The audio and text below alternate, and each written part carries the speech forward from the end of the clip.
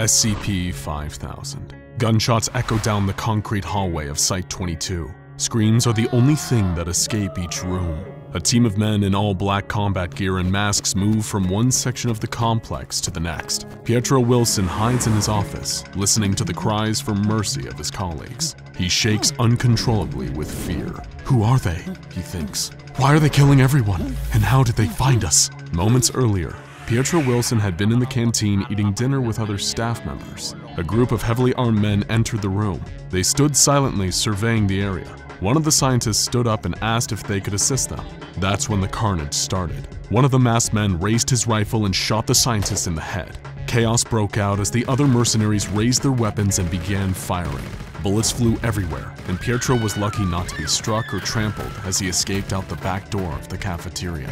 He ran to his office, slammed the door shut, and hid under his desk. Now he sits on the floor, with his legs pulled up to his chest, shaking uncontrollably. After a couple of minutes, he manages to take a deep breath and slows his heart rate. He regains control of his body, but is still filled with fear and adrenaline. Pietro crawls on his belly to his office door. He reaches up and pulls down on the handle. There's a slight click as the latch releases. He opens the door just a crack and peers out into the hallway. The flickering emergency lights illuminate the corridor for a few seconds at a time before plunging it back into darkness. There is no one in sight, but from around the corner, Flashes of light from machine gun fire flickers down the hall. The screams of the workers at Site 22 are silenced. Pietro takes a deep breath and pushes the door open further. He crawls out of his office and starts moving away from the violence. Unfortunately, to get away from the mayhem, he must go deeper into the bowels of Site 22. The exit is the other way, but he is too scared to head towards the armed men. He stands up and brushes the dirt from his blue technician jumpsuit. The lights flicker off. The hallway goes dark. He reaches out his hands and comes into contact with the cool, damp wall. He feels his way down the corridor, swimming in darkness. After a few moments, the lights flicker back on. Pietro looks over his shoulder to make sure he is still in the clear. Standing at the end of the hall is a soldier dressed in all black with a mask covering his face. The soldier stands motionless. Pietro turns to face the soldier. His eyes open wide. His heart races. He can't breathe. The figure doesn't move.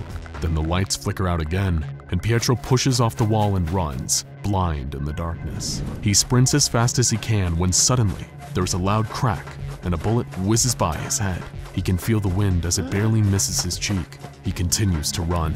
The lights flicker back on. He peers over his shoulder. Now there is an entire group of armed men pursuing him down the hallway, guns raised. He turns the corner of the hallway and proceeds down a set of stairs further into Site 22. At the bottom of the stairway, there is a short corridor with a door at the end of it. There's nowhere else to go. He pulls a keycard out of his pocket and fumbles it. The card falls to the ground. Pietro bends down to pick it up, and as he leans over, a bullet whizzes past where his head had just been. The projectile embeds itself into the metal door. He scoops his keycard up off the ground and shoves it against the scanner. The door unlocks, and he dashes into the room. He quickly turns and shuts the door. It locks automatically. The last thing he sees is the assassins running towards the door. The lights flicker on in the room where Pietro stands. The room has only one door, no windows and no vents. It is completely isolated. In the middle of the room is SCP-5000. He knew there was an SCP in this room that was designated SCP-5000, but he never knew what it actually was. Here he is now, staring at it, a strange-looking mechanical harness hanging in the middle of the room. Suddenly, loud banging at the door fills the room. The armed men are trying to break in. It is only a matter of time before they pry the door open. With nowhere to go, Pietro Wilson knows that he is dead. He looks at SCP-5000 and shakes his head. Hmm? What do I have to lose? He says out loud. Only your life. A voice in his head responds. He walks over to SCP-5000 and pulls it down from where it is hanging. It is heavy. On the mechanical suit are symbols he does not recognize. Hmm. The only thing he knows about the suit are rumors he's heard from others who work at Site-22. Supposedly, it first appeared in a flash of light in the containment chamber of a Keter-level SCP at Site-62C.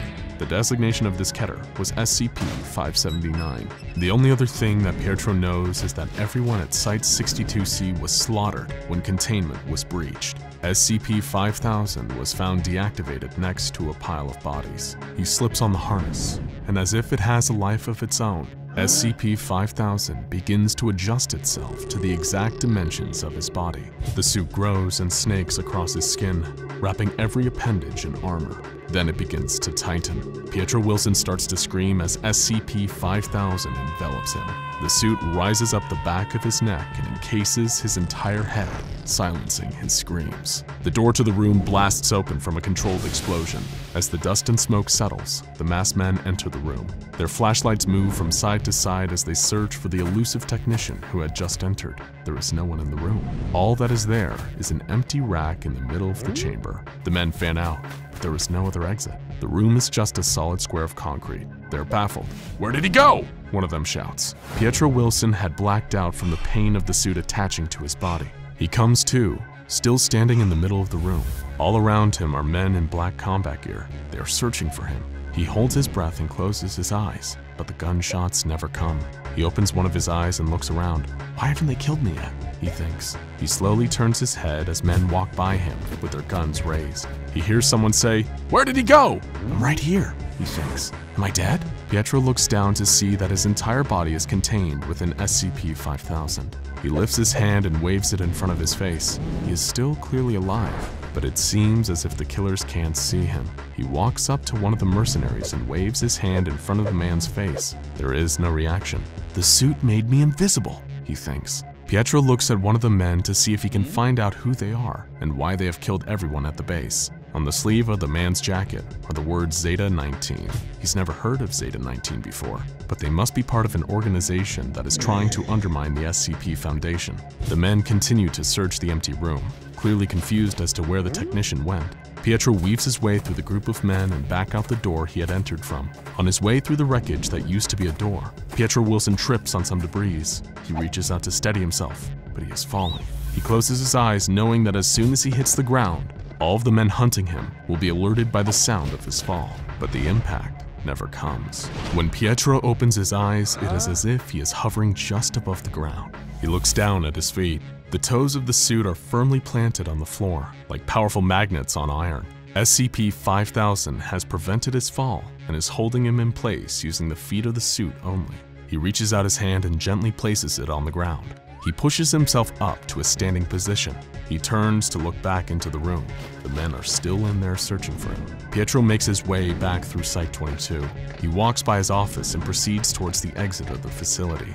As he passes the labs and other rooms at Site-22, all he finds is carnage. Everyone has been killed. An extra bullet has been placed in each person's head to make sure. It seems that the only mission these men were on was to kill everyone and make sure they stayed dead.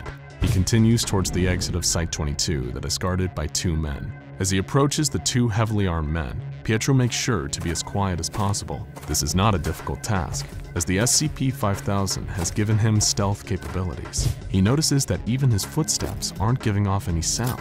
It is almost as if the suit is allowing him to glide across the floor. He is almost to the exit. Then he will be home free. He takes a deep breath turns sideways and squeezes past the two men guarding the doorway.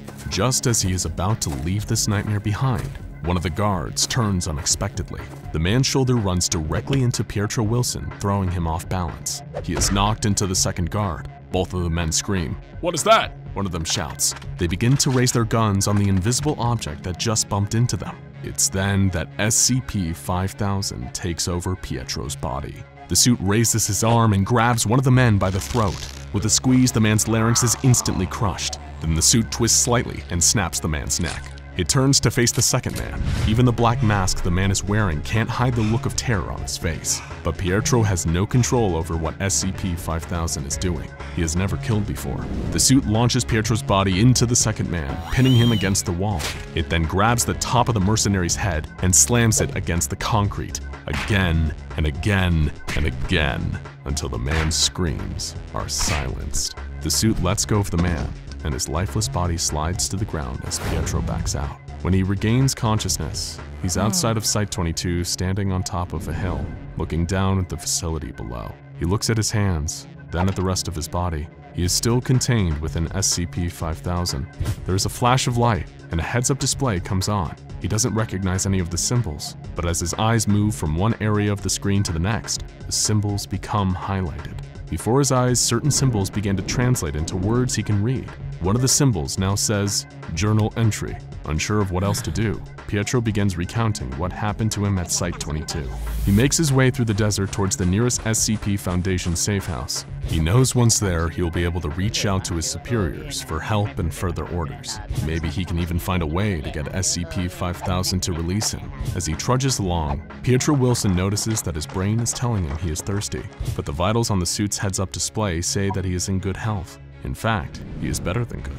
His vitals are all perfect. The suit seems to be giving him all the nutrients his hmm? body needs. It has even fixed his busted knee that was injured back in college playing football. The joint itself has somehow been healed. Pietro finally reaches the safe house and opens the door. It is quiet and dusty. It looks as if no one has been there in years. He walks over to the communication station and tries to contact the Foundation, but all he gets is static. He gives up and walks over to the TV. He pushes the on button. The screen hisses to life. What he sees causes his jaw to drop. SCPs had been let loose around the world and were killing people by the millions. What was going on? Pietro was startled awake from a nightmare. He was hyperventilating, but his body almost immediately recovered and his breathing slowed. A heads-up display flashed on in front of his eyes. Pietro Wilson was still contained within SCP-5000. The suit would not let him go. He instinctively went to rub his eyes, but the metal hands of the suit just clanked against the helmet that covered his head. He wanted out of this suit. Pietro stood up and walked over to the television. He reached out to turn it on but paused. He thought, do I really want to see how bad things have gotten since I fell asleep? But he had to know. He was filled with dread as the TV came on and he saw the first images. The world looked as if it was ending, and it seemed like the SCP Foundation was responsible. How could this be? They were supposed to protect humanity, not destroy it. Pietro needed to uncover the truth behind what was happening. SCP-5000 had a log entry function that he could use to record everything he uncovered. Even if he didn't make it out of this alive, maybe one day someone would find the suit and be able to access what he had learned. The date of his first journal entry was February 1st, 2020. As Pietro watched the carnage unfold on TV, he began to put together the pieces of what he had witnessed himself. He knew a special ops squad had executed everyone at Site-22 where he worked. He knew that the SCPs had been let loose. He knew the world was ending. But why? As Pietro pondered this, a newscaster appeared. What you have just witnessed are reports from around the world of monsters ravaging cities and towns. This all started with a mysterious message from an organization that calls itself the SCP Foundation.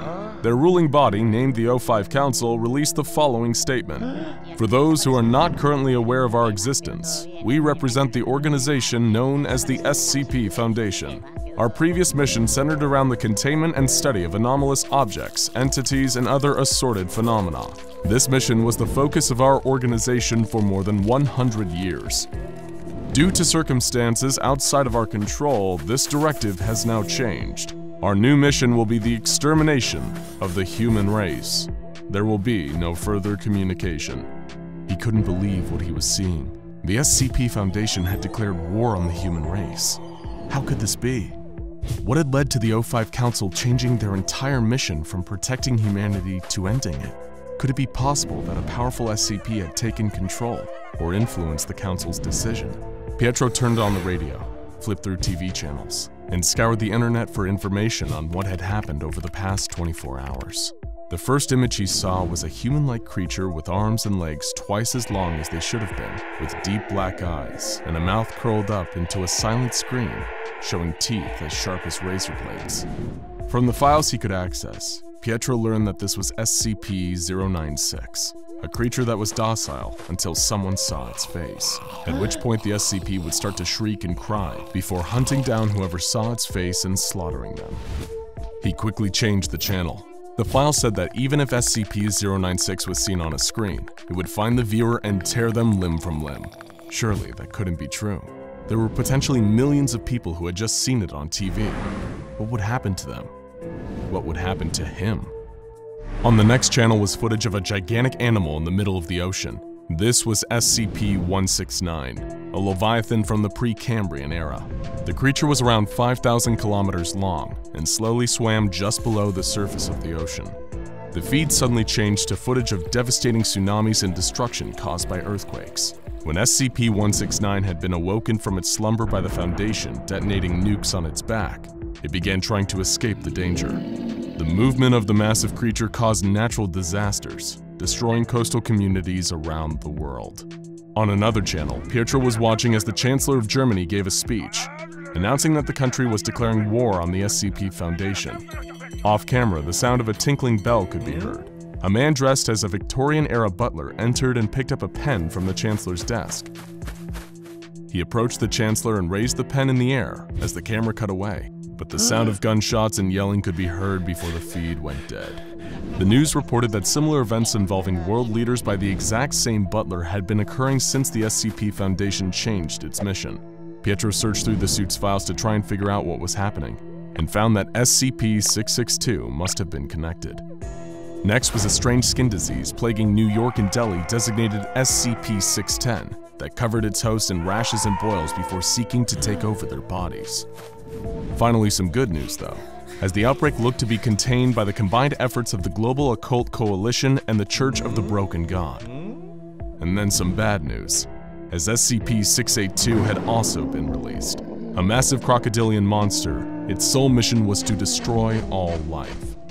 It was fueled by hatred for living things, making it the perfect tool of the O5 Council's new stated mission. Pietro had heard rumors of SCPs that could instantly end the world, but clearly the Foundation hadn't gone down this route. Yet. Did they want to keep the rest of the planet intact? Or maybe there were holdouts in the SCP Foundation who were trying to stop the O5 Council from carrying out their mission. All Pietro knew was that right now, there were some real nasty SCPs running around, wreaking havoc. Pietro suddenly heard an explosion in the distance, far away, but still close enough to make him nervous. Maybe he was better off staying in the safe house and waiting out the apocalypse. The suit was keeping him healthy, nourished, and undetectable to foes. Any sane person would have remained there in seclusion and safety, but Pietro needed answers.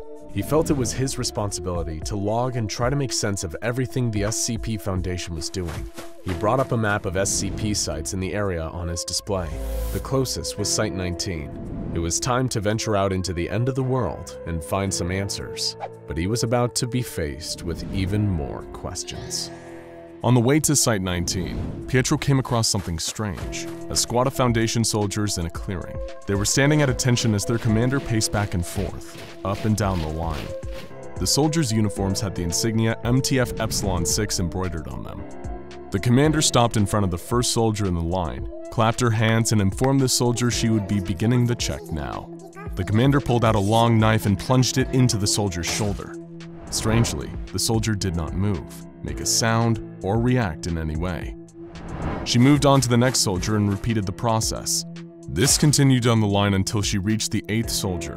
This time, when the commander stabbed the shoulder of the soldier, he noticeably winced and cried out in pain. The commander shouted, Got a live one! Pietro watched as the soldiers raised their guns and fired at the one who had cried out. He dropped to the ground. The commander moved on to the last soldier and put the knife in his shoulder. There was no reaction. All right, we're clear, yelled the commander. Let's move out. Pietro waited until the squad was out of sight and made his way to the corpse lying on the ground. He scavenged weapons and basic medical supplies. Then he buried the body and recorded what he had seen in SCP-5000's log. He had no idea why the soldier was killed, or why the others didn't feel pain. Maybe they weren't human at all. Maybe it was a squad of SCPs that had a human infiltrate their ranks.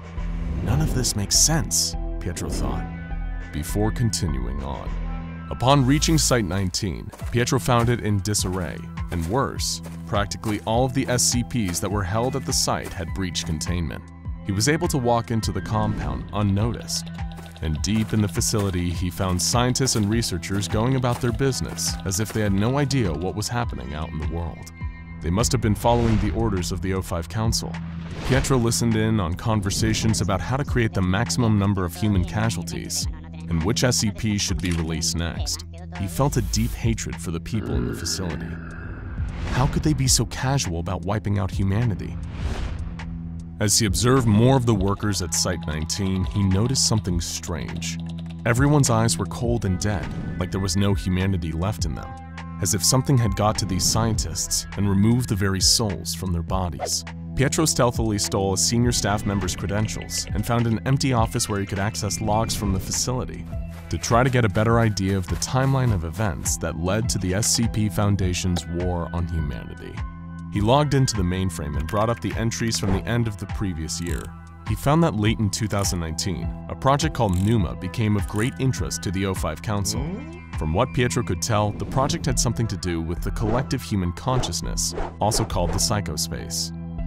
Apparently, SCP researchers had a breakthrough in mapping out the psychospace. Unfortunately, many of the files had been redacted, and there was no way for Pietro to access the unredacted version. After Numa had been brought to the attention of the O5 Council, a series of orders were sent out to all senior staff and site directors, but frustratingly, these orders had also been redacted. All he could see was that after the orders were sent out, a wave of resignations were submitted across the Foundation, Suspiciously, a wave of suicides had also occurred at roughly the mm. same time. What was in these orders? The O5 Council then sent out a number of files to all senior staff and site directors with instructions to disseminate the materials among those serving under them, after which both the resignations and deaths mm. immediately ceased. Pietro searched everywhere for what was in those files, but like so much of the SCP database, this information had been redacted as well. What was clear was that the SCP Foundation had begun gearing up for the extermination of humanity the following year. The entry log for February 1, 2020 read, Mobile task forces are dispatched to all exclusionary sites to execute all personnel. Immediately following the conclusion of these missions, the Foundation declares war on humanity. This was where Pietro Wilson's journey had started. He slammed his hands down on the computer monitor in frustration. The suit absorbed all of the impact and crushed the monitor in half. Pietro moved to a new non-smash computer and logged in again. This time he brought up the most current entries to see what the O5 Council was up to recently, to see if there were some answers in the present. The SCP Foundation had been busy while he was making his way to Site-19. They had released SCP-1048 in Paris, which now led a horde of bears down the Champs-Élysées. In the distance, Pietro thought he could almost make out a massive red teddy bear walking between the buildings. The SCP Foundation was also launching counterattacks on any organization that tried to oppose them. They used SCP-1290 to hurl projectiles at the Global Occult Coalition's base. They were also using SCP-1440 to brainwash people and convince them that they needed to riot. This caused widespread destruction as people panicked and were trampled to death. Pietro thought it was sad that such a kind-looking old man could cause so much destruction. He recorded as much as he could before deciding that it was time to get out of Site-19. Although SCP-5000 still made him undetectable, he couldn't shake the feeling that the lifeless eyes of the staff were beginning to look his way more and more often. As Pietro exited Site-19, the sky glowed orange with the fires of countless burning buildings. He needed to find more answers. He needed to uncover the reason the SCP Foundation was trying to wipe out humanity. He had learned a lot from Site-19 and was sure that if he could just get to the next site, he would finally be able to figure out the Foundation's motive and maybe even how to stop them. He took a step forward, but his heads-up display suddenly went completely dark. The suit constricted tighter around his body, slowing the blood flow to his brain. He couldn't move as his vision got dimmer and dimmer and dimmer until he blacked out. What happened? Pietro says out loud as he looks at his vitals in the heads-up display of SCP-5000. He is still contained within the exclusionary suit that makes him undetectable to human senses. He checks the date and gasps in surprise. Three months? I've been passed out for three months? He stands up and looks across the barren landscape. The screen inside the suit indicates that he has traversed half of the country since he left Site-19 three months ago. Pietro looked down at one of his hands. He is holding a leather briefcase. Where did that come from? He wonders. Pietro has no idea what is inside the briefcase, but he knows it definitely isn't round. He tries to let go. His fingers won't open. He uses his other hand to try and pry the briefcase away from himself, but his hand only clasps to it harder. Then a wave of calm washes over him. Something inside his head speaks to him, but it's not a voice, more like a feeling. It is a sense of purpose, and Pietro's new mission in life is to deliver this briefcase to SCP-579. Nothing else is as important. Pietro Wilson takes a deep breath and embraces his new purpose in life. He still wants to uncover the reason that the SCP Foundation is trying to wipe out humanity, but this will have to wait until he delivers the briefcase to SCP-579. Pietro doesn't know exactly where 579 is located, but he can feel a pull in a certain direction, so he begins to walk. Pietro brings up the information stored in the SCP-5000 suit from the Foundation's database. He finds that all information about what SCP-579 is has been expunged from the record. The only useful information in the file is that the Keter-level SCP is located at Site-62C. At least Pietro has a destination to aim for.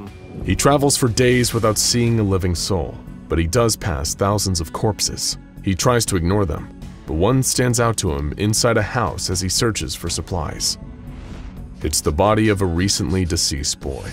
He couldn't have been more than eight years old. He was so young, Pietro thinks. He bends over to scoop up the body and bury it outside. As his hand touches the body, the boy's skin begins to move. It is as if hundreds of tiny creatures are scurrying just under the skin. Then, from out of every orifice comes hundreds of little pale worms, each with the face of the boy. They are all cackling as they crawl out of the boy's body and into a drain a few feet away. Pietro jumps back and runs. This is the last person I try to bury, he thinks. Pietro pushes forward, the hundreds of little laughing worms haunting his thoughts, until he puts a significant distance between himself and the little boy's body. Pietro continues to walk towards the direction of Site 62C. He passes more corpses, but decides to stay clear of them. Although the suit makes it so Pietro doesn't need to rest, he can only go so fast. He enters a small, abandoned town that looks like something out of an old western movie. A tumbleweed blows across the dirt road. Pietro sits on the wooden step of the local saloon and takes a break. He looks down at the briefcase in his hand. He hasn't had the urge to open it, only to deliver it to SCP-579. Pietro puts the briefcase on his lap. He stares at it and slides his hands along the leather, stops with his thumb on the latch, and pushes. The locks snap open, Pietro opens the briefcase. A bright light beams out, and he passes out. When Pietro comes to again, he is miles closer to Site 62C. There is a warm feeling enveloping his body. He looks down at the briefcase, which is now closed. Wow, this thing is like my own personal skip button, Pietro thinks. He holds up the briefcase, unlatches the locks, sees the bright light, and passes out again. He awakes once again miles away from his last position. So it wasn't just a one-off effect. Pietro continues walking across the country, switching between using his own legs and whatever magic is contained within the briefcase. He is making faster progress now. As he walks through a dense, deciduous forest, he comes across a pack of wolves eating the remains of an SCP agent. Pietro is undetectable to the wolves thanks to the SCP-5000 suit and he makes his way over to the pack, quietly grabbing a laptop laying on the ground next to the agent's body. Pietro takes the laptop and goes away deeper into the forest before stopping to boot up the computer. He has not forgotten about the horrors the SCP Foundation has released, and he needs to know how the world has been doing over the last few months. What he finds is not good. The SCP Foundation has triggered the eruption of Yellowstone, destroying SCP-2000, which unknown to Pietro, contained the failsafe for rebuilding human society in the event of a world-ending scenario, which this was starting to look more and more like. It was only a matter of time now before the soot and ash thrown up by the eruption blocks out the sun in much of what is left of the United States. The Foundation has also found a way to get SCP-2241 to do their dirty work at refugee camps, the young brown-haired boy is most likely being manipulated by the Foundation under the pretense that they are only doing what is best for their child. He has caused whole groups of refugees to turn on each other, leading to a massacre. The last entry says that the young boy is being sent to the Global Occult Coalition holdout in Genzir to help destroy some of the last threats to the SCP Foundation. A series of other SCPs have been dispatched by the Foundation around the world to continue the destruction of humanity. They even managed to use temporal anomalies to make it Christmas time everywhere around the world. So SCP-4666, the brutal Yuletide creature that stalks the homes of children, is free to cause chaos. Pietro had seen enough. He slams the laptop shut, throws it against the trunk of a tree, and opens the briefcase again. He awakes, standing feet away from a group of Global Occult Coalition soldiers who are sitting around a campfire. Maybe they know why the SCP Foundation is trying to end the world, he thinks. He decides that it is too risky to show himself to the soldiers, but takes some solace in sitting around the campfire with other living humans. The soldiers are sharing stories about what is happening. One catches the attention of Pietro Wilson. It is strange, but also may hold a clue as to why the SCP Foundation is trying to wipe out humanity. One of the soldiers recounts an event that he witnessed before leaving the Global Occult Coalition's headquarters at Genzir. They had just captured an SCP soldier trying to break into the base. The infiltrator's name was Samuel Ross. He had been strapped into an interrogation chair and questioned. The interviewers were not getting anywhere until Ross was threatened with torture.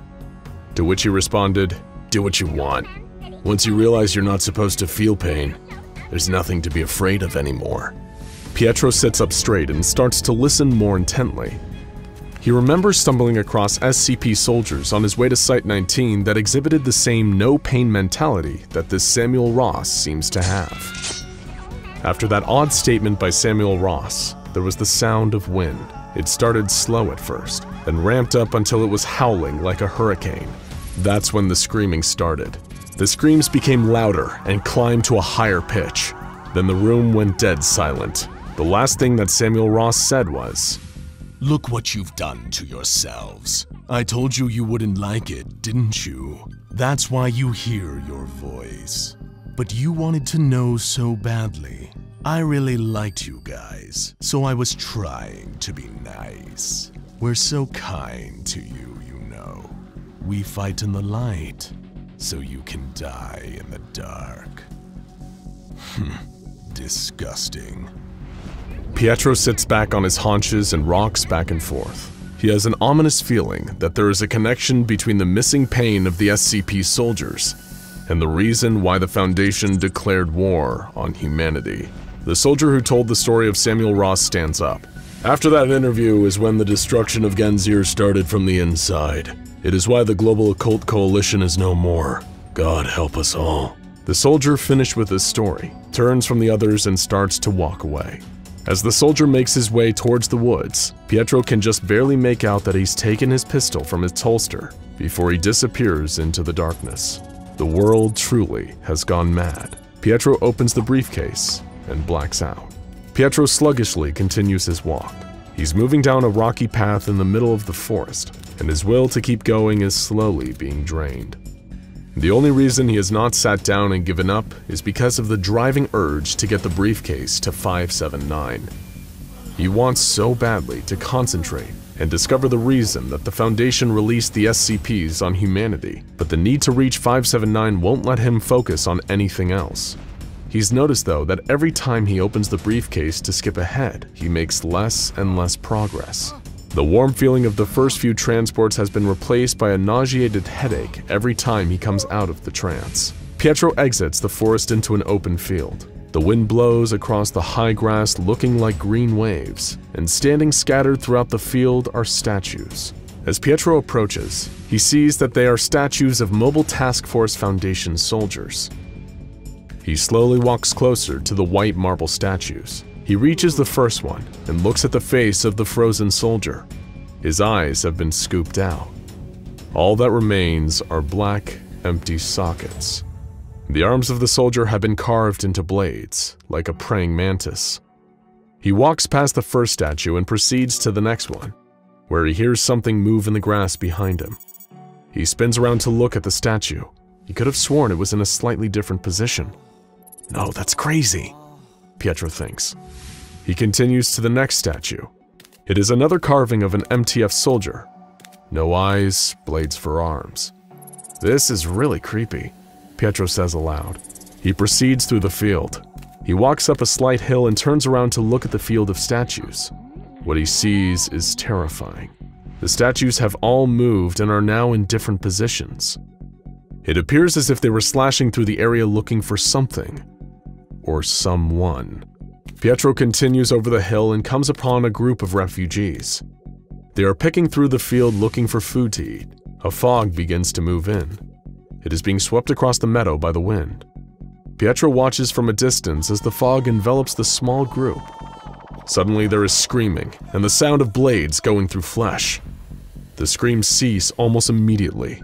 Pietro runs down the hill to where the refugees were. The fog lifts. The group of people have been cut to pieces. Standing in the middle of the carnage is one of the MTF soldier statues, blood dripping from its blade arms. Pietro knows what to do. He runs. After a few miles, Pietro slows to catch his breath. Those statues must have been created by the Foundation, he thinks. It's as if they are frozen in place. But as soon as you take your eyes off them, they can move with killer speed. Even in the suit, my eyesight can stop them, but they can't see me. They must know I'm there though since they can't move. Pietro Wilson opens the briefcase once again, for what he didn't know would be the last time. When he comes to this time, he is near Site 62C. He can feel himself being pulled stronger than ever in the direction of his destination. He walks down a deserted road past the husks of burnt vehicles, and at the end is the gate to Site 62C. There are no guards or security of any kind. It looks like the site has been abandoned for a long time, and the gate is wide open, beckoning Pietro Wilson into Site 62C, where SCP-579 waits. Pietro Wilson enters the dark hallway he somehow knows leads down into the crypt of Site 62C. The walls drip with what he hopes is water from leaking pipes, but it has a metallic smell, and is much too red to actually be water. He begins to feel nauseous. It gets harder to breathe. Even the SCP-5000 suit can't keep him calm. He turns and runs back up the stairs out of Site 62C. Pietro begins to sob uncontrollably, as the memories of everything that has happened over the past several months suffocates his will to go on. Then, as if an invisible force that refuses to let him go takes control, Pietro feels as if a gun has been shoved into the small of his back. He is being sent back into Site 62C, whether he wants to go or not. He is unsure if what is forcing him back into the base is inside the briefcase, his own uncontrollable urge to know what is going on, or SCP-579 itself, but he cannot stop himself from re-entering the doorway and proceeding into Site 62C. He doesn't know what SCP-579 looks like, but Pietro has a sinister feeling that it is watching him. He reaches the bottom of the stairway and proceeds down a dark hallway. The power went out a long time ago, and the only light in the depths of Site 62C is the dim glow coming from the helmet of the SCP-5000 suit. Pietro notices long gashes along the concrete walls, as if someone took a giant knife and dragged it from one end of the hallway to the other. There is something at the end of the corridor that Pietro can't make out. As he gets closer, the lights on the SCP-5000 suit begin to flicker. The thing at the end of the hallway seems to move slightly each time the lights on the suit dim. The lights on the suit go out completely, and the entire hallway is plunged into darkness. Only for a second though, and when the lights come back on, a statue of an MTF soldier looms over Pietro. Its eyes are empty sockets, its lips are turned up in a snarl, the arms have been filed into blades. No! Pietro screams. He dodges around the statue. The moment it is out of his sight, he hears the sound of blades on concrete, as the statue of the soldier comes to life and begins slashing its way down the hallway. It cannot see Pietro, but it knows he is there. It slashes all around, trying to connect with whoever is there with it. Pietro runs to the end of the hallway and reaches the door.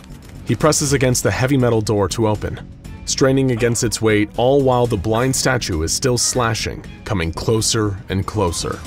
The door is almost open, but then Pietro feels a blade lacerate the back of the suit, cutting deeply into the skin of his back, missing his spinal cord by millimeters. Another blade enters through the back of his shoulder, piercing straight through. He somehow pulls himself through the cracked doorway and kicks the metal door shut behind him. He can hear the banging and scraping of blades outside the metal door. The creature has not given up and is trying to break in. Pietro turns around to see he is in an observation chamber full of instruments and screens. Blood runs down his back from the wounds inflicted by the statue. He walks slowly over to the window. On the desk in front of him is a file labeled SCP-579. He looks through the observation glass and down into the chamber below. It is too dark to make anything out, but Pietro can feel that SCP-579 is down there looking up at him. Pietro looks to his left and sees a hole in the floor. He walks over and looks down. and leads right into the containment chamber of 579. Let's get this over with, Pietro says out loud. He holds the briefcase over the hole and tries to open his hand. His finger won't budge. SCP-579 wants him to hand-deliver the briefcase. Pietro Wilson takes a deep breath, closes his eyes, and steps into the opening of the hole. He falls. In the moments before he lands in SCP-579's containment chamber, something comes to him. He realizes that he isn't going to be a hero. He isn't going to figure out why the SCP Foundation is trying to wipe out humanity, and he isn't going to survive. He lands hard on the ground below. It is completely dark, except for a shadow that moves in the corner of the containment chamber. Pietro Wilson creates one last log. If anyone ever reads this, please, please figure out why. Explain it to me. Someone. Anyone. I don't get it. I just don't get it. SCP-579 steps into the glow that the SCP-5000 suit is giving off. Pietro Wilson looks up at it. Oh, so that's how it is. He says before SCP-5000 creates its final log. Life signs, lost. Vital signs, lost. SCP-5000 appeared in a flash of light in the containment chamber of SCP-579, located in Site-62C. The researchers monitoring SCP-579 had no idea where the suit came from, or why it contained the body of Pietro Wilson, a Foundation employee who is assigned to Site-06 and is very much alive.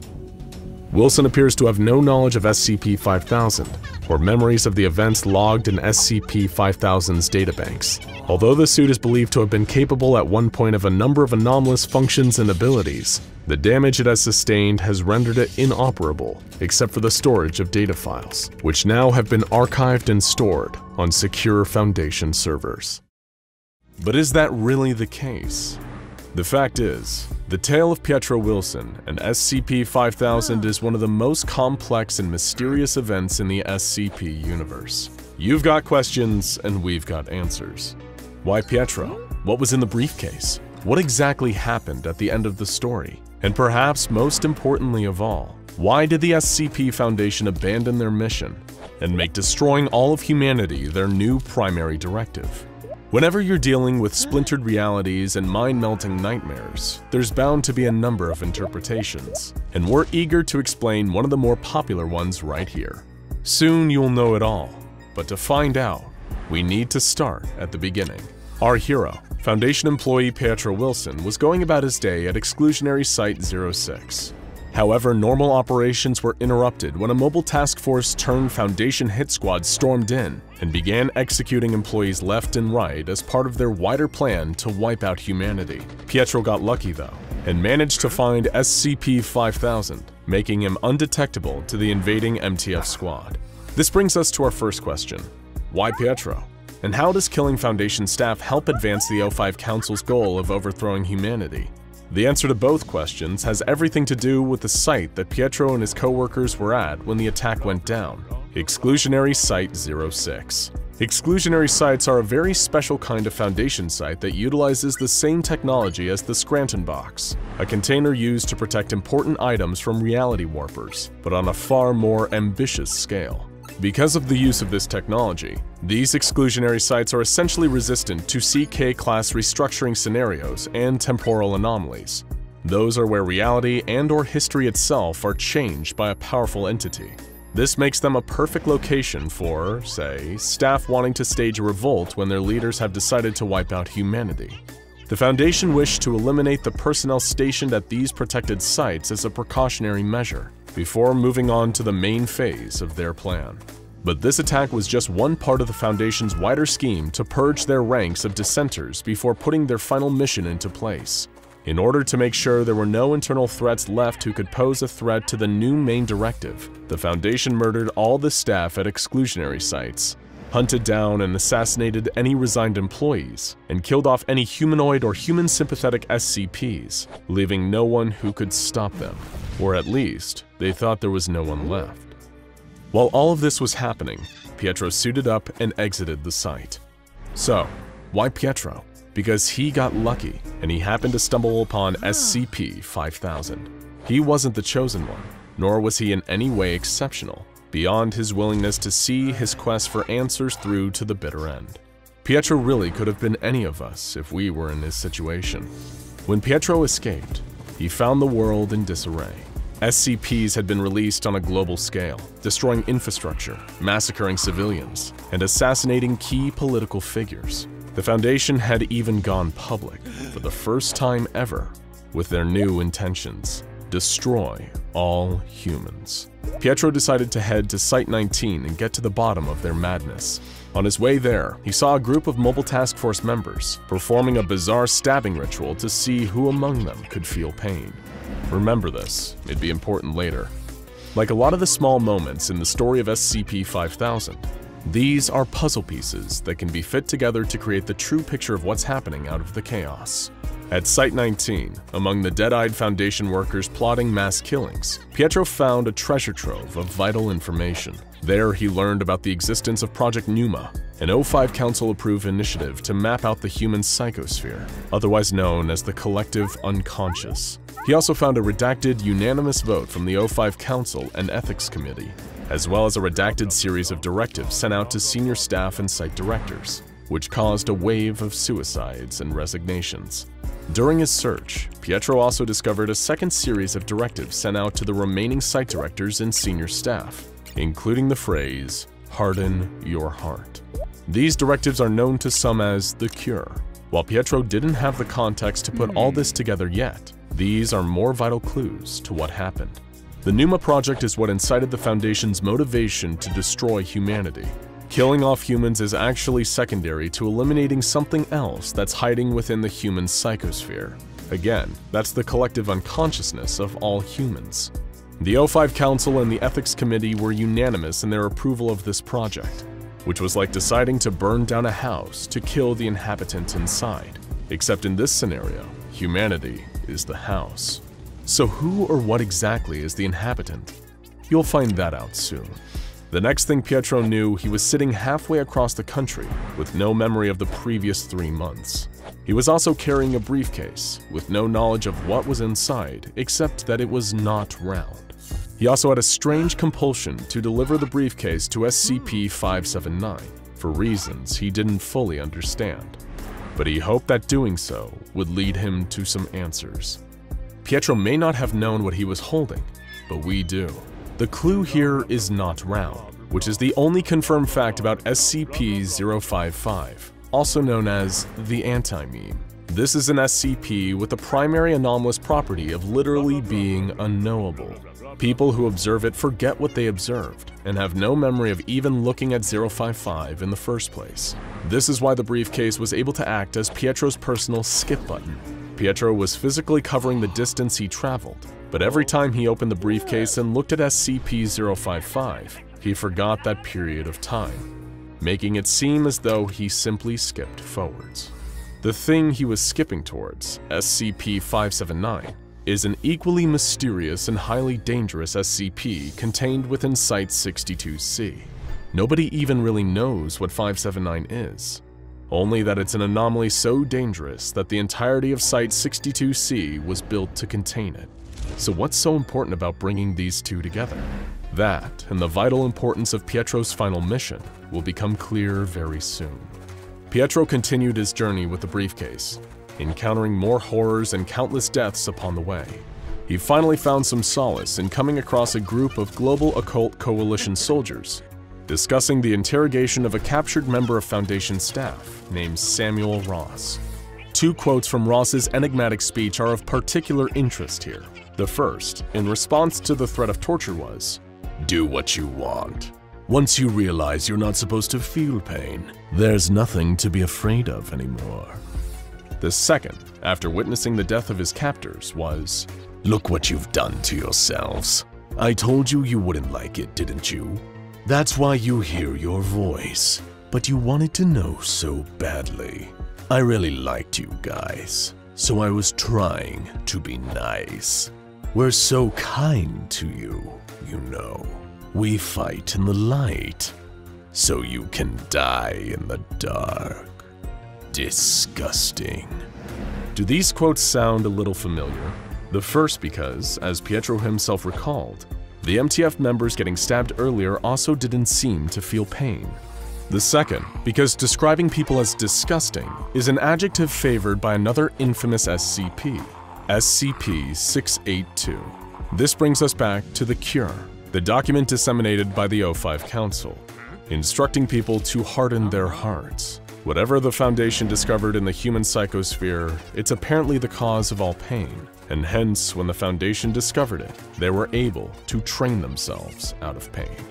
And as for the SCP-682 reference, this is a being that despises life, and it's believed by some that the reason 682 holds this belief is that it's always known about whatever the Foundation recently discovered through Project NUMA. Decrypted text logs in the Foundation files confirm this in a document exchange between O5-1 and Tejani, the head of the Foundation Ethics Committee. In their conversation, they confirmed the existence of the cure, which deprived the personnel of everything from pain to empathy, being disseminated among staff prior to the massacre, and of the Foundation's sudden ideological alignment with SCP-682. And they found something else too, referred to simply as it. Whatever it was, it was the reason Foundation Command decided to wipe out humanity. But what is it? What could possibly be so bad it was worth killing all of humanity?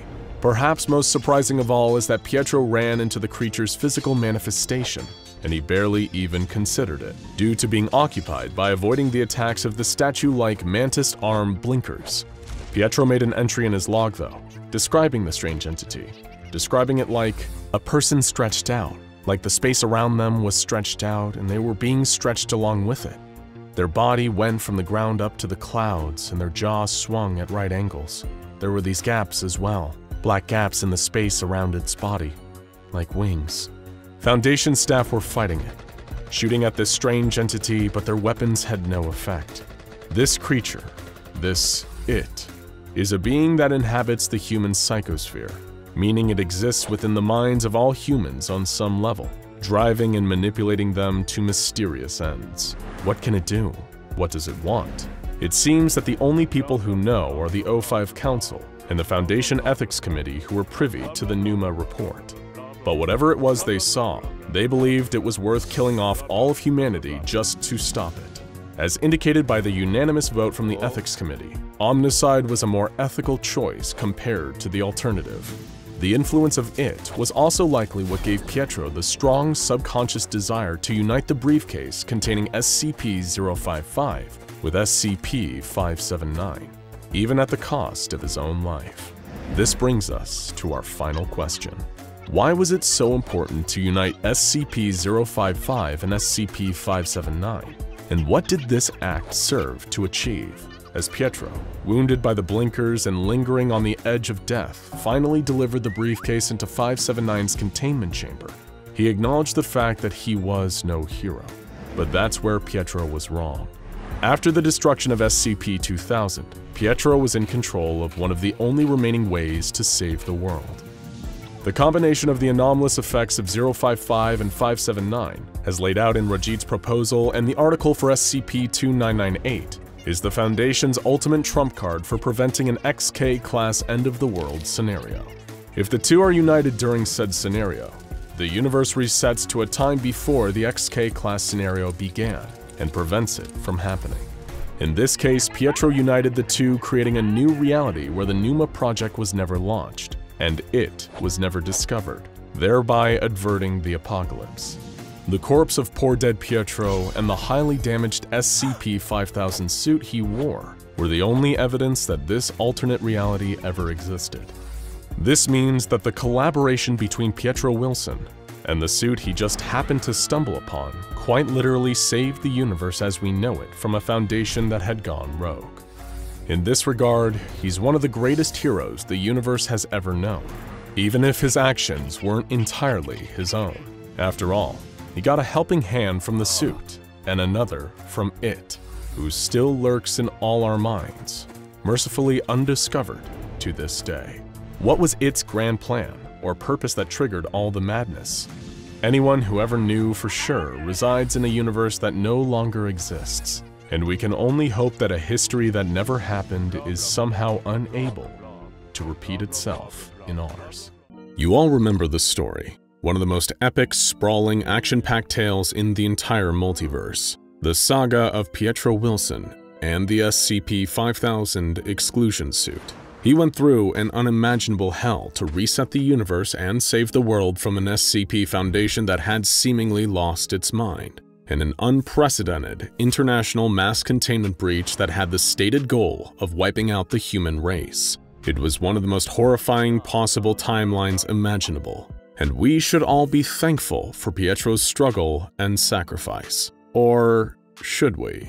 After all, there are two sides to every story, each with its own perspective and insight. One side of the coin was Pietro, a man willing to do anything to return normalcy to the human race. On the other side was a familiar yet wholly unexpected face, SCP-682. In our original telling of the SCP-5000 Odyssey, you may have noticed passing mentions of SCP-682 here and there. It was one of those thousands of anomalies unleashed across the world to wreak terrible havoc on all of us. But what you may not have known is that SCP-682 was one of the few intelligent entities that weren't surprised by the sudden turn taken by the SCP Foundation, or indeed the world at large. SCP-682 knew something like this was inevitable, as soon as human beings found out about it. That's right, it the entity behind all the pain and misery of SCP-5000. And today, thanks to the inner thoughts of none other than SCP-682 itself,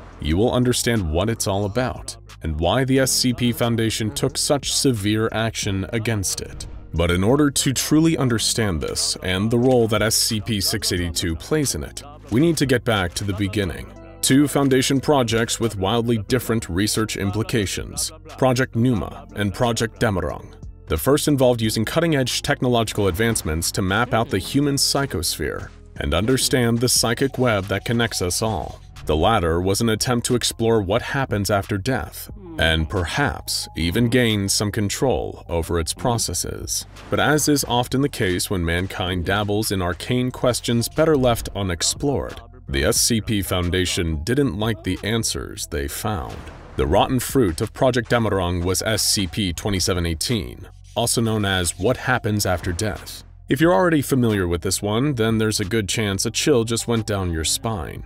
It's widely considered one of the most disturbing anomalous discoveries ever, and a member of the O5 Council who'd already experienced it decided to submit himself for eternal torture at the hands of SCP-106, just so he could avoid it. According to SCP-2718, after death there is no heaven, no hell, and no oblivion. The human consciousness endures in the most horrifying way possible. It remains bonded to its decaying earthly body, feeling the slow agony of rot for eternity. Unable to speak, unable to move, unable to scream but fully aware as everything they once were putrefies and withers away. And cremation isn't an escape here, it's worse. Every molecule of ash your body is reduced to will cry out in silence, echoing around the empty halls of your fragmented soul forever. With something this utterly horrifying, the natural follow-up questions are, why does this happen? And for the love of all that is good and pure on this earth, is there any way to stop it? This brings us to Project Numa, the one that's even more closely associated with the events of SCP-5000. The Foundation's attempts to map out the human psychosphere resulted in a world-shattering discovery. Something was living in there. The entity, the powerful nameless creature we've been referring to as It. It lives in so many of our heads, watching, waiting, and of course, feeding. The main question here is, on what? Prior to the discovery that changed everything in the world of SCP-5000, the only being that truly knew was SCP-682 itself, melting away in its acid tank bound by reinforced restraints, hurting, bored, hating. Imagine for a second what the life of SCP-682 is like. It isn't the most dangerous of the anomalies out there. There are Devourer of Worlds and Scarlet Kings more happy to crush our whole world in their claws, nor is it the most sadistic. A being like SCP-106 offers a far more painful death than being quickly mauled, crushed, or eaten by the hard-to-destroy reptile. And despite this, the Foundation expends countless resources in trying to murder it on a constant basis. It has been burnt, melted, eaten alive, drowned, slashed, beaten, dissected, suffocated, erased from existence, set upon by nightmare creatures, torn to shreds on an atomic level, and even more terrible termination attempts than you can possibly imagine. We've made several videos on the subject, and even we have barely scratched the surface of the pain inflicted on SCP-682 by the SCP Foundation. Even in its default state, SCP-682 is constantly submerged in hydrofluoric acid, eating away at it forever. Does that remind you of anything else we've been talking about? You might wonder how SCP-682 can withstand this level of constant torture without completely losing its mind. To put it very simply, 682 takes a great deal of satisfaction in knowing that what every human has to contend with after death is far worse than the tortures it expected to endure at the pathetic hands of these doomed human fools. It already knew what Project Pneuma discovered. It already knew about it, the entity. It felt the constant suffering of the teeming billions of dead in the world around it, and it found it disgusting. An interesting choice of words, and a favorite for SCP-682, but also for the captured SCP Foundation agent Samuel Ross during SCP-5000. As we discussed briefly in our SCP-5000 coverage, something happened that aligned the perspectives of the SCP Foundation with that of the monstrous reptile that they had taken such pleasure in tormenting. What on earth could cause the protectors of humanity to suddenly change their tune like this? There are other little clues embedded in Pietro's terrifying SCP-5000 experience. You may remember a strange and frightening scene where a Foundation field commander went down a row of Foundation soldiers, stabbing each of them with a large combat knife, and none of them reacted. Until one did, at which point his comrades set upon him like mad dogs and killed him displaying an uncharacteristic level of swift brutality. And then there are the classified files from the O5 Council and the Ethics Committee, led by Chairman Odongo Tejani. It goes without saying that the O5 Council and the Ethics Committee don't really see eye to eye on anything, but the results of Project Pneuma change that. The following is classified conversation between a member of the O5 Council, namely O5-1, and Chairman Tejani, trying to comprehend the horror of their discovery. My hands shake as I hold the document. This is confirmed? He nods. We got the report from Pneuma's staff yesterday. It's everyone. Even us? Even us, Tejani. To think I'd find myself agreeing with that damn lizard. What do we do? You know what we have to do. We'll have to disseminate a cure, I think, among personnel before we get things underway. It'll try to stop us otherwise. God help us, one. Don't be like that, Tejani. That's it talking.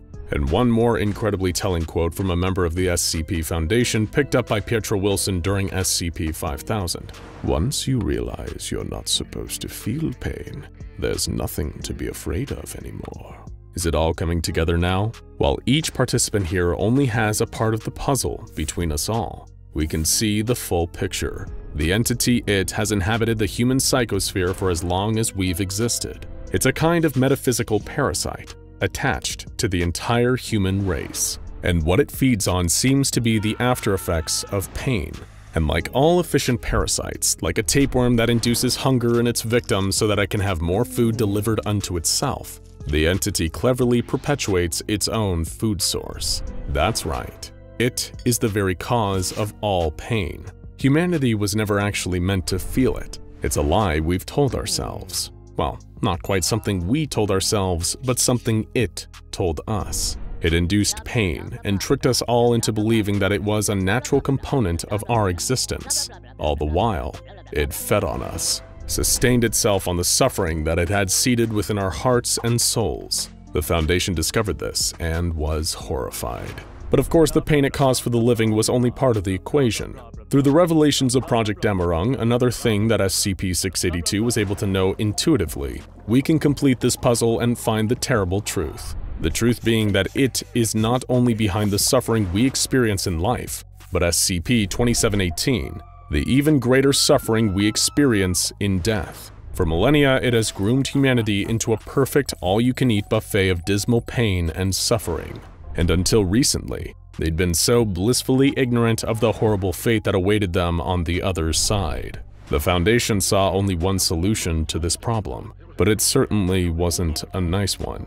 In order to save themselves and all of humanity from a truly wretched eternity, they'd need to distribute a cure among themselves. The mimetic key phrase, harden your hearts, and then go about exterminating every human being still infected by it. Only that would presumably purge the monster from the psychosphere forever, and grant humanity both painless lives and restful deaths. It was a horrible thing done for the best of reasons. The Cured Foundation personnel started to notice the horrible background noise of suffering all around them. They now understood how the reptile felt. To call all of this disgusting would be a grave understatement. If anything could help them execute this plan of mass mercy killing, it would be SCP-682, a scaly survivor in disguise all along. SCP-682 was surprised to see the day arrive. Alarms went off across the containment site. His acid tank was drained, his restraints unlocked. A group of unarmed, unprotected researchers entered the room.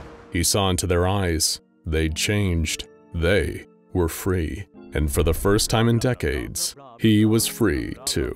They explained to him that they'd been acquainted with his old enemy, the entity It. They understood his malice, his disdain. For once they were suddenly joined in a shared goal. They needed to kill them all. They needed to purge the entity from the psychosphere forever. In the words of the Foundation researchers, they would need to exterminate everyone who was infected, and SCP-682 would need to help. The hard-to-destroy reptile, relishing the opportunity, replied, I will do my part. And for a brief window of glorious time, it was free. With no threat of recapture, it rampaged through the world, gleefully slaughtering scores of people. It was in its element, taking part in the mass extermination of the infected. Every dead body added to the pile was another blow struck against it. Soon enough, the world would be disgusting no longer. But of course, that's not how this story ended. It had a trump card, Pietro Wilson. It guided him all the way, dragging him from nightmare to nightmare, until he was eventually able to reset the world and erase the discovery made by Project Pneuma. The slate was wiped fully clean, and because of it, we are forever ignorant of the terrible fate awaiting us all after death, and the monster lurking in our psychosphere that feeds off of every morsel of suffering. You can thank Pietro Wilson for that nasty little gift. Only one entity truly remembered what had happened. SCP-682, of course. They had their chance to save themselves, and they ruined it. So close, yet so far. From that day onward, SCP-682 found the Foundation not only disgusting, but disappointing. It's chaos on the streets. People are running as fast as they can as monsters and horrors beyond imagination spill out of every alleyway. A monstrous reptilian beast had a screaming policeman in its jaws. A strange statue was standing on top of a pile of bodies, all with broken necks, and a horde of flesh-eating zombies chased some terrified civilians into broken storefronts. In short, all hell is breaking loose, and you're right there in the middle of it. As you try to avoid the legion of hungry undead, you see a beautiful woman beckoning you into an alley. You run to her, hoping that you'll have found some way out, but when you're in there and alone with her, desperately clutching the one pocket knife you managed to grasp in your trembling hand before your house was overrun by flesh-eating insects. She begins to laugh at you. The woman starts to change right before your eyes. Her flowing red dress transforms into impenetrable samurai armor. Her features become hard and severe, and a deathly sharp katana begins to manifest in her hand. As the anomalous swordsman walks towards you on this, the most terrifying day of your life, you realize that you probably won't live to see sundown. One of the most terrifying scenarios explored in the archives of the SCP Foundation is that of SCP-5000, events during which the Foundation's primary directive changes from the study and containment of anomalies to the extinction of all human life. What would you do in the shoes of a Foundation researcher during SCP-5000? What anomalies would you use to kill people or stop certain groups of interest from taking down the Foundation? We pose this question to you, the viewers of SCP Explained on our Community tab, with one caveat. You can't use any nuclear weapons or any anomalies that can totally destroy the world quickly. So without further ado, let's see what kind of destruction you all wrought. Leo World said, as a researcher, I would use the radio to make people hear the words of SCP-4511, the Swine God, to make them sacrifice others to his burning insides. It's good to let a less popular SCP have some spotlight in this scenario. Perhaps this idea could also be used for some groups of interest. This response reminds me of something my grandma used to say. If you have to wipe out the human race in order to destroy a horrifying entity lurking in the collective unconscious, you might as well get creative with it. ah, she was a strange lady. Anyway, all hail the swine god, may his eternal flame cleanse the earth, but this particular strategy would probably take a while to have an effect on the population at large, but points for originality. You see, Bite said, I think a picture of SCP-096 would make an excellent weapon against groups of interest. Small, lightweight, discreet, guaranteed death of the target. Now this is a classic. If it ain't broke, don't fix it. If you've got a killing machine ready to be deployed as soon as someone looks at his face, why not take advantage of that? The only potential hang-up is the problem of getting the picture to the groups of interest without looking at them yourself. Once you've got a system down, then you can just spread 096's picture around and watch the body count rack up. This strategy is a lot like playing Call of Duty. It also destroys lives with a headshot.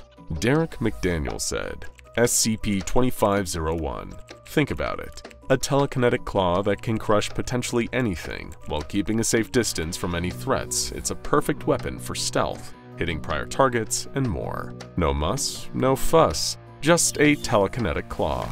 Great thinking.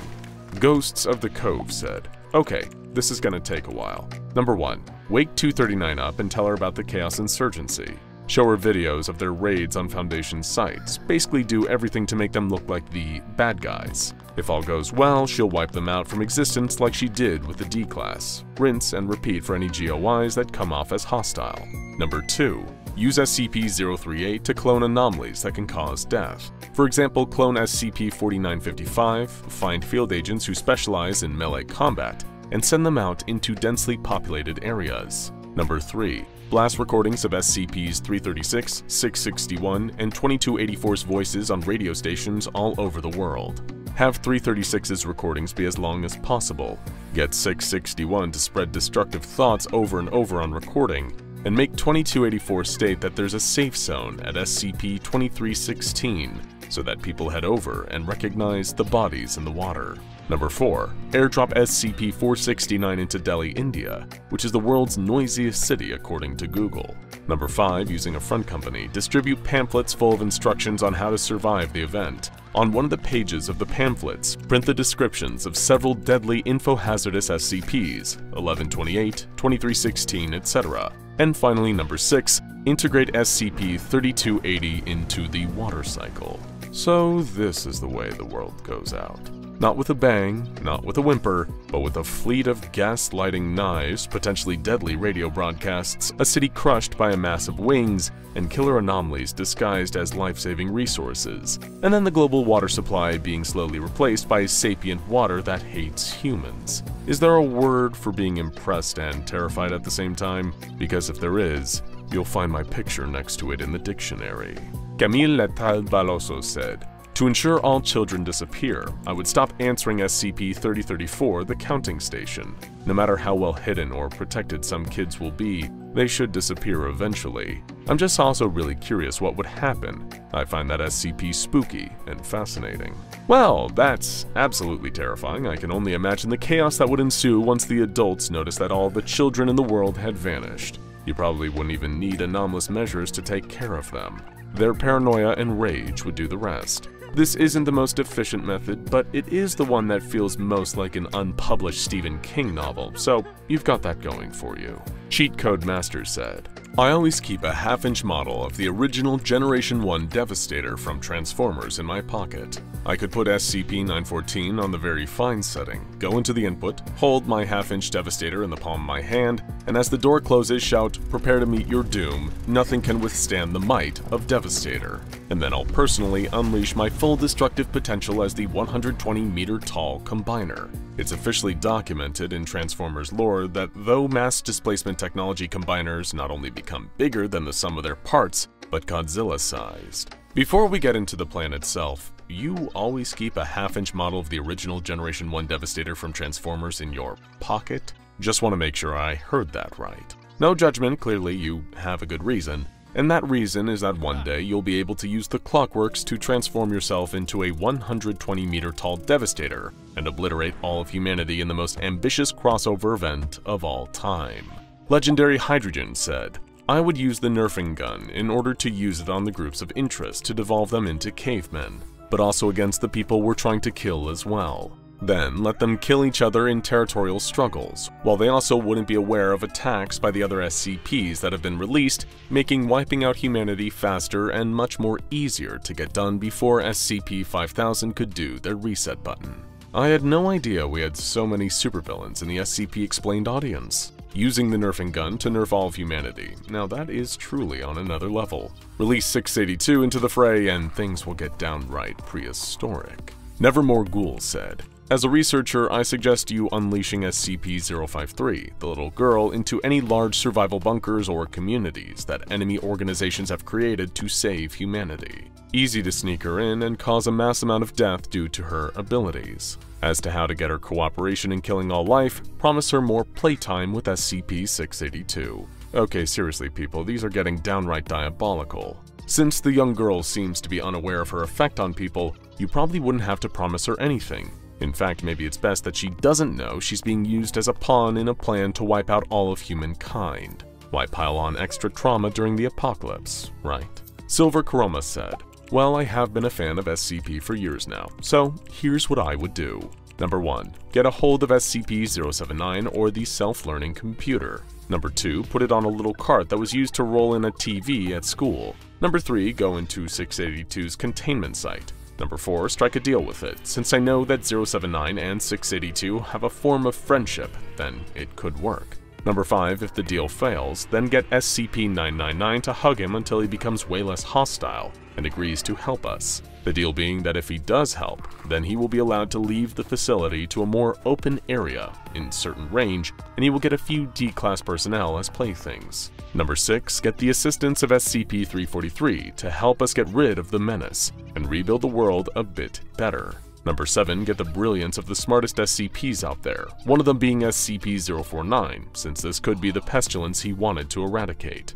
Number 8, let the world know about the Foundation and help survivors and such, like this was in SCP-001 When Daybreak scenario. Number 9, neutralize or terminate SCP-5000.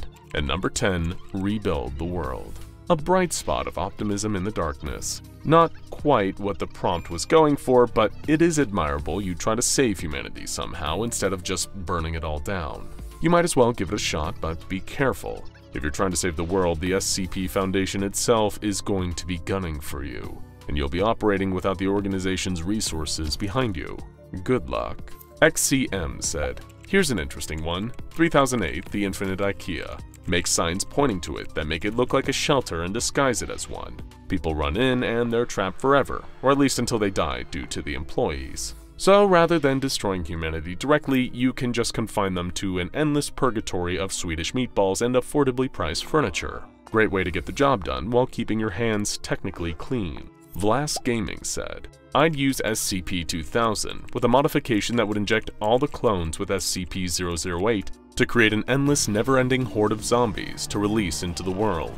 If the site is never retaken and allowed to continue this process, I could in theory have a legit endless supply of SCP-008-1s to swarm the world with. Ah, the Walking Dead approach. You gotta give it up for the classics. A good old zombie apocalypse with an SCP Foundation twist. Always RA said, I suspect humanitarian aid packages will be deployed by do-gooders at some point. If so, slip in a set of SCP-178 into one of the larger refugee camps. Since third parties caught up in a 178 incident are also vulnerable to attack, job done. And since any sufficiently large group of people will have at least one goofball among them, this could help wreck major trade routes during the earlier days or weeks. I always had a feeling that the decline of the human race would start with a pair of 3D glasses. Everyone told me I was out of my mind and that I'd have to leave my showing of Avatar The Way of Water without a refund. But look at me now. I was right all along. Kirby Kona said, As a researcher in this scenario, I'd find SCP-743, the deadly infinite chocolate fountain, and place it into SCP-914, the clockworks, on either fine or very fine. If on very fine it's still able to be moved and carried, I'd take it to a refugee camp and wait. Wait until the now improved creatures tear those who are resisting the Foundation to shreds. Ooh, death by chocolate. Well, death by swarms of anomalous anthropods emerging from a chocolate fountain, but that just doesn't sound as good. Either way, that is a sweet victory. John Ree 18 said, so if the goal is, as I understand it, to wipe out the entire human race without using reality warping SCPs of any kind, there are a number of options to choose from.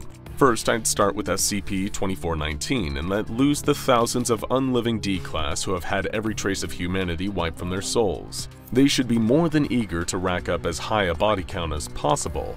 Then I'd use SCPs capable of targeting specific areas or population centers like SCP-923 a satellite whose rays drive people into a murderous rage, or SCP-2617, a Russian radio tower that can summon an army of ice soldiers to exterminate anything within a pre-programmed set of coordinates. Also, while there is no shortage of bloodthirsty SCPs out there, including SCP-082, aka Ferdinand the Cannibal, or SCP-953, the polymorphic humanoid, I'd start with a bigger gun, SCP-353, aka Vector, is a 26-year-old girl with the ability to absorb, contain, manipulate, and release viruses as she pleases. She also happens to delight in killing as many people as she can, so I have a feeling she'd be more than happy to help, even against other agencies out to combat the Foundation.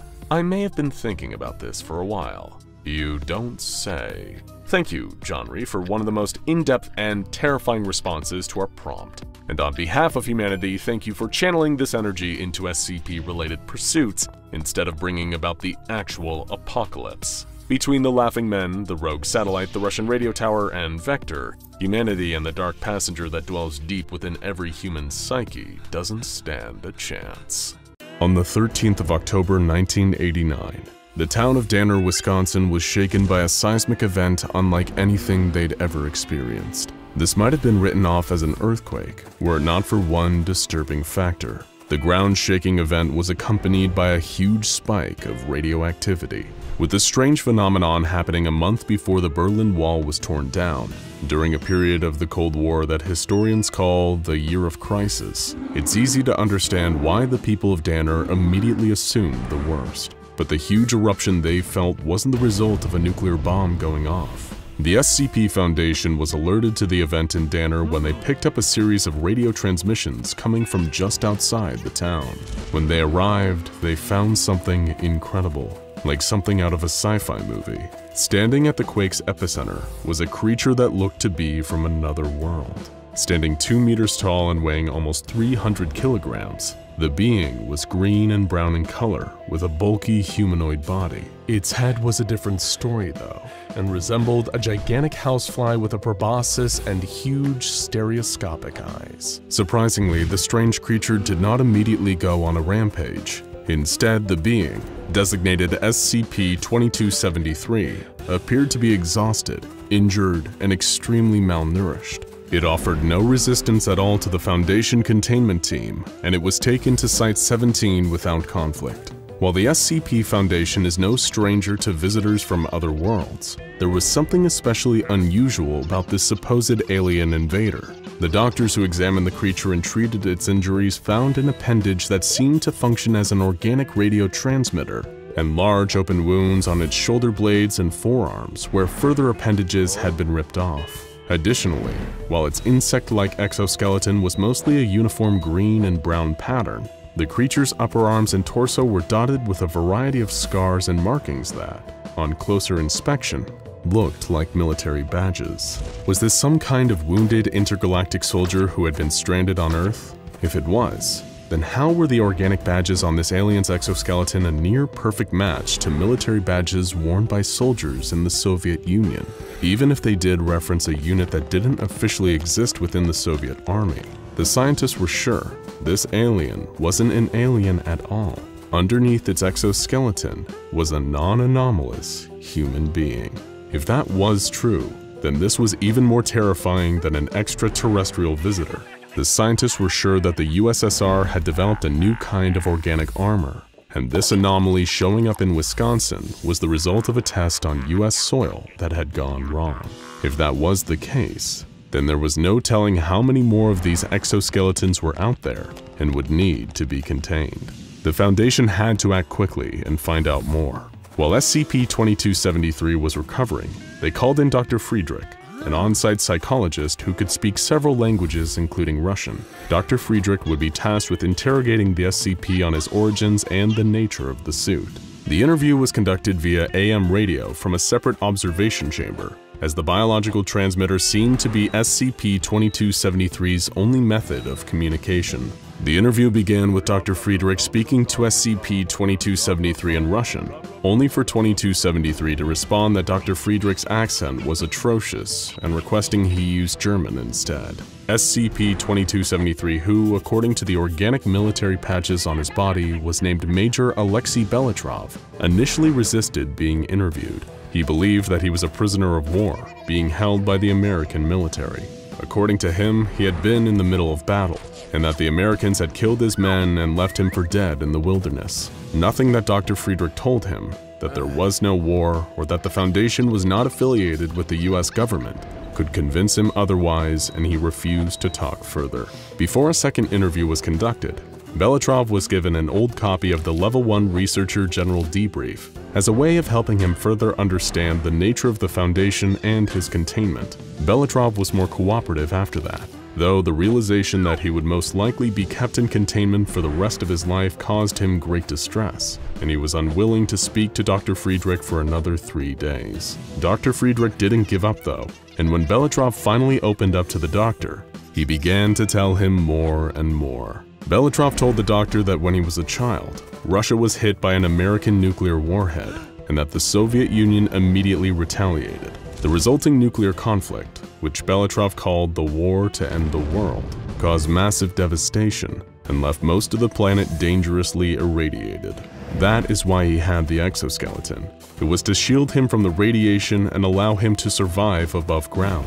Unfortunately, Belitrov knew very little about how the suit was made or how it worked, saying that it was built by the engineers and that it grew naturally over a period of several years. But Belitrov hadn't made the decision himself. It was his parents who had volunteered him as a test subject for the exoskeleton suit program when he was still young, hoping it would give him a better chance at survival. The process of bonding the exoskeleton to the human body was extremely painful, but according to Belitrov, its advantages far hmm. outweighed the pain. The suit not only helped him survive in a nuclear wasteland, but made him a better soldier. The suit allowed him to lift and carry up to 1200 kilograms, gave him stereoscopic vision, and the organic radio transmitter allowed him to communicate with other soldiers across long distances, as well as listen in on encrypted enemy transmissions. The wounds on his shoulders and arms, where it looked like appendages had been ripped out, were where his weapons and supply packs had previously been mounted. Belitrov had been stationed with his men in the area he was discovered when they were attacked by American soldiers. The soldiers had ripped off Belitrov's weapons and supply pack, and did the same to all his men as well. They were all shot, with Belitrov being spared for the moment only because the Americans had identified him as the commanding officer. Suddenly, there was a bright flash of light, and the American soldiers vanished. Not only that, but the landscape changed. Where there had been a post-nuclear wasteland before, now there were lush green trees. Injured and disoriented, Belitrov began sending distress signals, only to have those signals intercepted by the SCP Foundation. The most interesting part of Belitrov's story, as far as the Foundation was concerned, came during his fourth interview, when Dr. Friedrich asked him about the engineers who had designed the exoskeleton suit. In Belitrov's own words, they weren't truly known to man until the years of the Great War and the Revolution. The French found them in buried cities where the Western Allies were digging their trenches. Eventually, they were made to build weapons for the war by both sides. By his description, these engineers didn't sound human, but they were by no means unknown to the SCP Foundation. Belitrov described the engineers as humanoid, nocturnal, covered in fur, and possessing technology and intelligence far beyond that of any human. Those familiar with the Foundation's history might already know the engineers by their Foundation designation of SCP-1000, or their more commonly known name, Bigfoot. A quick rundown. SCP-1000 are a species of intelligent humanoid primates that lived alongside humanity in highly advanced cities until their own technology was turned against them. Not only were their cities wiped off the face of the earth, but 70% of their population was slaughtered, and the survivors were driven mad to the point that their mental faculties were no higher than those of a chimpanzee or gorilla. The SCP Foundation is tasked with keeping them away from human contact, in fear of what the creatures would be able to do to humanity if they ever regained their memories and full mental function, and rumors have been spread about them possessing deadly anomalous properties. But evidently, the destruction of the SCP-1000 species never occurred in Belitrov's universe, or if it did, it wasn't nearly as complete. In that timeline, Humanity regained contact with SCP-1000 after discovering their underground cities sometime during World War I. After this discovery, both Allied and Axis powers began recruiting them to build weapons, and their weapons played a role in both the Russian Revolution and the Second World War. It was because of these technological advantages that the Cold War escalated into what would become the war to end all wars. Both sides were armed with not only nuclear warheads, but highly advanced radiation-proof exoskeleton armor that allowed the conflict to continue even after the total destruction of the planet. While the humans fought above ground, life continued as normal for SCP-1000 in their underground cities. As Belitrov noted, they never wore the armor themselves, as they had no need to venture above ground. Only soldiers wear armor, and this is not their war. Belitrov continued to adjust to life in containment and sitting for regular interviews with Dr. Friedrich. He was given the rations provided for humanoid anomalies, but in much larger quantities, as the suit required him to eat around 8,000 calories a day to keep it functioning. Belitrov also began taking advantage of his ability to access the Foundation's library. He would often read or listen to classical music, particularly by the Russian composer Tchaikovsky. He seemed especially fond of reading The Time Machine by H.G. Wells. No surprise, given he was able to directly relate to the experience of living through an apocalypse and being transported to a strange timeline with no way to return home. But with little else to occupy his time, Belitrov began to display symptoms consistent with post-traumatic stress disorder, reporting in his now regular interviews with Dr. Friedrich that he was constantly reliving memories of the battles he'd fought and the lives he had taken in combat. The suit was making the problems worse too, it seemed. It was as if he could never forget, as one of its features was an ability to store and replay memories. This feature was intended as a strategic aid that would allow commanding officers to more effectively gather and process information about their surroundings. But outside of combat, this only served to force Belitrov into reliving his most painful memories again and again. Every night as he tried to sleep, he would see the faces of his men, their weapons torn from their exoskeletons, laying in the dirt after being gunned down by the enemy. Like many veterans, Belitrov was being hit all at once with the harsh realities of war. Now that his brain wasn't solely focused on keeping him alive, it had time to process all the horrors he'd experienced. He told Dr. Friedrich, I trained alongside these men for years before they put us back on the surface. Since we were all young children, we were brothers, and I gave them the order to surrender and got them killed. I should have died with them. While the story of SCP-2273 ends here, the story of Alexei Belitrov SCP-2273-1 continues. In 2018, Belitrov was allowed passage to Volgograd, Russia as part of an anomaly reintegration program. While he was unable to secure employment within the Russian government as he had hoped, he eventually was taken in by a monastery and continued to write letters to Dr. Friedrich until Friedrich's eventual death from lymphoma-related complications. There's plenty more on the monastery, the anomaly reintegration program, and what happened to Major Belitrov when he returned to Russia, but that will have to be a story for another day. The helicopter lurched and rumbled as it made its descent through the Verkhoyansk mountain range. Conditions were harsh, with fierce winds ripping through the valleys. At any point, a blizzard threatened to strike. Just about managing to touch down, Mobile Task Force Lambda 9 was glad to be out of the vehicle, even if it meant stepping into knee-deep snow. There were eight operatives in total. Early reconnaissance suggested that they were the only people present within a 5-kilometer radius, at least. That's certainly what they hoped. L9 operatives 1 through 6 all made their way up through the mountain pass, leaving 7 and 8 guarding the chopper. This was a simple reconnaissance mission. They would need to search the bunker for any signs of life, gather intel, and get out, hopefully before the snowstorm hit. All eight of them were kitted out with the Foundation's Keter grade cutting edge anti psionic plating. The operatives had all been chosen carefully, with L9 1 the leader, being an experienced soldier, serving 11 years in the unit. He had capable psionic powers himself, and approached L9 2, who showed some of the same gifts. All of a sudden, as the group rounded the final pass and caught sight of the facility, both 1 and 2 experienced severe migraines.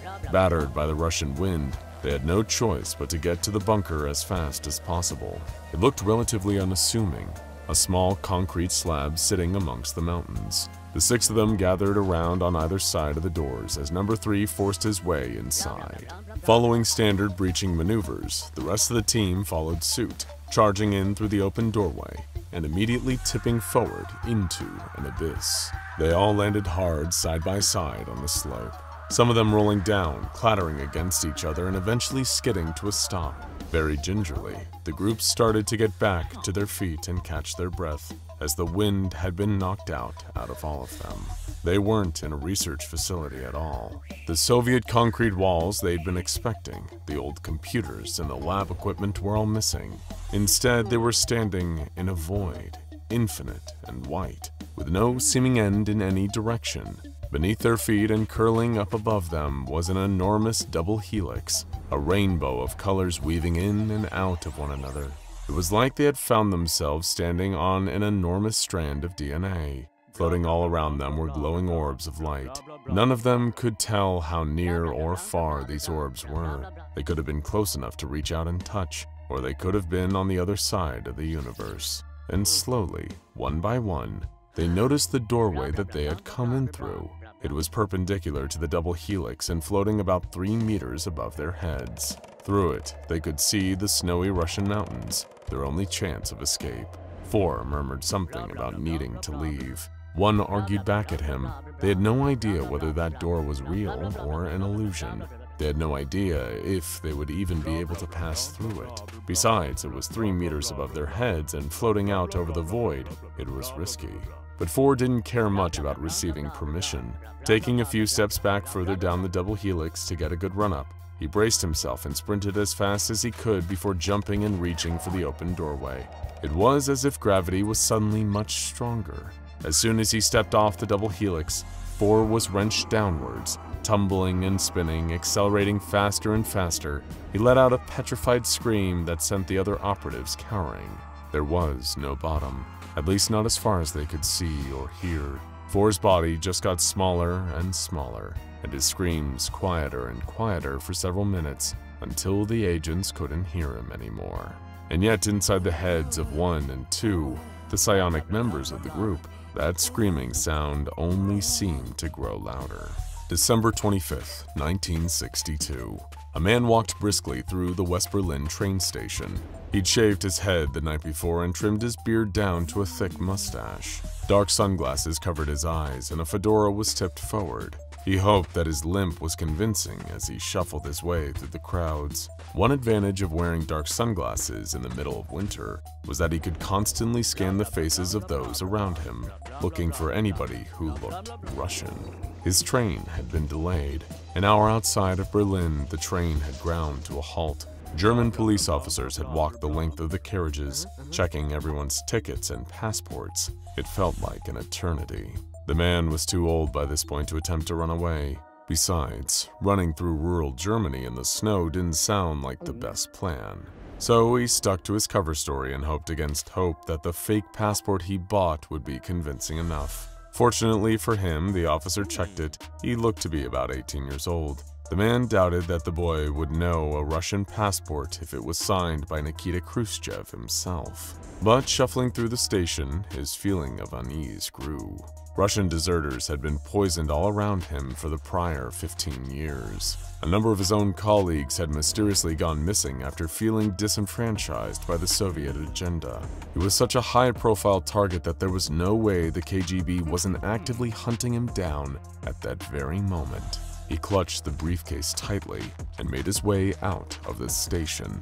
His plan had been to call a taxi, but now the prospect of being alone in an anonymous vehicle with only one other person terrified him. His best protection would be to stay out in the open as much as possible. He would walk to the British Embassy, or rather, he'd pretend to limp there. Lambda 9 operatives number 7 and 8 stood by the helicopter shivering. Their team had been missing for hours now, and they could see the blizzard slowly covering the mountain range like a blanket. Before long, it would reach them. If their helicopter got buried by anything more than a couple of inches, all hopes of evacuating back to base would be dashed. As soon as their team had gone through the doors into the facility, all radio contact with them had been cut off. The Foundation had suspected that the bunker would be heavily insulated, but if that were the case, surely one of them would have stepped outside to resume radio contact and report what they had found so far. Then, all of a sudden, Seven went limp. He remained standing, but his head and shoulders slumped forward as if he'd fallen asleep. Perhaps he had been standing out here for too long. 8 was about to rouse him when suddenly 7 started talking. Hello? 8, can you hear me? It's 1, are you there? The conversation moved quickly. Somehow, 1 had been able to reach out to Seven's mind and temporarily take control in order to use him as a mouthpiece to communicate with the Foundation over the radio. This kind of contact would normally have been well beyond what 1 would have been capable of, but he explained that as soon as they had entered the facility, both he and 2 had felt their powers growing immeasurably. The Foundation asked for a situation report, and one updated them about what had happened to four. Trying to escape through the door, he jumped and fell through the abyss. But what was more sickening was that they had seen four again. All of a sudden, they had started to hear his screams physically, not psionically, and he had fallen past them just off to their right, almost within touching distance. Having decided that it was too risky to attempt an escape as four had done, the group of them made the decision to travel further down into the facility, descending along the helix. For the next three hours, Seven is unresponsive. He stands there limp in the snow, hunched forward and not speaking, despite Eight and the Foundation's best attempts to wake him. Command, we found something. The helix branches off a bit. There's a doorway there. I can see inside. It looks like a lab of some kind. We can walk to it. Hopefully it's a way out. Command sent authorization for them to proceed, and so they did. One reported that it appeared that they were back in the real world. The abstract shapes and colors, the infinite void was gone. They were in a Soviet research lab. There was medical equipment everywhere, syringes and jars full of, well, maybe it's best not to know what was in them. As Lambda 9 walked through the facility, checking every corner before rounding out, they felt a profound sense of unease. Surely enough, that feeling was warranted. Rounding the corner, one found some human remains. The man appeared to have been a researcher at one point. His brains were now stretched out and stuck to the walls like silly putty. What the hell happened here? Safely on British soil, the man who had defected from the Soviet Union sat in the interview room, chewing his bottom lip. He had spent so much time focusing on how he would escape with his life that he hadn't spared much thought for what he would say once he was on the other side. They had codenamed him Iceman, but he didn't feel particularly cold at that moment. He felt nervous, but he did his best to hide it. I was a project manager in the Psychotronics division of the main intelligence directorate. I oversaw Project Redline, which was commissioned by Joseph Stalin following the Second World War. And before he knew what he was doing, he told his interviewer everything. Over 20 million Soviets had died during the Second World War. Their death toll eclipsed that of any other country. Iceman had witnessed it all. So when Stalin had come to him with the task of creating an ultra-powerful psychic weapon, something that could convert the entire world population to adopt Marxism-Leninism, the man had his reservations. Activating a device like that could trigger a war even deadlier than either of the two already experienced that century. He was part of GRU Division P, the Russian arm of highly classified experimental research. Conferring with his team, they devised a plan. They would argue they needed absolute secrecy to carry out their work, even away from the watching eyes of the KGB. Rather than create a weapon, they would create a tool for peace. Instead of promoting the values of communism, they would create a psychic tool to dampen humanity's inclination towards violence and aggression. Their method would be brutal but a necessary evil. In short, their theory was the psychic mind is often limited by the human body. A young child could have incredible psychic potential, but their physical limitations would hold them back from exercising it. Therefore, they needed to separate mind from body, and they had just the trick for that traumatic disassociation. They would take a young, gifted psychic and tear out their mind in order to transfer that mind into the body of a controllable avatar. Iceman explained that none of them could have expected how much fate would look favorably on them. Just two years prior, the KGB had captured and brought in a set of triplets for them. The triplets were incredibly rare, conjoined at both the head and the torso, with three arms and six legs. It was a miracle they were still alive, so Iceman and his team set to work immediately. They dosed the triplets up with as many mind-altering chemicals as they could physically endure, before electrocuting them for prolonged periods, whilst reading anti-violent manifestos to them. It worked. The triplets' minds disassociated, and the Soviets were able to capture it. Iceman was not forthcoming about what they did with the mind or where they transferred it. All he explained was that it worked. They took the weapon to the Norillag Gulag. 50,000 of the most vicious criminals known to man, looters, murderers, psychopaths, dropped their makeshift knives and refused to move an inch, even as we threw the gates of the camp wide open. We did that. The final test was on Nikita Khrushchev and John F. Kennedy. From thousands of kilometers away, they activated Project Redline, and influenced the two world leaders at the height of the Cuban Missile Crisis. War was averted, but Khrushchev was furious. He removed the entire team, killing a number of them, and began to weaponize Project Redline. If they could fire it at an advancing army, they'd never lose a single soldier ever again. To do this, it needed to be stronger. They were to implant the consciousness into another subject, torture them further, and disassociate again, amplifying the psychic abilities. Mobile Task Force Lambda 9 were stuck in the facility. The blizzard had been so strong that 7 and 8 had to return to base the previous night and come back. Having spent a night lost and wandering through the helix, descending deeper and deeper, the team had noticed that the world around them was getting darker.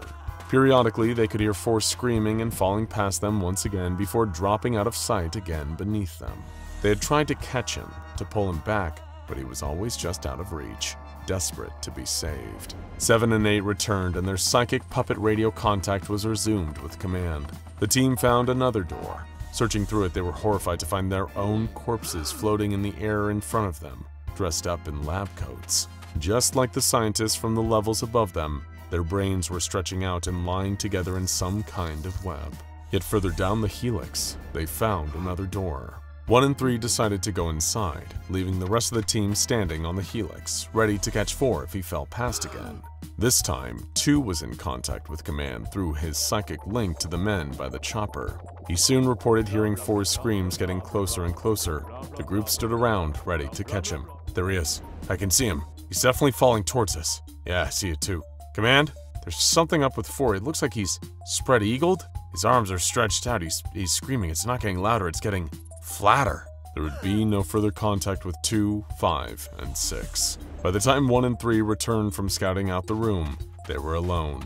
1 couldn't even sense the presence of any of their squad mates anymore. They had no option but to continue to descend the helix into the darkness. The smell of burning flesh filled their noses. The echoes of death were all around them. Voices cried out in pain and fear.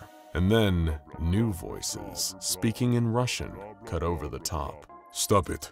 Give in. Don't resist. Resisting is bad. You will be punished if you resist.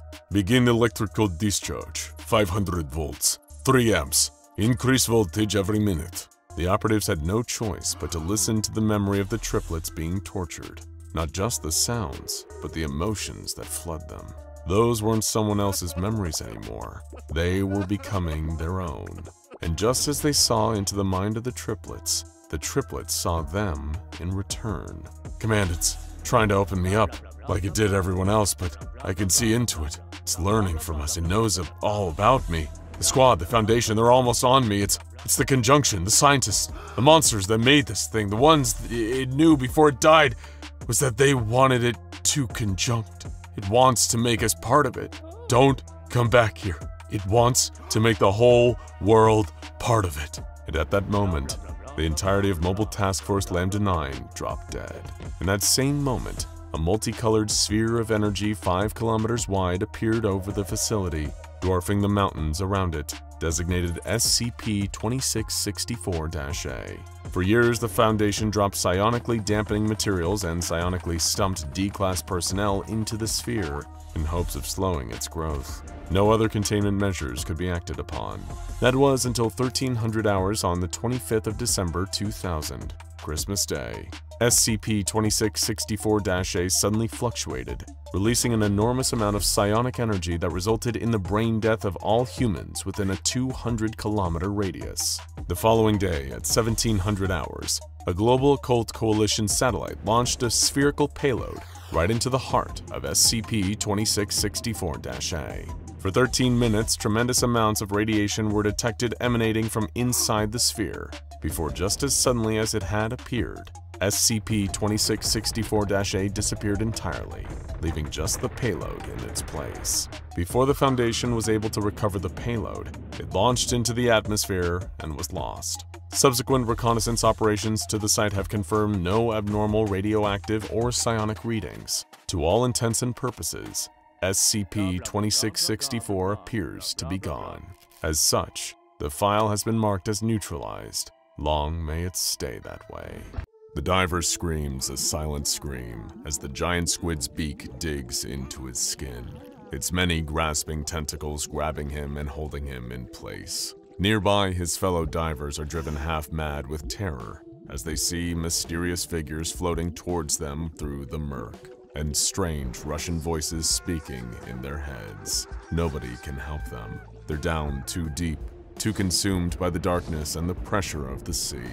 They're now at the mercy of whatever is inside the submarine. Beginning in the 1940s, with the dawn of nuclear weapons, the American government conducting the world's first atomic weapons test, and the Soviet Union responding in kind with nuclear testing of their own, the two powers entered an arms race fueled by rivalry and a thirst to prove their strength on the world stage. What followed were decades of staggering technological advancements as each nation tried to outdo and intimidate the other. The Soviet Union crossed into the cold reaches of outer space, deploying the satellite Sputnik. The United States responded with the founding of NASA. Tensions reached a fever pitch during the Cuban Missile Crisis of 1962, as United States citizens feared they were teetering on the brink of nuclear war. In July of 1968, the Soviet Union, the United Kingdom, and the United States came together to sign the Treaty on the Non-Proliferation of Nuclear Weapons, agreeing to abandon their pursuit of increasing nuclear power and turn their focus to disarmament. But several months before the treaty was signed, the Soviet government was dealing in weaponry far more dangerous than nuclear missiles, something the other world powers knew nothing about. These deadly secrets were hidden aboard a submarine known as SCP-741. SCP-741 is the underwater wreckage of a Soviet submarine that sank in March of 1968 and came into the custody of the SCP Foundation in 1999. The submarine, a version of the Charlie II class, was deployed under unusual circumstances, which attracted the attention of the United States government. In an attempt to learn more about the submarine, the US government launched Project Redacted, which attempted to recover the vessel from the ocean in the early 1970s. They managed to recover a few pieces of the vessel, though the specifics are highly classified. In the late 1990s, the US government contacted the SCP Foundation, informing them of a possible Euclid or Keter class anomaly in the wreck. At this point, it passed into the custody and surveillance of the Foundation. The submarine is on the ocean floor, broken into three pieces. The hull was broken into bits during Project Redacted recovery attempt, but was largely intact when it first sank except for two holes, one just in front of the sail and one just below the starboard missile tubes. Apparently the vessel sank rapidly due to flooding after an enemy missile strike, which occurred while it was surfacing. Though all parts of the submarine are accounted for, no members of the crew have been located. Additionally, none of the emergency escape equipment on board has been used, raising further questions about what became of the crew. Wherever they went, they seem to have left something behind. Whenever divers are sent down to investigate the wreckage, they report experiencing anomalous currents and strange sea life. and hearing moans, disembodied voices, and incoherent whispering.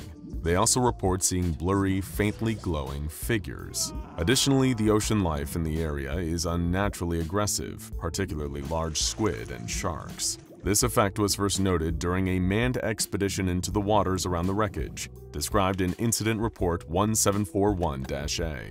Divers A-26 through A-30 embarked from the icebreaker Yamal into the waters below with the intention of studying the potential anomalous activity surrounding the wreckage. As the group of divers approached the submarine, they could feel the shift in the water around them, the oppressive feeling of abnormally increasing pressure bearing down and threatening to crush them. If their specialized diving equipment were to fail, they knew that that would be it, and the command would have to come and fish their corpses out of the water. Or even worse, they would vanish entirely, meeting the same mysterious fate as the crew of that doomed submarine.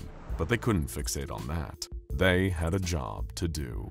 At first glance, the wreckage appeared undisturbed, unchanged since the previous inspection.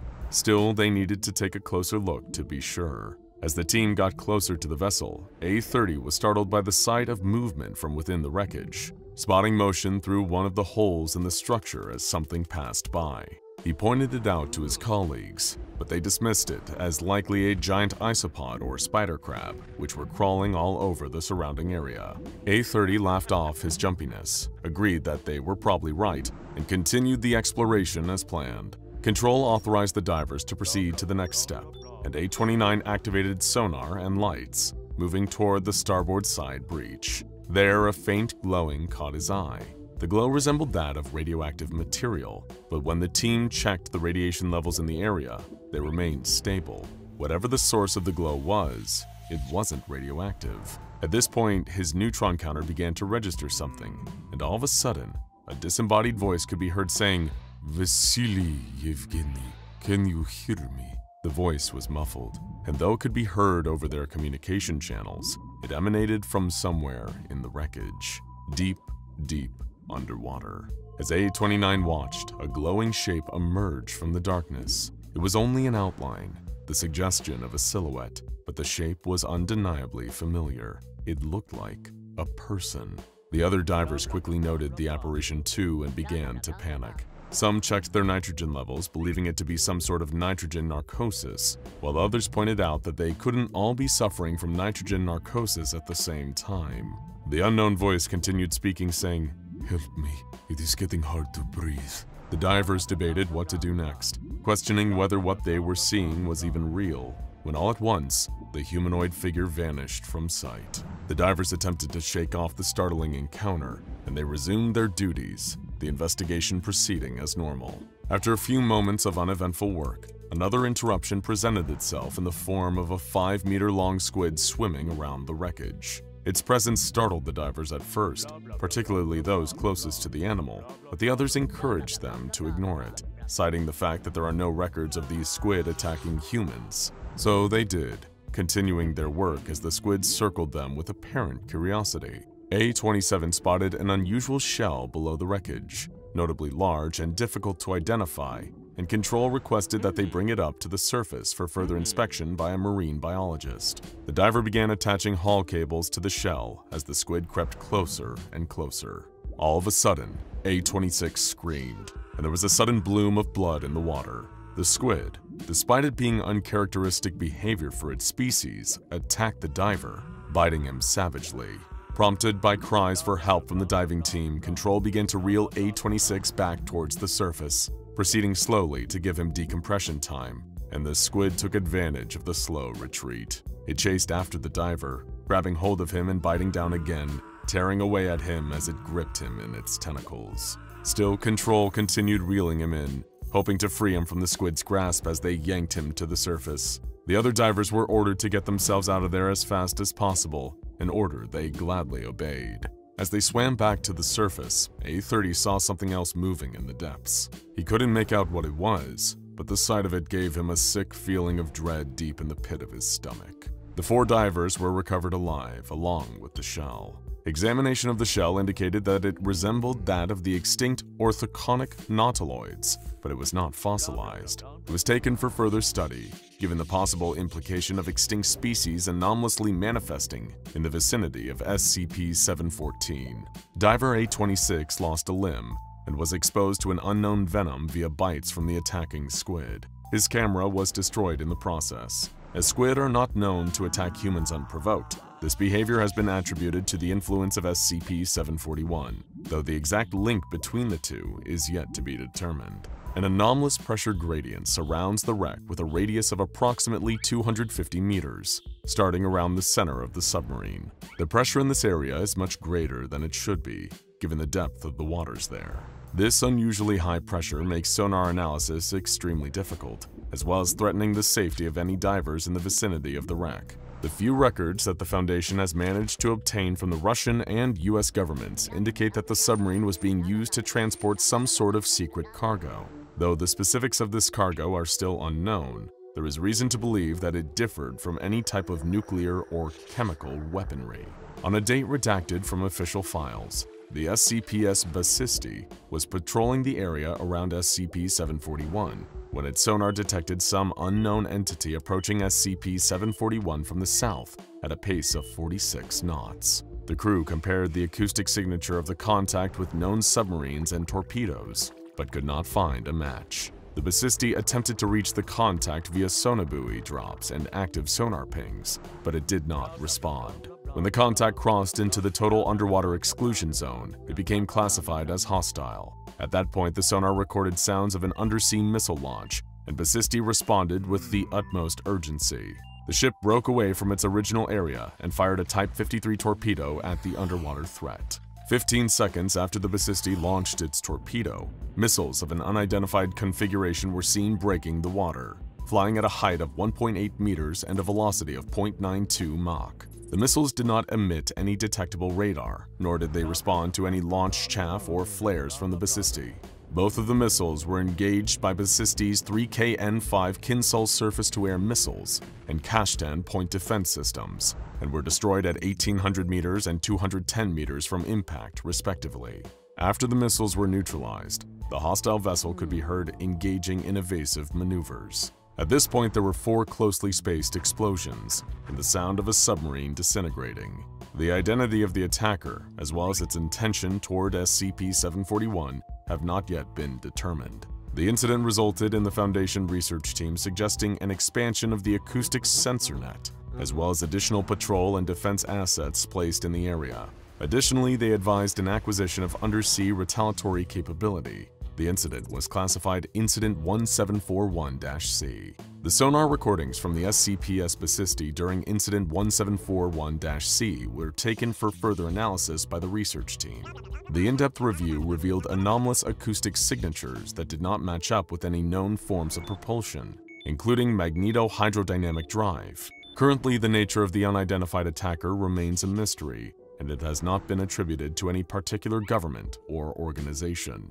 Following the incident involving the SCPS Basisti, an American intelligence agent reached out to the Foundation, offering further insight into the secretive government programs looking into SCP-741. He agreed to sit for an interview with a Foundation researcher assigned to the project, on the condition that his identity remain protected. The SCP researcher's name is absent from the official file as well. The two men sat in a Foundation interview room, and the interviewer asked his informant why he chose to come forward, given the US government had simply chosen to sit on this information for 30 years. You've seen those reports. Project Redacted. Now we know that part too. How the directors didn't make the connection is beyond me. That and the stuff the Redacted pulled up? Yeah, the other part you don't hear about is what some of the research team died of. And the crewmen we buried? Just uniforms. Also, the nuclear device we recovered wasn't a missile or torpedo warhead. It was a demolition charge. Does that make any sense? After all those clues, I had to come forward.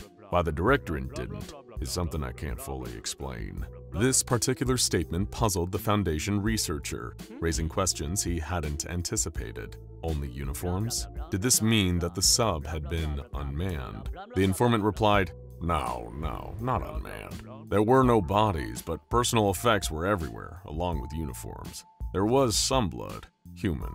Before you ask, on one of the torpedoes and a bit of skin where somebody probably crushed his hand loading the thing.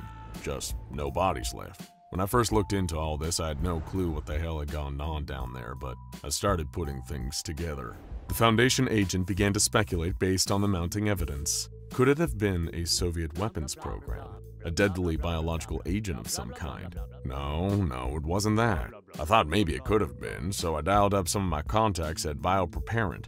Us spies wind up owing each other favors after a while, and they denied it vehemently. Not your usual cover up baloney either. They clearly stated that whatever the sub was carrying, it wasn't theirs. They wanted no part of it. Sound like he was gonna puke when I mentioned redacted. Doctor, do you have any idea what it takes to make a bioweapons researcher sick? Now that wasn't what really bugged me though. What really kept me awake at night was the KGB file that fell into our hands. They mention a covert op by the Soviet military against an internal unnamed faction to get rid of a quote terrifying weapons that even the Soviet Union can't safely control. They wanted to lose it, whatever it was, or maybe fob it off onto the US. Of course, that all came to light right before the Iron Curtain fell, and given the atmosphere at the time, it was practically impossible to convince the directors that they weren't talking about nukes, and even once I did, they still didn't even think this was worthy of action. I mean, the redacted would probably have me hanged for treason if they ever find me, but it was worth the risk. And by what I can gather, sounds like Russia thinks so too, loaning you half the Pacific Fleet and all. The interview continued after this point, but the rest of the conversation was considered irrelevant and stricken from the official file. The interview left the Foundation with more questions than answers, though they were more certain than ever that SCP-741 must be kept under strict containment procedures. Due to the object's location at the bottom of the sea, as well as the unusually elevated pressure around it, it is unlikely that many civilians will come into contact with it. However, as an extra protective measure, sonar and submersible monitoring is conducted on a periodic basis in order to verify that the wreckage has not been interfered with in any way. The Foundation contracted Russian warships, SCP-Spasisty and Krasnoyarsk, has been selected for this purpose. If any unauthorized activity occurs in the area surrounding SCP-741, nuclear and conventional missiles may be deployed. Any movement of SCP-741 is grounds for an immediate nuclear strike. Whatever secrets SCP-741 holds, whatever it was transporting that was even more of an uncontrollable threat than nuclear warfare, they're better left alone down there, at the bottom of the sea. You're a new SCP Foundation researcher on tour of Site-17, familiarizing yourself with the location and its many anomalous inhabitants. It's the second largest Foundation containment site out there, and it's also the kind of job that most junior researchers dream of. Low-risk humanoid containment, baby. Most of the inhabitants in your sector are cordial, willing to comply with orders from staff, and seem, for all intents and purposes, pretty much human. You pass from door to door, looking through the viewing hatch of each one. You can't believe what you're seeing. It's a wonderful who's who of anomalous humanoids. You see the wise, bearded face of SCP-343, known to some as God, you see the blue eyes and shining blonde hair of Iris, SCP-105 looking wistfully into a Polaroid picture. You see the tanned, melancholic face of Kane, SCP-073 as he stares off into the middle distance. Face after face after face passes. You can see yourself getting more familiar with each one. Yes, your time here will be… wait, was that Hitler?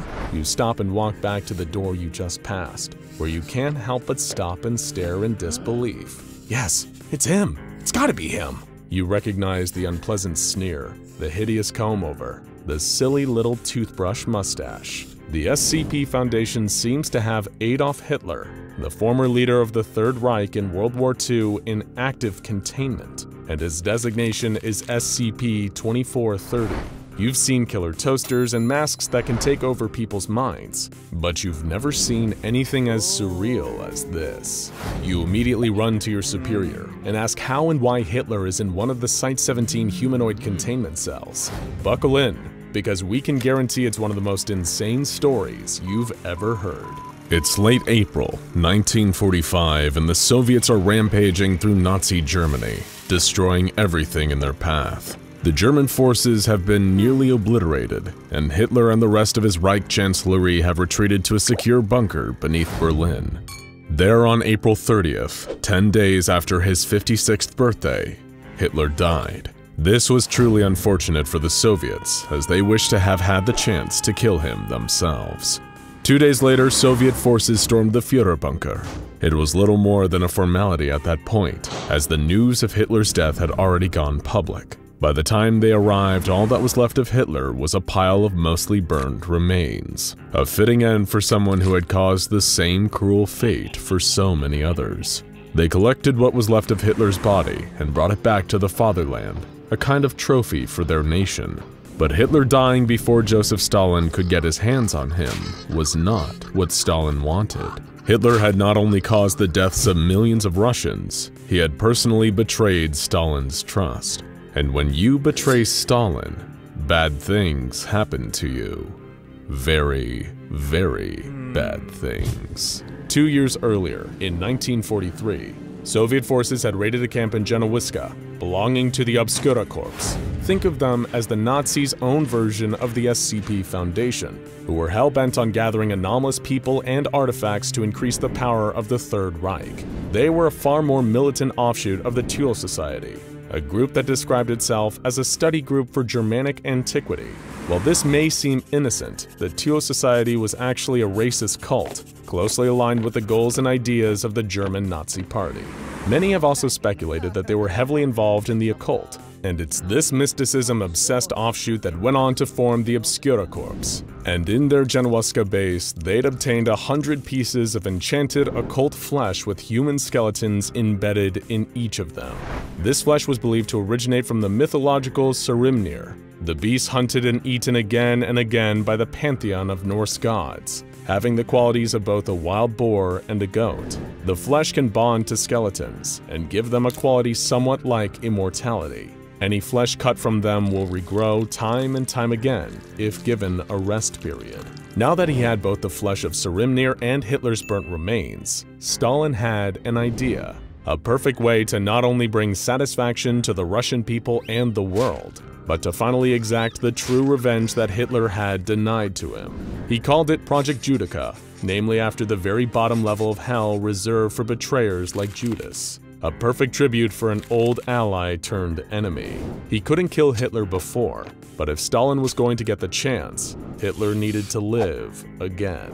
For years, Stalin's top scientists tried to use arcane methods to resurrect Hitler by combining his remains with the oh. flesh of Sarimnir. At times, they even came close to creating a new Hitler, but there was one huge issue. The creature they created could not feel pain, and for Stalin's plans of violent and painful retribution, the lack of suffering simply would not do. They destroyed what they had created and went back to the drawing board.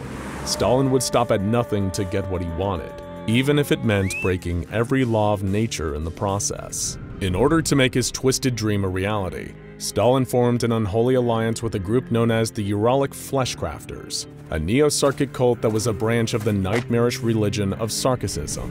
This group essentially worships avatars of flesh, corruption, and disease, and are behind some of the most terrifying and disgusting anomalies out there, including the flesh that hates and the bone orchard.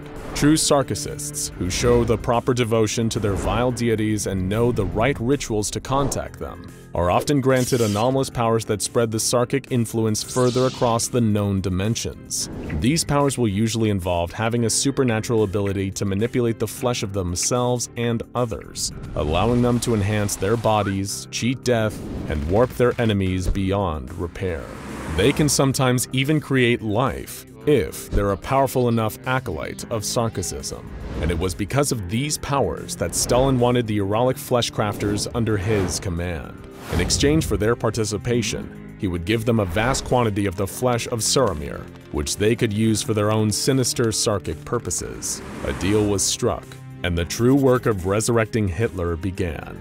Stalin was very specific in his requirements. He gave the Uralic fleshcrafters extra bones to compensate for what had gone missing from Hitler's burnt remains. He also gave them samples of the flesh of Sarimnir to achieve the desired effects of a near-immortal tolerance for damage. However, Stalin demanded that he heighten this new Hitler's capacity to experience pain, so that every suffering inflicted on him would be three times worse than anyone else. And true to their word, the Fleshcrafters got to work and began creating just such a creature. By now it was the early 1950s, and Stalin was putting the pieces in place for his grand revenge. Once the new Hitler was finished, he would hold a new trial for him in the Russian courts, where he would preside over the sentencing personally. Once the new Hitler was done, the Uralic Fleshcrafters were rewarded for their participation in Project Judecca, with 4,000 kilograms of the flesh of Sarimnir. Stalin now had his very own personal Hitler chew toy, that he could maim and torture as much as he pleased, knowing that he would always heal and soon be ready for more. In their infinite generosity, the Fleshcrafters even taught Stalin a new method of torment for his old enemy, a process known as the Rite of Nyos. It's a torture that's been described by many as being like the Chinese Ling Chi, also known as the lingering death, or slow slicing, but it is probably best known as the death by a thousand cuts. The Soviets and the Sarkics parted ways. For the next few years, Stalin took a great deal of pleasure in visiting Hitler's cage now and then to torture him, until Stalin himself eventually passed away from natural causes. The GRUP division, which is essentially the Soviet answer to the SCP Foundation, decided it would be best to do away with the immortal Hitler clone after Stalin's death. He no longer served any purpose, and no matter how hard they tried, they couldn't permanently kill him either. In the end, they settled on a kind of compromise. He would be buried alive and forgotten, forced to live a torturous eternity that he could never escape. Until, of course, he was dug up and rescued by none other than the members of Obscura, a modern splinter group of the original Obscura Corps. Like many high-profile Nazis who'd escaped the war, the new Hitler was spirited away to a safe house run by sympathizers in Argentina. The ones taking care of him received the following correspondence from the Obscura agents who'd first dug the new Hitler back up. We have managed to rescue the Führer and bring him to safety, but he is effectively dead on the inside. I blame the Reds for their inhumane treatment of the Führer, who may have been bewitched by the Reds' Wunderwaffe. I wish we could mercy kill him, but we've tried everything. He just won't perish. Don't abandon him. He's too distinct in plain sight. They didn't have the new Hitler for long, though. In 1960, efforts to hunt down the remaining Nazi fugitives increased in intensity. The new Hitler was soon captured by Mossad agents searching for Nazis in Buenos Aires, and then remanded to the containment of the SCP Foundation when they realized that he had a number of anomalous properties, such as his incredible regenerative abilities, as well as the fact that his DNA seems to be based on that of a wild boar and a goat rather than a human. However, x-rays conducted by the Foundation have discovered traces of cyanide still in his system, as well as traces of lead in his skull where the bone has regrown over the bullet. In other words, it was unquestionably the real Hitler, and he was now in Foundation custody forevermore. It's such a wild story even by Foundation standards that you can barely summon the words to respond once your supervisor is finished. He just stands there with a slight smile, basking in your amazement. Before you can even ask again, he confirms the facts one more time. Yes, it is the real Hitler, the only functional difference is that he can't die and he has a heightened sense of pain compared to most people. You think on what you've been told for just a moment, and then you have only one question. Are we allowed to punch him? Your supervisor smiles and says, Of course, we all do. Cast your mind back to the height of the Cold War. The ever-accelerating nuclear arms race brought us closer than ever before to making the nightmare of nuclear Armageddon a terrifying reality. The two main parties in this conflict are the United States and Soviet Union, each amassing huge amounts of nuclear warheads and jumping on any available advantage they can over their enemies. What you may not know is that in order to detect an impending attack from the United States, the Soviets developed what would become known to the West as the Dead Hand, but this experimental piece of technology also had another name, SCP-1984. It is no secret that the Soviet Union feared the threat of US nuclear strikes and invasion just as much as the US feared an attack from them. So SCP-1984 was created to act as a deterrence mechanism, specifically against secure second strikes. Secure second strikes were both a deterrent and overwhelming concern during the Cold War referring to a country's ability after suffering an initial nuclear attack to still retaliate, firing on their enemy and causing untold damage with their own arsenal of nuclear weapons. The Soviet Union knew that any action they made that could be perceived as an attack on United States soil would be threatened with nuclear retaliation, and that if they fired first, America would return fire and potentially annihilate them with a second strike. SCP-1984 was to be an automated system that would activate in response to the destruction of the Soviets' main command and control structure. Given that the Dead Hand was created during the 80s, you might be forgiven for expecting a nuclear detection system built at this point in history to consist of various sensors connected to a computer network. But you have also probably already realized that if this was the case, then the Foundation wouldn't be so interested in it. In actuality, SCP-1984 is a fully autonomous entity rather than a network of sensors for detecting incoming nuclear strikes, or a computer capable of initiating a second strike. Perhaps what makes the Foundation more interested in the Dead Hand is that it is both self-aware and links simultaneously to every single one of Russia's nuclear launch sites. Not only this, but SCP-1984 also has direct access to every single one of the atomic weapons stockpiled by the Soviet Union during the Cold War, and is capable of launching intercontinental ballistic missiles at a moment's notice. In short, SCP-1984 could very easily and horrifyingly quickly trigger an all-out nuclear war, resulting in the extinction of all life on Earth. No wonder the Foundation considers the Dead Hand such a massive threat. SCP-1984 itself actually consists of the preserved remains of a Russian soldier by the name of Sergeant Marat Chernikov, who was killed during the Soviet-Afghan War in 1982. Most of the official documentation of Chernikov's existence has been expunged by the Russian Federation, and he is only referred to in fragmented documents recovered by the Foundation that refer to a Project December, these remains serve as the location of a semi-sentient consciousness that has been classified as SCP-1984-01. When it remains dormant and is not interfered with, SCP-1984-01 has the ability to receive and process any signal broadcast to it, and is able to decipher information combined in any signal it picks up.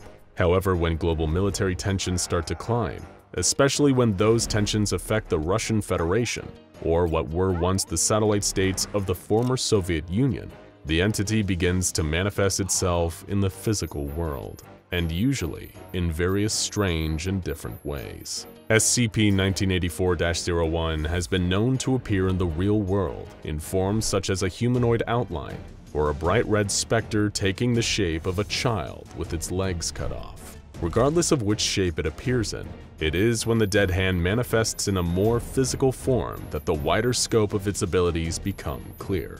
As mentioned previously, it can influence and even launch nuclear weapons, overriding their command systems and bypassing launch sequences. After appearing fully, SCP-1984-01 will travel at speeds of up to 140 kilometers an hour, directly to the nearest military installation capable of launching intercontinental ballistic missiles. Once it reaches its destination, SCP-1984-01 will immediately attempt to override the necessary systems to initiate a launch. After firing missiles at their predetermined targets, SCP-1984-01 will hastily travel to another facility housing nuclear ordnance, repeating the process until it has successfully launched all of Russia's atomic weapons. When engaged, the physical manifestation of SCP-1984 is highly aggressive, and will lethally defend itself against anyone that it observes trying to interfere with it or stop it from causing a nuclear launch. The entity has displayed the ability to disrupt the nervous system,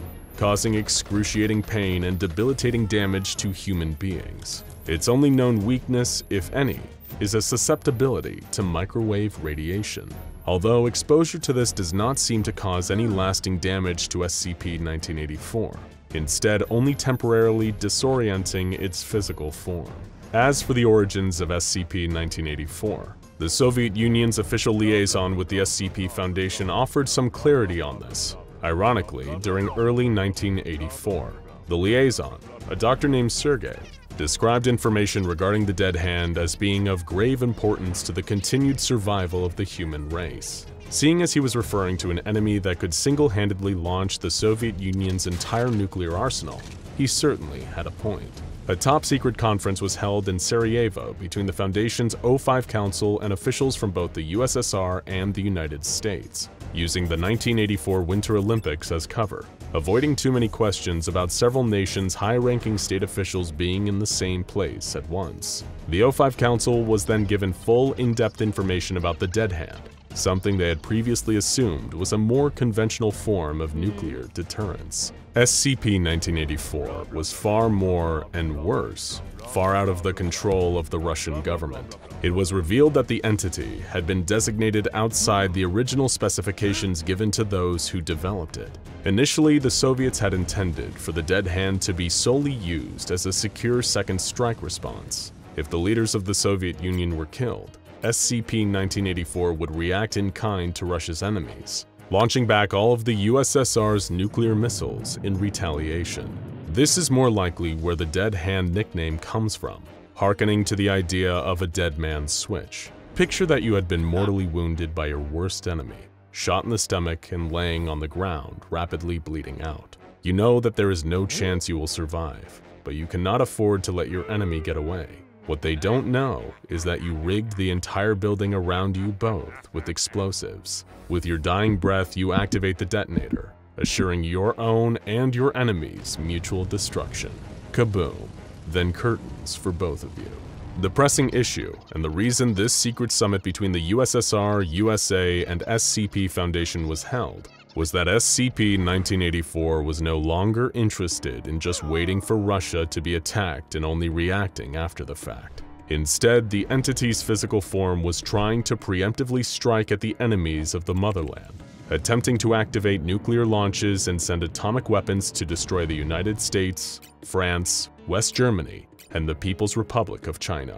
In other words, the Dead Hand was eager to get a head start at causing total nuclear annihilation not to mention potentially killing millions and reducing target countries to little more than irradiated craters, awash with deadly nuclear fallout.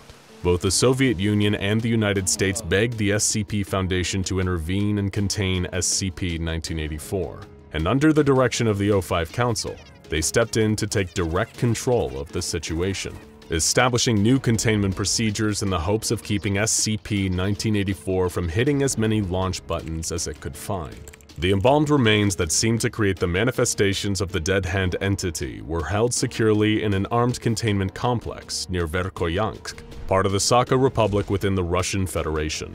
SCP-1984 was placed within a standard humanoid containment cell, which was itself held within a Faraday cage a type of enclosure constructed with or covered in conductive material designed to block electromagnetic fields. This was done to block any external broadcast signals from reaching SCP-1984, and thus causing it to manifest its other form if it learned of an impending attack on Russia, even a fictional one, perhaps as a part of a television broadcast. As part of the Dead Hand's containment, all signals broadcast near its cage are to be monitored, and only broadcasts featuring doctored information would reach the entity.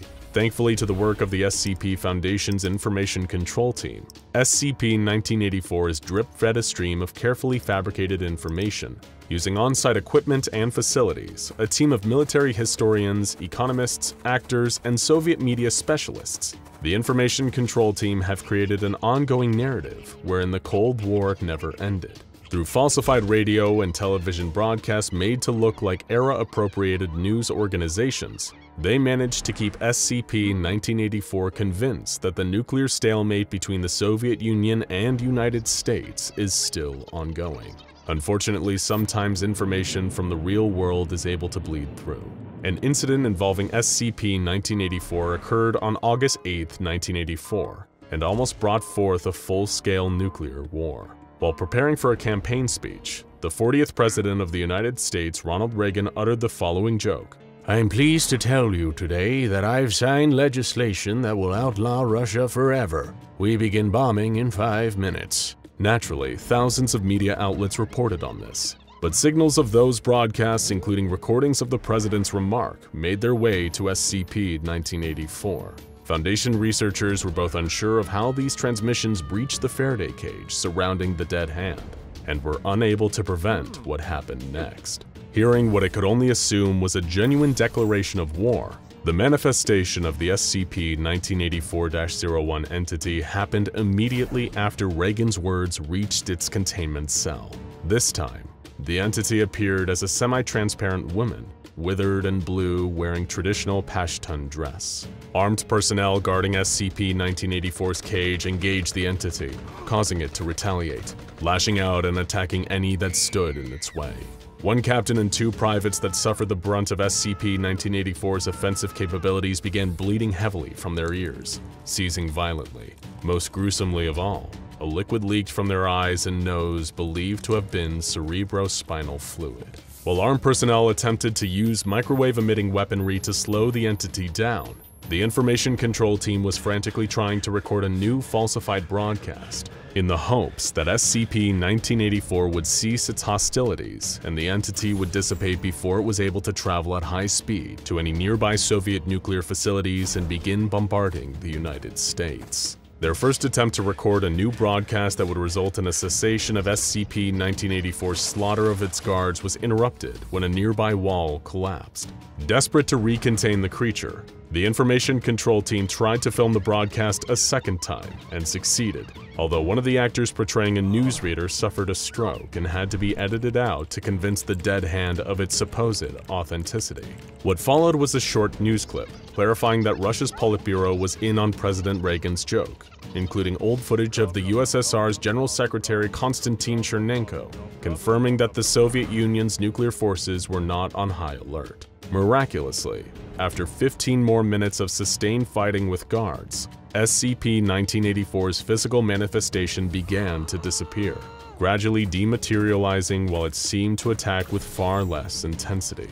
Eventually, containment was reestablished, at the cost of the deaths of 17 members of Foundation staff, both guards and researchers. A further eight, however, suffered traumatic brain injuries that left them all permanently disabled. The one upside is that this incident remains the only time SCP-1984 has ever breached its containment and caused harm to others. And considering that it could very well have launched Russia's nuclear arsenal, the casualties could easily have been much higher. So remember, folks, don't joke about nuclear weapons, especially if you're the president. You never know what anomalies lurking in the bodies of dead Russian soldiers might be listening, and if they are, you'd better hope they have a sense of humor. Some say that SCP-2102 was a mistake, an abomination created by an accident of medical science. Maybe those people are right. Maybe there's much more to it than that. Either way, they don't know the full story. How could they? They weren't there. They weren't there all the way back in 1972. But Dr. Pavel Zukal was. The earliest moments, the events that directly preceded SCP-2102's creation began on March 2nd. The wind was carrying an unforgiving, freezing bite with it as Zukal made his way to the Institute of Experimental Medicine, ZISAV, in Czechoslovakia. With the Cold War between the USSR and the United States underway, there was already an air of secrecy on both sides. Espionage and intelligence gathering operations were rampant, bringing with them paranoia and distrust. There was no way of knowing if someone was a double agent, leaking information to the West. But while the governments of Russia, America, and their various respective allies and enemies scrambled for control and amassed obscene quantities of nuclear arms in secret, there were even more cogs turning, hidden in the deepest, darkest shadows. The SCP Foundation's long-standing rivalry with various other groups of interest was well known among any with a high enough security clearance. Most of these groups were radicals or outliers, despite possessing knowledge of anomalies or even being directly linked to them. A lot of GOIs were independent of any world government, but for decades, the Foundation had been aware of a directly competing establishment, effectively a parallel of their own organization on the other side of the globe. They were known as GRU Division P, a USSR equivalent of the SCP Foundation themselves. It is unclear based on what was recovered from Dr. Zukal's personal diary if he had been directly scouted by GRU Division P for their project in Czechoslovakia. Given the air of secrecy engulfing the USSR at the time, it is possible that Pavel himself had no inclination that Division P was even involved in the project, due to take place at the Institute of Experimental Medicine. He might have suspected, but with no way of knowing for sure. Similarly, there was no way Zukal could have known where the project would lead, what he would have a hand in creating. The initial few weeks after his arrival at the Institute were rocky, to say the least. Zukal, along with a team of scientists and technicians working on orders direct from Moscow, had to contend with unreliable equipment and difficulty getting electricity to power the project. Eventually, after clearing those initial hurdles, testing could begin.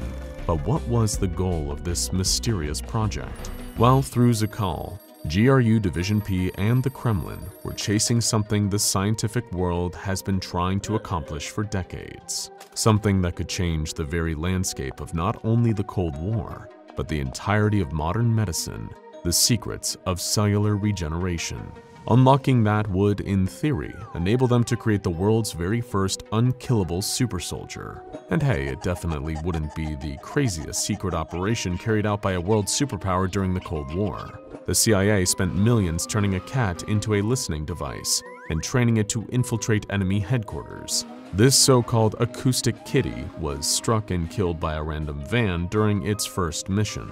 Compared to that, a cell-regenerating super soldier was positively sensible. With a worldwide nuclear arms race already underway, perhaps the project's ultimate goal was to produce an entire army of these self-regenerating troops. With something like that in their hands, the USSR would have the manpower to reinforce their nuclear arsenal, and potentially even soldiers capable of surviving and healing from the effects of an atomic blast. On the 5th of May 1972, the first of the project's human test subjects began to show promising results. They underwent physical trauma at the hands of Zukal and the other scientists, only for their bodies to react much faster than the ordinary healing process would allow. Rapid clotting took place in the affected areas, preventing the subjects from bleeding out. However, this quickly went awry. The clots turned into severe lesions. Realizing this had occurred thanks to Mikhaly, one of the other project scientists administering too much neodymium, Zukal chastised his colleague, vowing him to drag him to Moscow personally if another mistake like that ever took place again. Unfortunately, by the last few days of June, Dr. Zukal and his team were no closer to success. Every subject that underwent testing succumbed to the same necrosis. Reducing the amount of neodymium had only made the reaction worse, something Pavel couldn't allow Mikhaly to know without the risk of it being held over his head for the remainder of the project. In every instance, the doctors were able to trigger rapid cell division, 50 times faster than that which occurs in the ordinary healing process of human beings. But the biggest drawback was that this division would quickly become uncontrollable. It was creating enough new matter on a cellular level that it would choke each test subject in its own excess waste. As you might expect, Dr. Zukal noted this in his diary that this process wasn't a pretty sight. Come mid-August 1972, the project scientists decided they needed a test subject with more resilience than the average person, and a suitable candidate was provided. He was a counter-revolutionary who had been sentenced to 15 years in a uranium mine as a punishment detail. Despite such an extended period of time under the harsh conditions of the mine and the close proximity to a radioactive element such as uranium, the man managed to survive unscathed. Upon closer examination, this new guinea pig, referred to as X16, had a rate of healing twice as fast as that of an average man. Perhaps it was a random genetic abnormality that made X16 this way, or maybe it was a result of his extensive time in the uranium mines. Either way, it made him the perfect new subject for Zukal's experiments. Initially, Subject X16's preliminary testing results looked promising. The wound healing process was actually taking place now, instead of resulting in necrosis or aborting it as it had with the earlier experiments. In fact, Dr. Zukal seemed to think X16 was healing almost too quickly, but nevertheless, testing continued, although not without a different type of problem. The questionable morality of what they were doing began to set in for Pavel, causing him nights of endless tossing and turning, unable to sleep as he reflected on what he'd done. X-16 had managed to survive for much longer than the earlier test subjects, but it was clear that the torture this man had to endure was exacting a heavy toll. Every day, the doctors would lacerate him, time and time again, recording the results. And every day, he survived, only for the cycle to begin again the next day. For his own part, Zukal was conflicted. On the one hand, the results of the testing were proving successful, lasting far longer and working far more effectively than they had in the past. and yet on the other, it came at the cost of one man's continued suffering. To make matters worse, Pavel had no way of voicing his concerns to any of his team. Any questioning of his orders or the project's methods would have been viewed by GRU Division P and the KGB as sedition and treason, earning the good doctor a one-way ticket to a gulag, or, if he was lucky, a clean shot to the back of the head from an agent's pistol. Often morality is sacrificed for the greater good, in the pursuit of the advancement of science or a nation's goals. But now that the project was showing results with X-16, now that it was real, what they were doing still weighed heavily on Dr. Zukal's conscience. Then, on October 15, 1972, the final piece of the puzzle seemed to become clear. By introducing the correct amount of stabilizing agent into the serum they had concocted, Zukal and his team had perfected the composition. Upon administering this newly completed version of the solution, the doctor noted in his diary that subject X16 was responding well. At least, medically, the subject was responding well. It was clear that the continuous experimentation he had been subjected to was causing uncooperative behavior in X-16.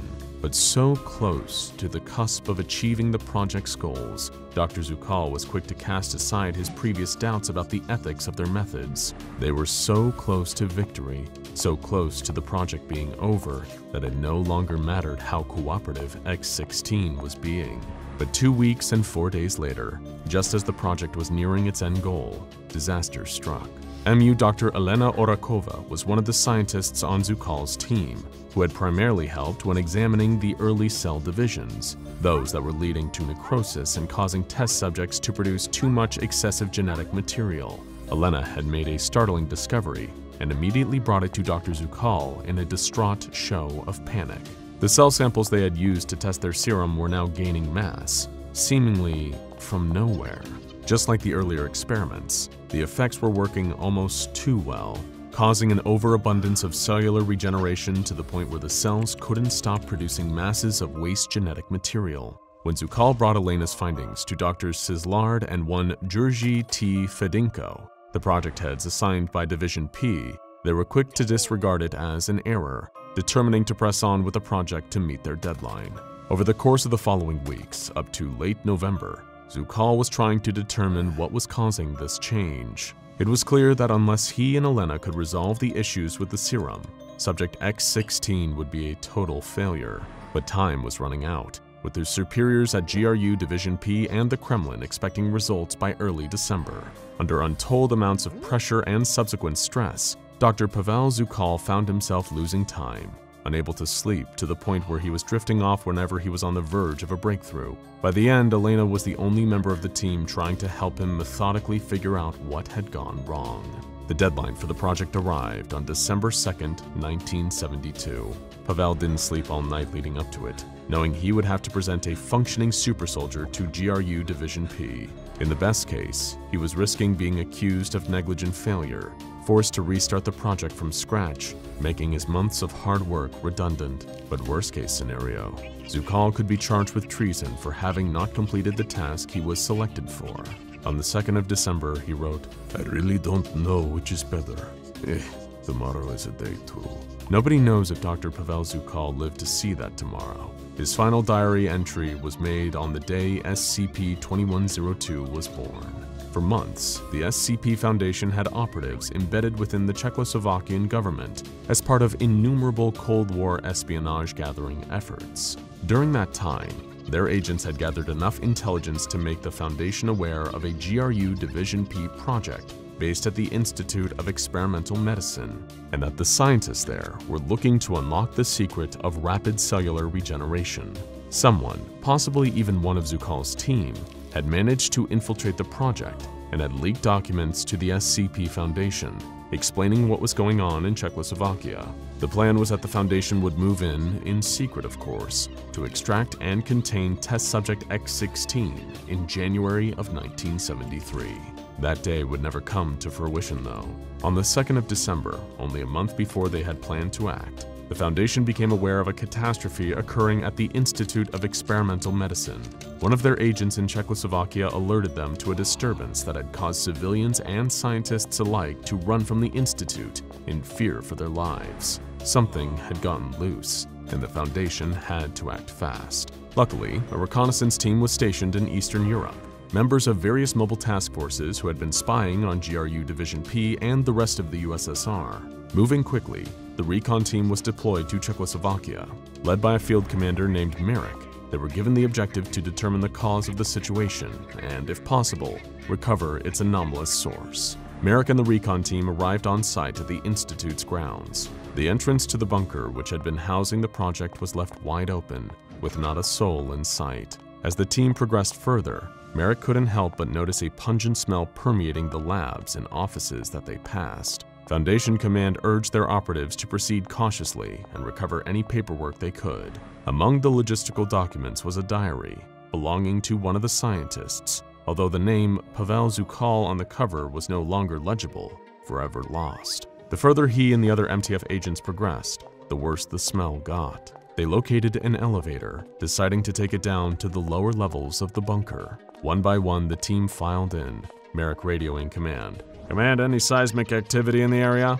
He asked. Uh, not that we know of, Merrick, came the Foundation's reply. Why?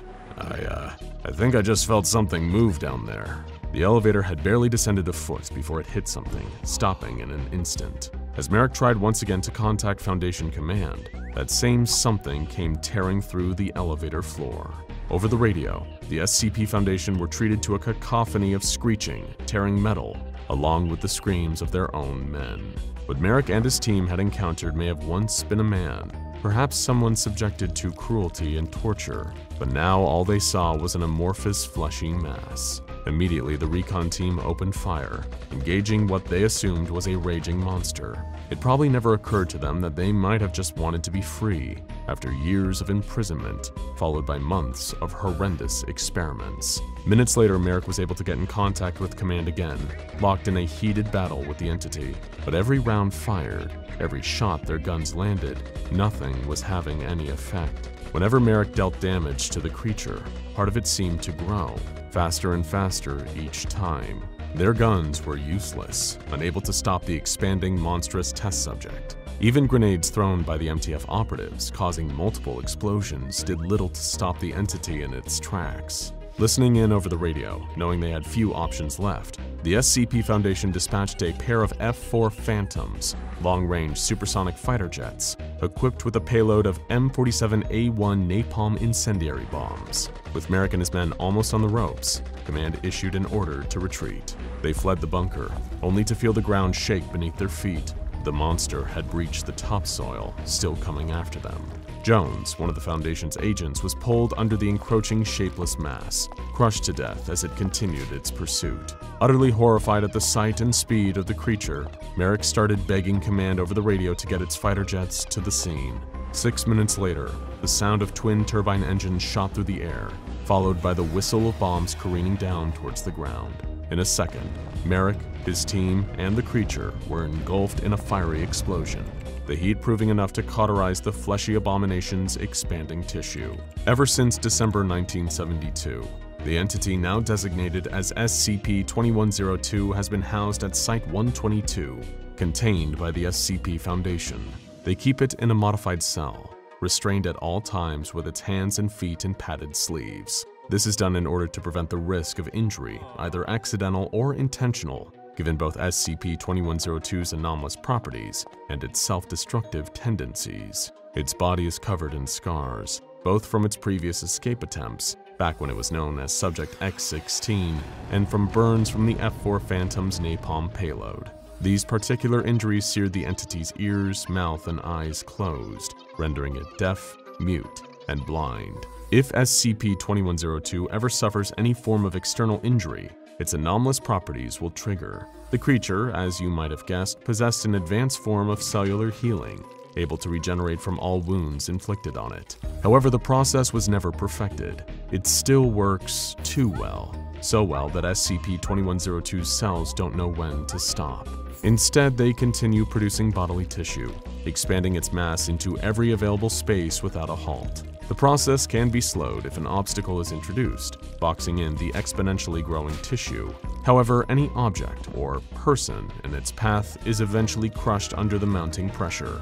At present, the Foundation still has no idea how much SCP-2102's tissue could expand, potentially even posing a risk to the entire world if left unchecked. There is only one surefire way to stop the creature's healing. It can only be halted by cauterizing the open wound with intense heat. It's literally a surefire solution. SCP-2102 is a result of the good Dr. Zukal's work, combined with his and GRU Division P's willingness to put aside their morality. They didn't create an undying, regenerating super soldier for the USSR as they had intended. Instead, all they accomplished was turning a tortured man into a monster, an abomination endlessly tormented by the experiments performed on him. Not quite as useful on the battlefield, is it? The war that ended the world started on October 9, 1971. Tensions had been brewing for years between America and the Soviet Union. And even though people had done their best to keep a sense of normalcy, everyone was wondering when the Cold War that had been brewing for the past 30 years would boil over. There were those who had been preparing for it for years, while others assumed that it would never amount to anything. Neither nation wanted to make the first nuclear strike, and even if that happened, the engineers would come out of their underground cities to intervene. But nobody knew for sure if the two world superpowers could ever come to an agreement, or if it would all end in total destruction. October 9th was the day that question was finally answered.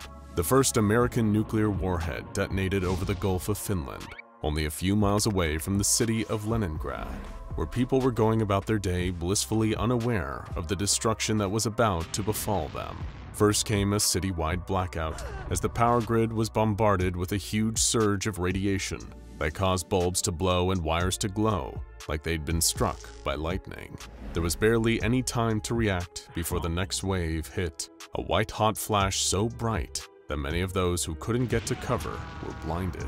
The third wave, by far the most destructive, was the force of the explosion itself. Like a powerful burning wind, it swept through the city, breaking windows, knocking over streetlights, ripping the leaves off trees, and bathing every car, building, and person with ash. People are trapped under the debris as some of the city's older, less well-maintained buildings come crumbling down.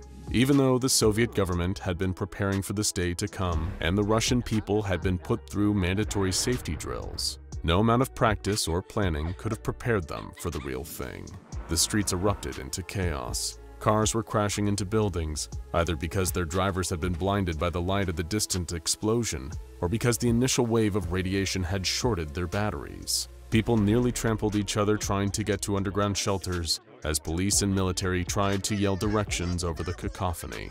Among the crowd, a family desperately tried to stay together. Irina and Nikolai Belitrov held tight to their children, Alexei and Tatiana, the whole family was still in their pajamas and barely had time to get their shoes on before they started rushing towards the neighborhood's designated underground bunker. Irina had Tatiana, who was only two, clutched tight to her chest, and Nikolai tried his best to keep 10-year-old Alexei's eyes shielded as they walked past the dead bodies of people who were once their friends and neighbors. It'll be alright soon, son, Nikolai said, as much as to try and convince himself as his son. We're going underground, just like in the safety drills. Alexei nodded solemnly and kept his gaze straight ahead. They were almost at the end of the street, when just above the sounds of air raid sirens and screaming people, Alexei heard a familiar voice.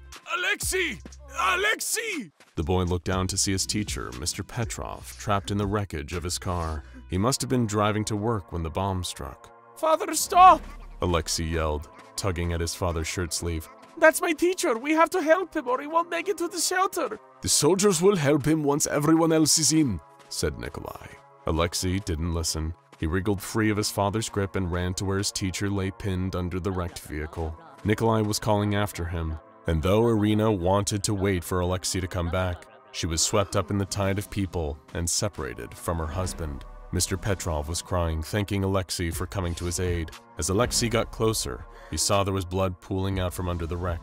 It seemed if Mr. Petrov were going to make it out, his legs would likely be badly damaged. Alexei tried to lift the car himself, but even though he was strong for his age, he was still only a child. A soldier who had been helping people into the bomb shelter stopped what he was doing and ran over to Alexei. Hey kid!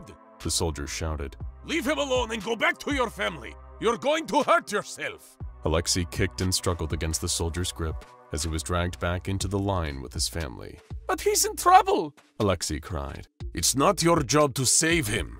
His father scolded as he took his hand and led him down the stairs where they would rejoin his mother and sister. As Alexei and his father descended into the tunnels, Alexei heard a gunshot from the street above. Though he would survive long after that day, he never saw his teacher, Mr. Petrov, again. He never asked his father about what happened. The Belitrov family was reunited in the underground shelter, which had once been an underground train station. Tatiana had started crying, and Nikolai tried desperately to quiet her.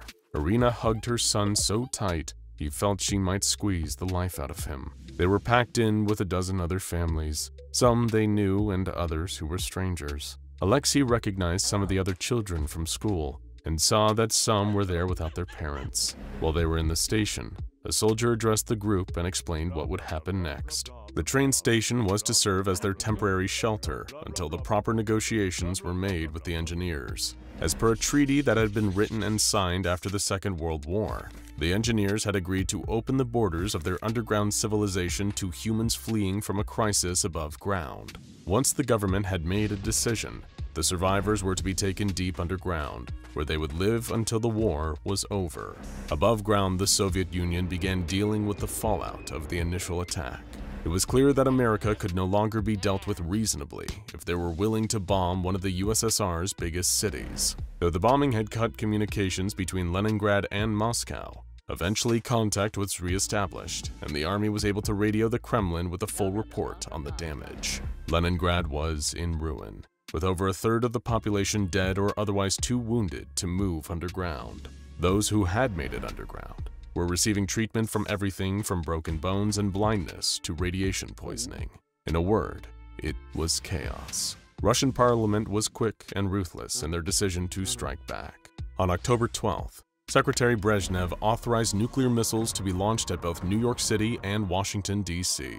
Millions were killed, and just like in Russia, the survivors retreated underground. America didn't go down without a fight though, and launched another missile attack, this time at Moscow.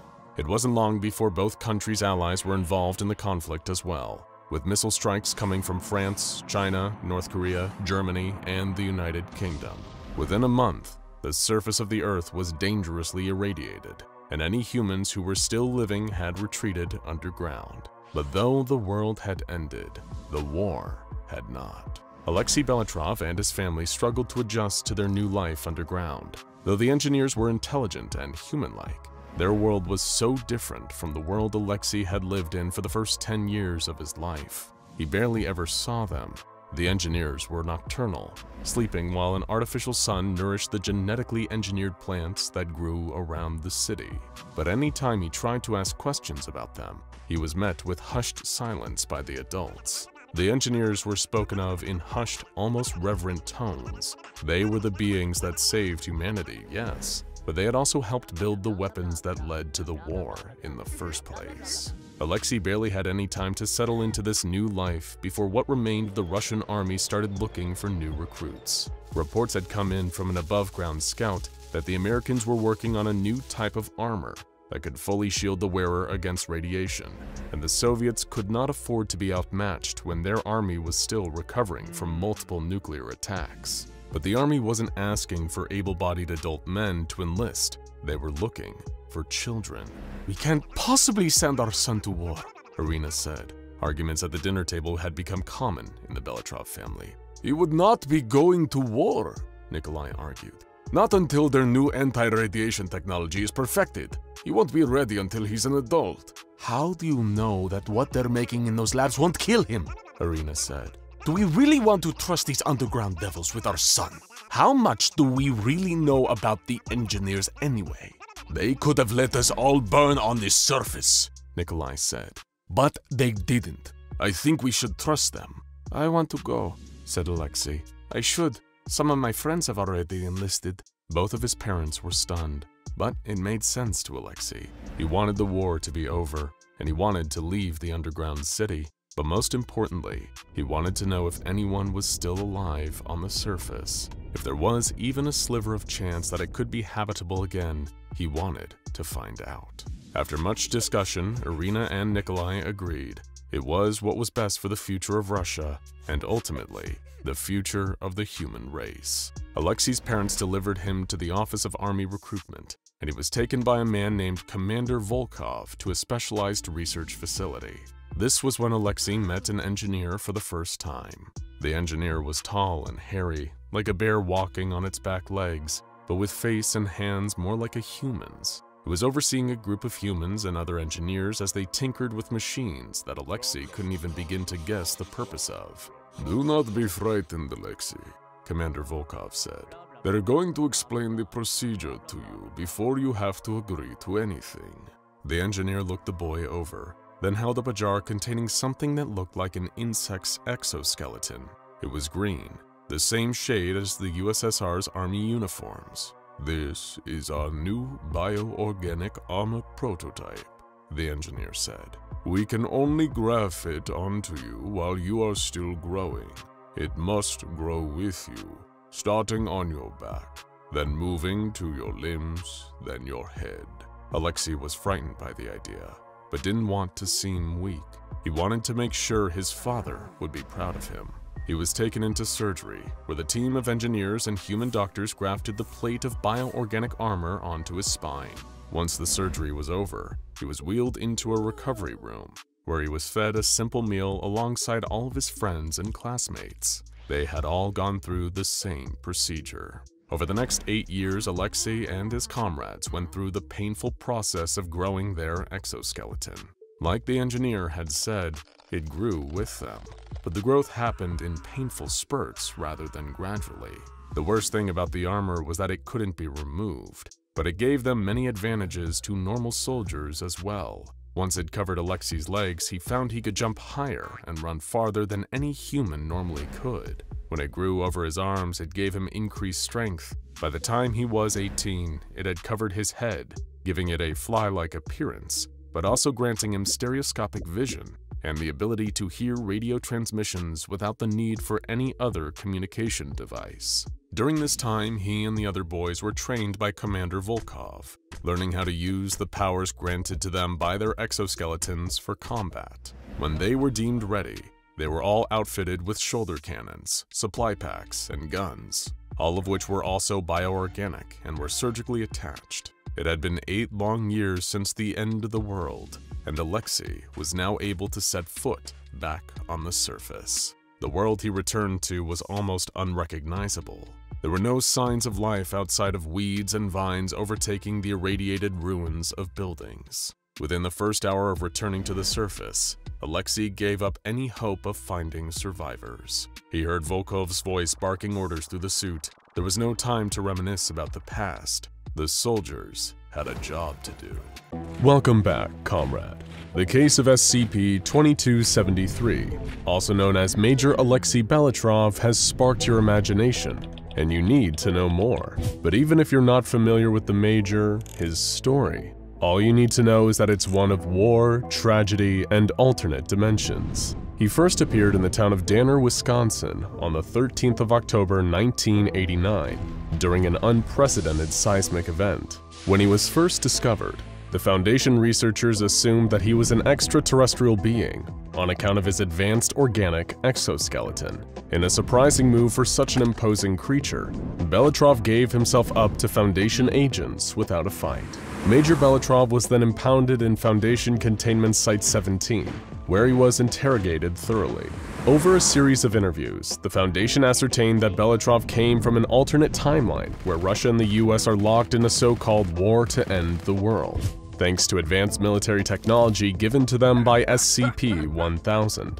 Belitrov had nearly escaped execution at the hands of American soldiers and appeared in our timeline. Now he is a prisoner of the advanced suit that formerly kept him alive. But his story isn't over. The last remnant of a Cold War turned hot has plenty left to teach us. Something that you need to understand about the SCP Foundation before we go any further is that it doesn't only exist in every nation across the globe. It also exists in every splinter reality across the multiverse. And these splinter realities offer a countless multitude of tales, of different places, different people, and different times. Today's tale concerns Major Belitrov's future in a universe where the secrecy of the Foundation is broken and the anomalous world needs to find a way to fit in with our own. The year was 2018. Like many humanoid anomalies that the Foundation was holding in this timeline, Belitrov was released from containment. He was no longer an SCP.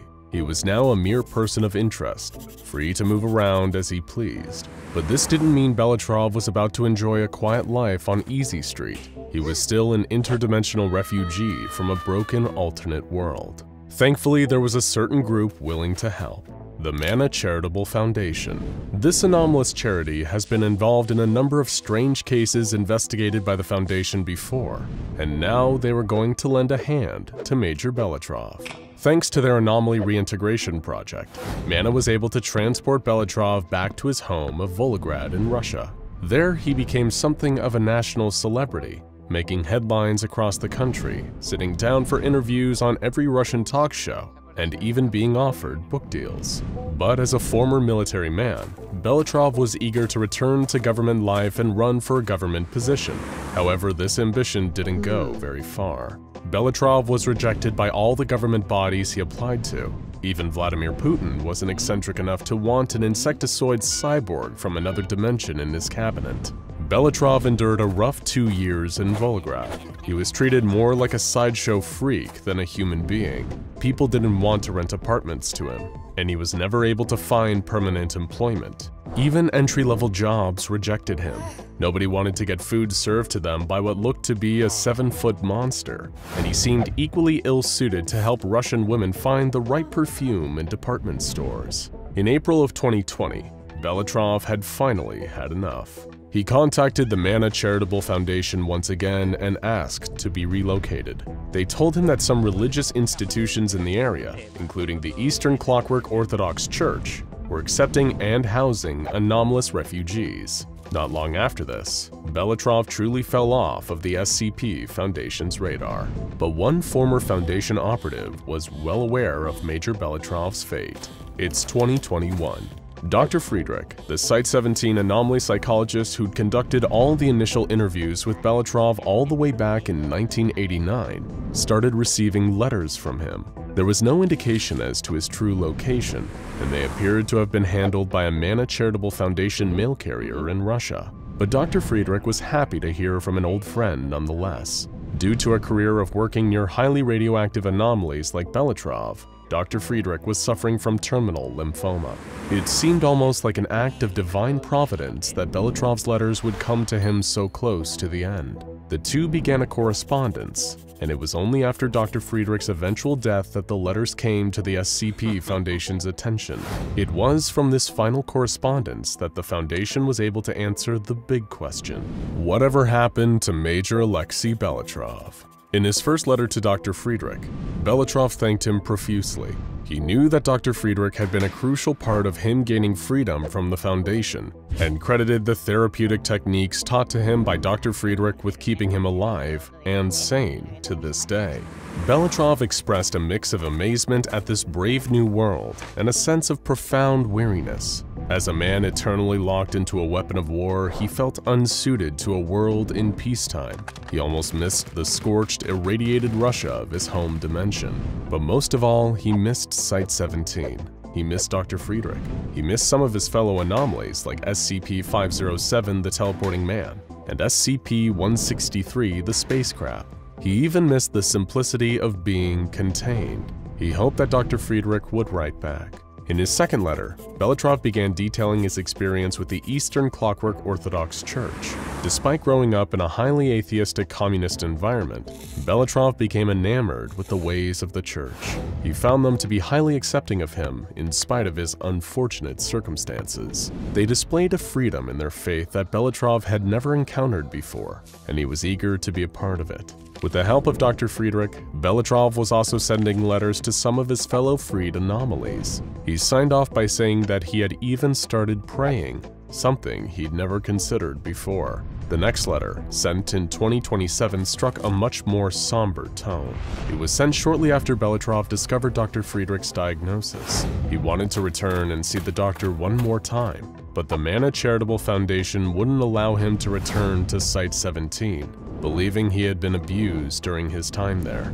Belitrov gave Friedrich his prayers and well wishes, and asked for a number through which he could contact his ailing old friend. By the time the next letter arrived in 2034, Belitrov had become a fully fledged member of the Eastern Clockwork Orthodox Church. He referred to the other monks at the monastery as his brothers and sisters. He seemed to have finally found a true home there, and the others fondly referred to him by the nickname Father Anvil. But the true heart of the letter is Belitrov's deep concern for Dr. Friedrich's health. Notably in this letter, he often refers to Dr. Friedrich by his first name, Thomas, as though to emphasize the urgency of the message. After the deaths of several of the anomalies that Belitrov considered friends, he stated that he couldn't handle losing anyone else. His letter ends with a poignant passage. You may be unmarried, Dr. Friedrich, but you are not unloved. You have to be strong for me.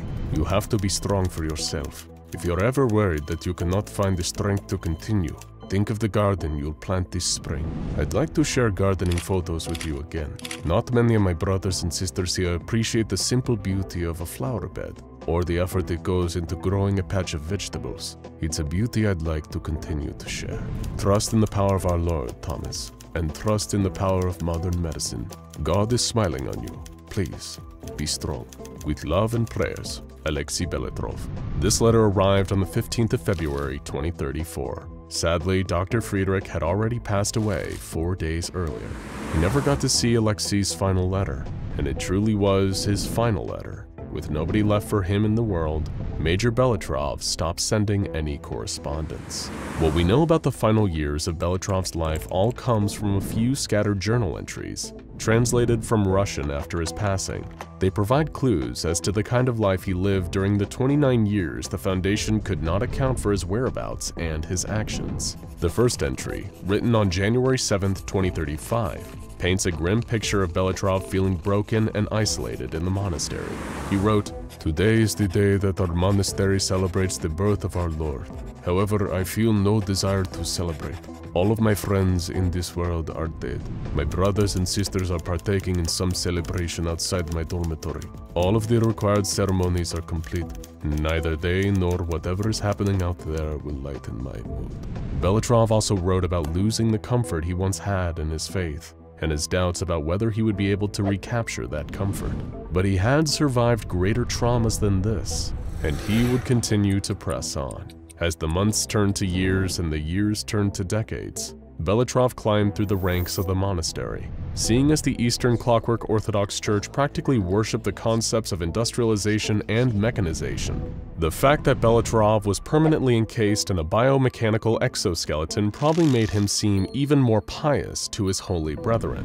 The final piece of evidence collected by the Foundation into the life and times of Alexei Belitrov came just over 20 years later, in a final address written to comfort his followers in preparation for his own death. Belitrov recounted the details of his own life, being born into a world of fire, death, and mushroom clouds. Then his life being suddenly saved by forces beyond his control, only to place him into containment for almost 30 years. It was only after accepting the teachings of the church and accepting the clockwork goddess that he felt he was truly free from his past. In this final note, Belitrov lay out some of the teachings of his new religion, the belief in a great mechanized goddess who planned all of reality. According to Belitrov, everything in her design fits together perfectly, like cogs in a machine, turning and twisting in unison to create an ideal world. He hoped to be forgiven for the many violent sins he committed in his military life, and that his contributions to this new world were valuable. At the very end of his address, Belitrov wrote, I do not believe that my time in this world is much longer. Brothers and sisters, when my time of judgment comes, do not mourn me. I would rather you remember these words. The goddess is most pleased with those who seek kind, non-violent resolution to their problems, because a machine whose gears grind against each other is a machine that cannot work. See truth, but also compassion. The words are only words. Seek out truth within them.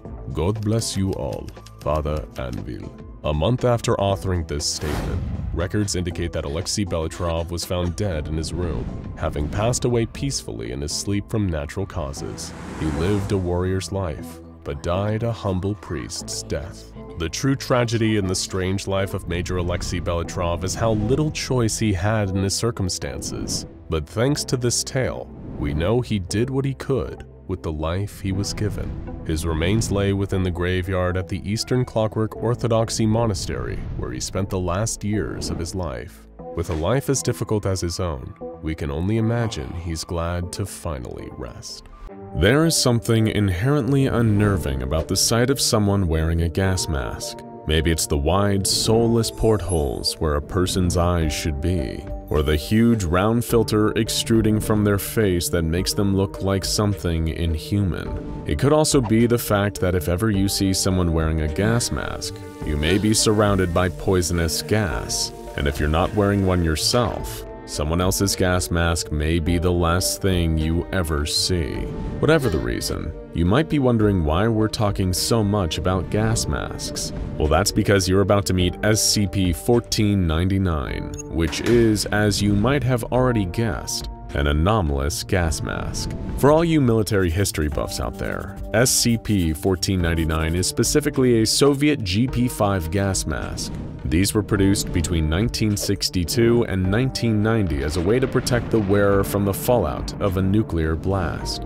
Back then, during the Cold War, an atomic conflict between the United States and the USSR, that's Russia, was a constant threat. And so these masks were sent to most of the fallout shelters in the Soviet Union. While the GP5 masks could survive in all weather and protect against radioactive substances for a time, some of their filters contained a number of harmful chemicals like lead and asbestos. The fact that these gas masks were airtight would mean that somebody could end up inhaling these toxic chemicals while trying to protect themselves from nuclear fallout. If you look up the definition of irony in the dictionary, you may see a picture of one of these gas masks sitting right next to it. And if you think that sounds bad, just wait until you hear what sets SCP-1499 apart from the rest. Upon first inspection, the mask still seems to perform its original function. The filter works properly, and the airtight seal is still formed when placed upon somebody's head.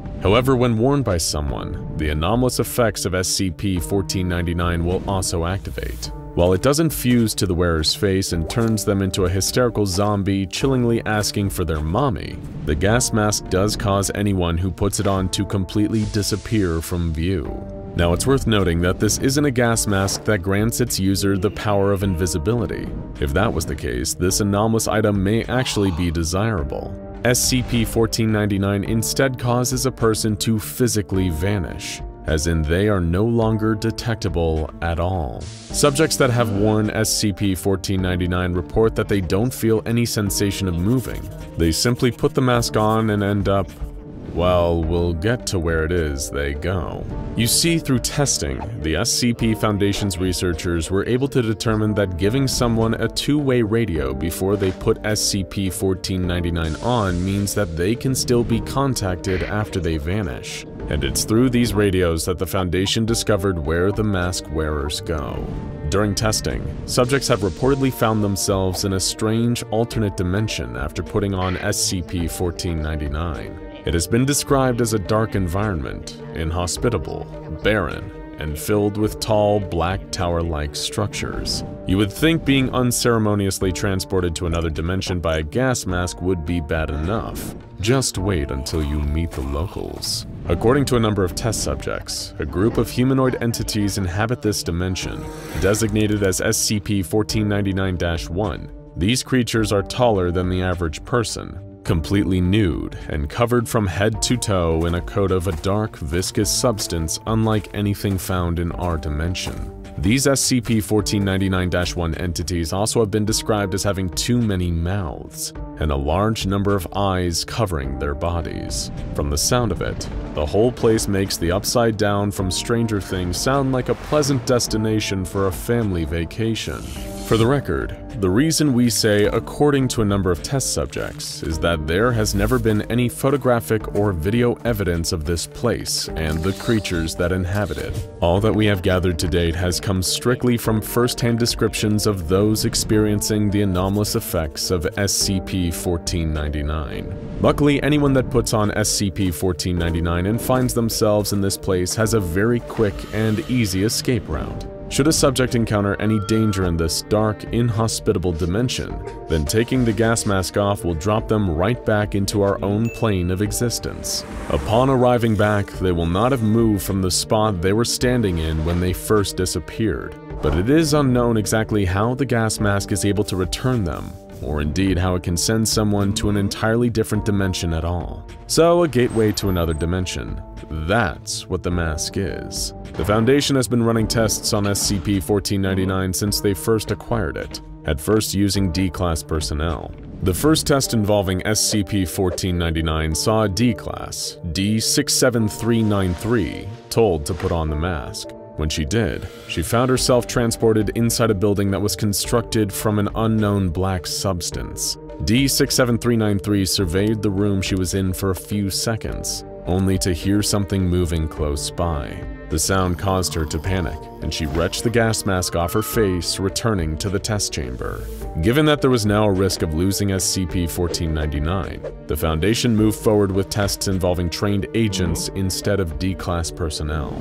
Following this, the next test involved an Agent C putting on the mask, and like the D-Class before him, he found himself in the same dark room. But instead of taking off SCP-1499 at the first sign of trouble, this agent explored his surroundings. Agent C was able to descend the building to a reasonable degree until he heard sounds coming from the floor below. After hiding himself, Agent C witnessed the very first sighting of the SCP-1499-1 creatures, remaining undetected and then safely removing the mask when the creatures had passed. Another agent, known as Agent U, was selected for an SCP-1499 test, chosen especially for her extensive training in stealth. Like those before her, she put on the gas mask. Instantly, she found herself in the place where her predecessor had left off, and continued the exploration of the building. Detecting movement from the floors above, Agent U exited the building and spotted a number of SCP-1499-1 instances. The creatures were mulling aimlessly around, each sporting their own unique mutations, occasionally uttering low, grating noises. By now, if they were still using D-classes, they probably would have lost the mask and the people wearing it a hundred times over. Never get a D-class to do a field agent's job. Making her way past more of the tall, dark structures, the agent followed and observed a group of four creatures. A fifth approached them, prompting one from the group to step forward. As Agent U watched, these SCP-1499-1 creatures began violently assaulting each other, until she too pulled the gas mask off and returned to the Foundation. Shortly afterward, one final agent, Agent K, was sent into this alternate dimension. This was less of a test, more a mission with the purposes of reconnaissance, to give the Foundation a better, clearer idea of what the environment was like and to possibly even make contact with the SCP-1499-1s and understand them better. However, the outcome that followed could not have been worse. Agent K appeared in the other dimension between two of the black structures. The lighting made it difficult to see much of the environment around him, but he remarked that the buildings resembled tall spires constructed out of hard rock, as was the ground beneath him. After a few short minutes, he soon spotted a group of SCP-1499-1s entering a larger structure, an elaborate building with a number of towers and spikes on it, as well as what appeared to be blood. Approaching the building with caution, Agent K located a small secluded side entrance, away from the larger front door. As quietly as he could, he made his way inside. The sounds of grinding filled the air from all around him, as Agent K saw a huge group of the mutated humanoid creatures. Each one had their mouth wide open, all of their mouths wide open, making a chorus of grating sounds. The entities were, according to K's description, all facing towards one of the SCP-1499-1s that was standing on a platform in front of them, with a number of bodies around it. This creature seemed to be leading an odd ritual and began to cut open its own torso. Worm-like creatures spilled out of the open womb and a beam of light followed, projecting out of the entity's chest. Agent K realized that this light was some form of portal. Another worm, like the kind that had come out of the ritual leader's chest, began to appear in the portal. Deciding to act, Agent K dashed out from his hiding place, opening fire at the creatures all around him. He reached for something glowing in the lead entity's chest, which he thought was bringing the worm creature through the portal. Grabbing it, Agent K pulled off the gas mask and found himself back at the Foundation, holding a human heart. But it doesn't end there. At the exact same time, on the exact same date, a man attacked the Cathedral of Christ the Savior in Moscow, Russia.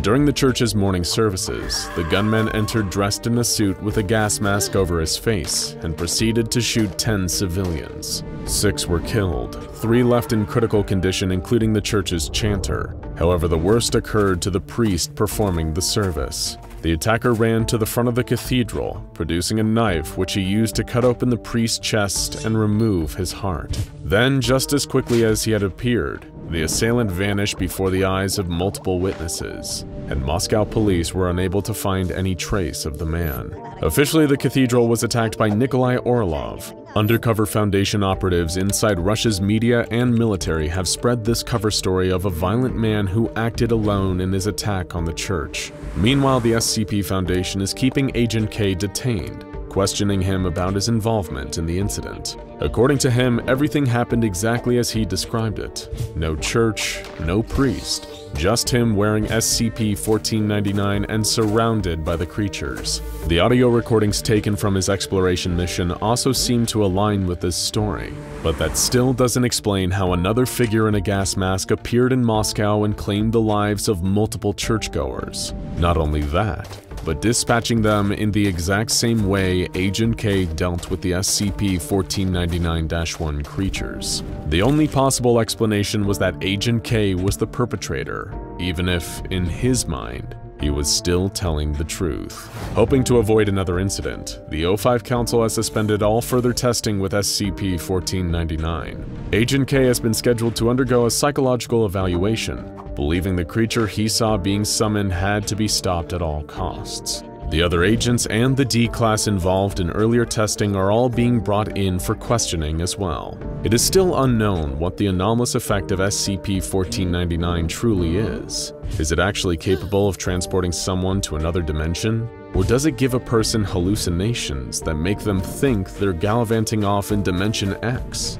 while they're actually walking up to a church about to do something unthinkable? With testing suspended, we may never know, but it leaves us with an important message. Think carefully about everything you do, because what you think you can see doesn't always reflect what's really there. It has long been the mission of the SCP Foundation to secure and contain any anomalies they encounter, all to protect the safety of the human race. Sometimes containing an SCP is a trivial task, as simple as guarding a room or keeping an eye on an artifact with strange but mostly harmless properties. Other times, though, anomalies require a considerable number of the Foundation's personnel and resources to keep them under control. This latter category commonly includes some of the most dangerous creatures and entities that the SCP Foundation keeps under lock and key. However, while it might be only in very rare cases, every so often an SCP comes along with its very own built-in method of containment. This can often be the result of someone encountering an anomaly and discovering the perfect way of imprisoning it before the SCP Foundation comes along and steals all the credit. Undoubtedly, this makes the job of securing an anomaly all the easier for the Foundation's staff. After all, someone else has already done the hard part of the job for them. Or rather, it would make things easier if only the Foundation's own researchers chose not to interfere and could leave a deadly threat kept safely in its box without trying to find out what makes it tick. SCP-5001 is, in some ways, a reminder that some things are best left alone, but it is also a grave warning not to tamper with that which you do not understand. Both of these lessons would soon be imparted on the SCP Foundation. Buried 60 kilometers below the ground in northern Russia is SCP-5001, a 53 kilometer wide structure. It is an enormous biomechanical machine, but to the untrained eye there is nothing anomalous about the object. And according to the Foundation's findings, this is indeed the case. There is nothing inherently anomalous about the structure itself. But there are a number of characteristics that seem to suggest it is, in some way, connected to anomalous phenomena. For one, there is the sheer scale of the structure, and then there's the records that were uncovered about SCP-5001, which appear to have been monitoring and tracking its status. Perhaps whoever constructed it or discovered it kept a record as they observed the structure. Nothing too out of the ordinary about that. But what's strange is that these date back to 11,000 BC and yet were somehow made with modern systems of measurement. And other weirder documents have been recovered from inside of SCP-5001. Records written in languages from all over the world, and even some in languages lost to time. Among them are papers in Phoenician, Ancient Hebrew, both Ancient and Modern Greek, Latin, Anglo-Saxon, along with Modern Russian, English, and Mandarin. Some of these documents are even written in languages that the SCP Foundation's top researchers are yet to properly identify. The explanation for all this would seem obvious, wouldn't it? Writing in both ancient and contemporary languages, records that date all the way back to the last of the prehistoric era, it all seems to point in a certain direction. Somehow, SCP-5001 has a link to time travel. Perhaps it was even a hub for a group of time travelers, right? Wrong. The Foundation already thought that this might be the case, and checked for any signs of temporal anomalies. And yet, they found nothing. No evidence to suggest that there had ever been any time travel near or using SCP-5001. There were no devices on site that could affect time, and no traces of any residue or fallout from a temporal occurrence. So what exactly does this thing even do? Well, we're afraid to say the Foundation researchers have been stumped on the answer to that question too, and they are not the only ones either. Way back in the 50s, the GRU's Division P also had an interest in SCP-5001. For anyone who isn't already acquainted with them, they are one of the SCP Foundation's numerous groups of interest, a list of organizations, corporations, and agencies from around the world who have also had dealings with anomalies. In the case of GRUP, they were originally a division of the Russian army during the Cold War. The specialty of GRU Division P was the acquisition of anomalous objects and entities. In other words, they were the Soviet Union's very own SCP Foundation. In 1953, GRU Division P was alerted to abnormal seismic activity in a narrow region of northern Russia. A team was immediately sent in to investigate and began attempting to take seismic measurements of the area in question. During their various experiments and tests, GRU Division P realized a discrepancy in their readings. Again and again, they checked and double-checked their results, only to discover that this reading wasn't the result of faulty equipment or even human error. There was something big nearby. What they hadn't yet realized was around 30 kilometers away, deep underground, was SCP-5001. Immediately, GRU Division P began drilling towards the location of SCP-5001, but for years found that they were unable to breach the exterior of the structure. Defeated, the project was abandoned in 1955. However, Soviet leader First Secretary Khrushchev seemed to have a vested interest in gaining access to SCP-5001. As a result, he privately funded the GRU Division P operation, allowing them to continue their work in secret for a number of years, from 1959 until Khrushchev was disposed in 1964. Of course, this was all during the height of the Cold War, But by the late 1960s, international relations between the Soviet Union and the United States of America were starting to ease. Thanks to the relaxing tensions, a contract was introduced allowing the two nations' secret organizations to work together on a number of operations involving potentially dangerous anomalies. This meant that the SCP Foundation was finally able to step in and contribute to the GRU Division P's project concerning SCP-5001. Their first task? actually getting inside the subterranean structure. Naturally, given how well versed the Foundation is in dealing with anomalies, they had ideas for how to crack this nut. By acquiring anomalous technology from the Global Occult Coalition, another group of interest, as well as experimental designs created by one Dr. Elijah Rachma, the SCP Foundation were finally able to breach the structure in 1971. From then until the dissolution of the Soviet Union in 1991, the SCP Foundation and GRU Division P worked together to conduct a number of studies into the origin and purpose of SCP-5001. Both organizations were curious as to the technology the structure possessed, and attempts were even made to recreate some of the devices found within. Among this advanced technology were ontological stabilizers, also known as Scranton Reality Anchors, which are located around SCP-5001's inner chamber.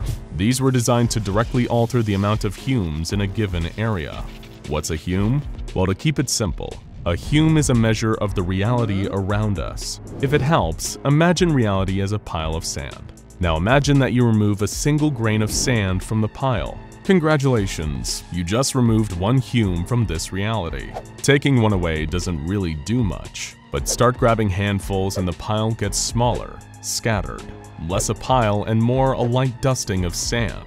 Reality works the same way. Take too much away and it starts to lose whatever it was before.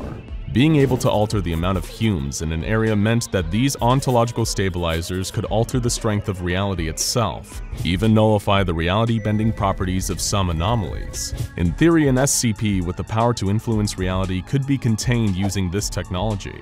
The effects of their abilities reduced significantly, although not negated entirely. Another noteworthy piece of technology uncovered was codenamed Omega. Omega was discovered in an unmarked room on a computer terminal that was connected to every area of SCP-5001 by dozens of cables. The software itself was an artificial intelligence construct, a computerized consciousness that seemed to serve the purpose of controlling the various systems within SCP-5001. The Omega seemed to work by providing an answer whenever someone used a keyboard to input a question. The artificial intelligence of Omega appeared able to hold a conversation, but would refuse to give any insight into when the SCP-5001 structure was built or what its purpose was. Despite neither group knowing what SCP-5001's function was, an agreement between the SCP Foundation and GRU Division P was formed.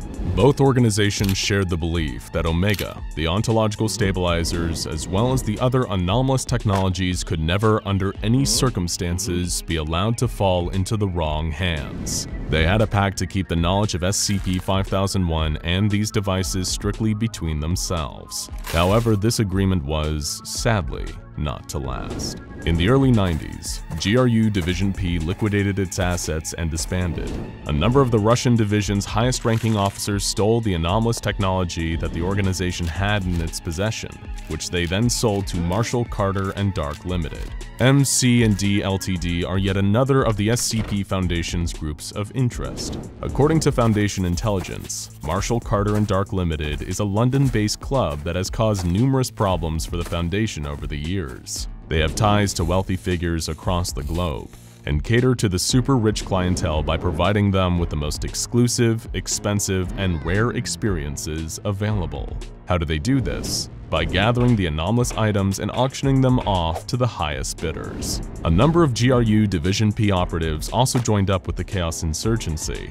This is a group of interest that consists of personnel who previously worked for the Foundation, but have since broken away to pursue their own rogue agenda.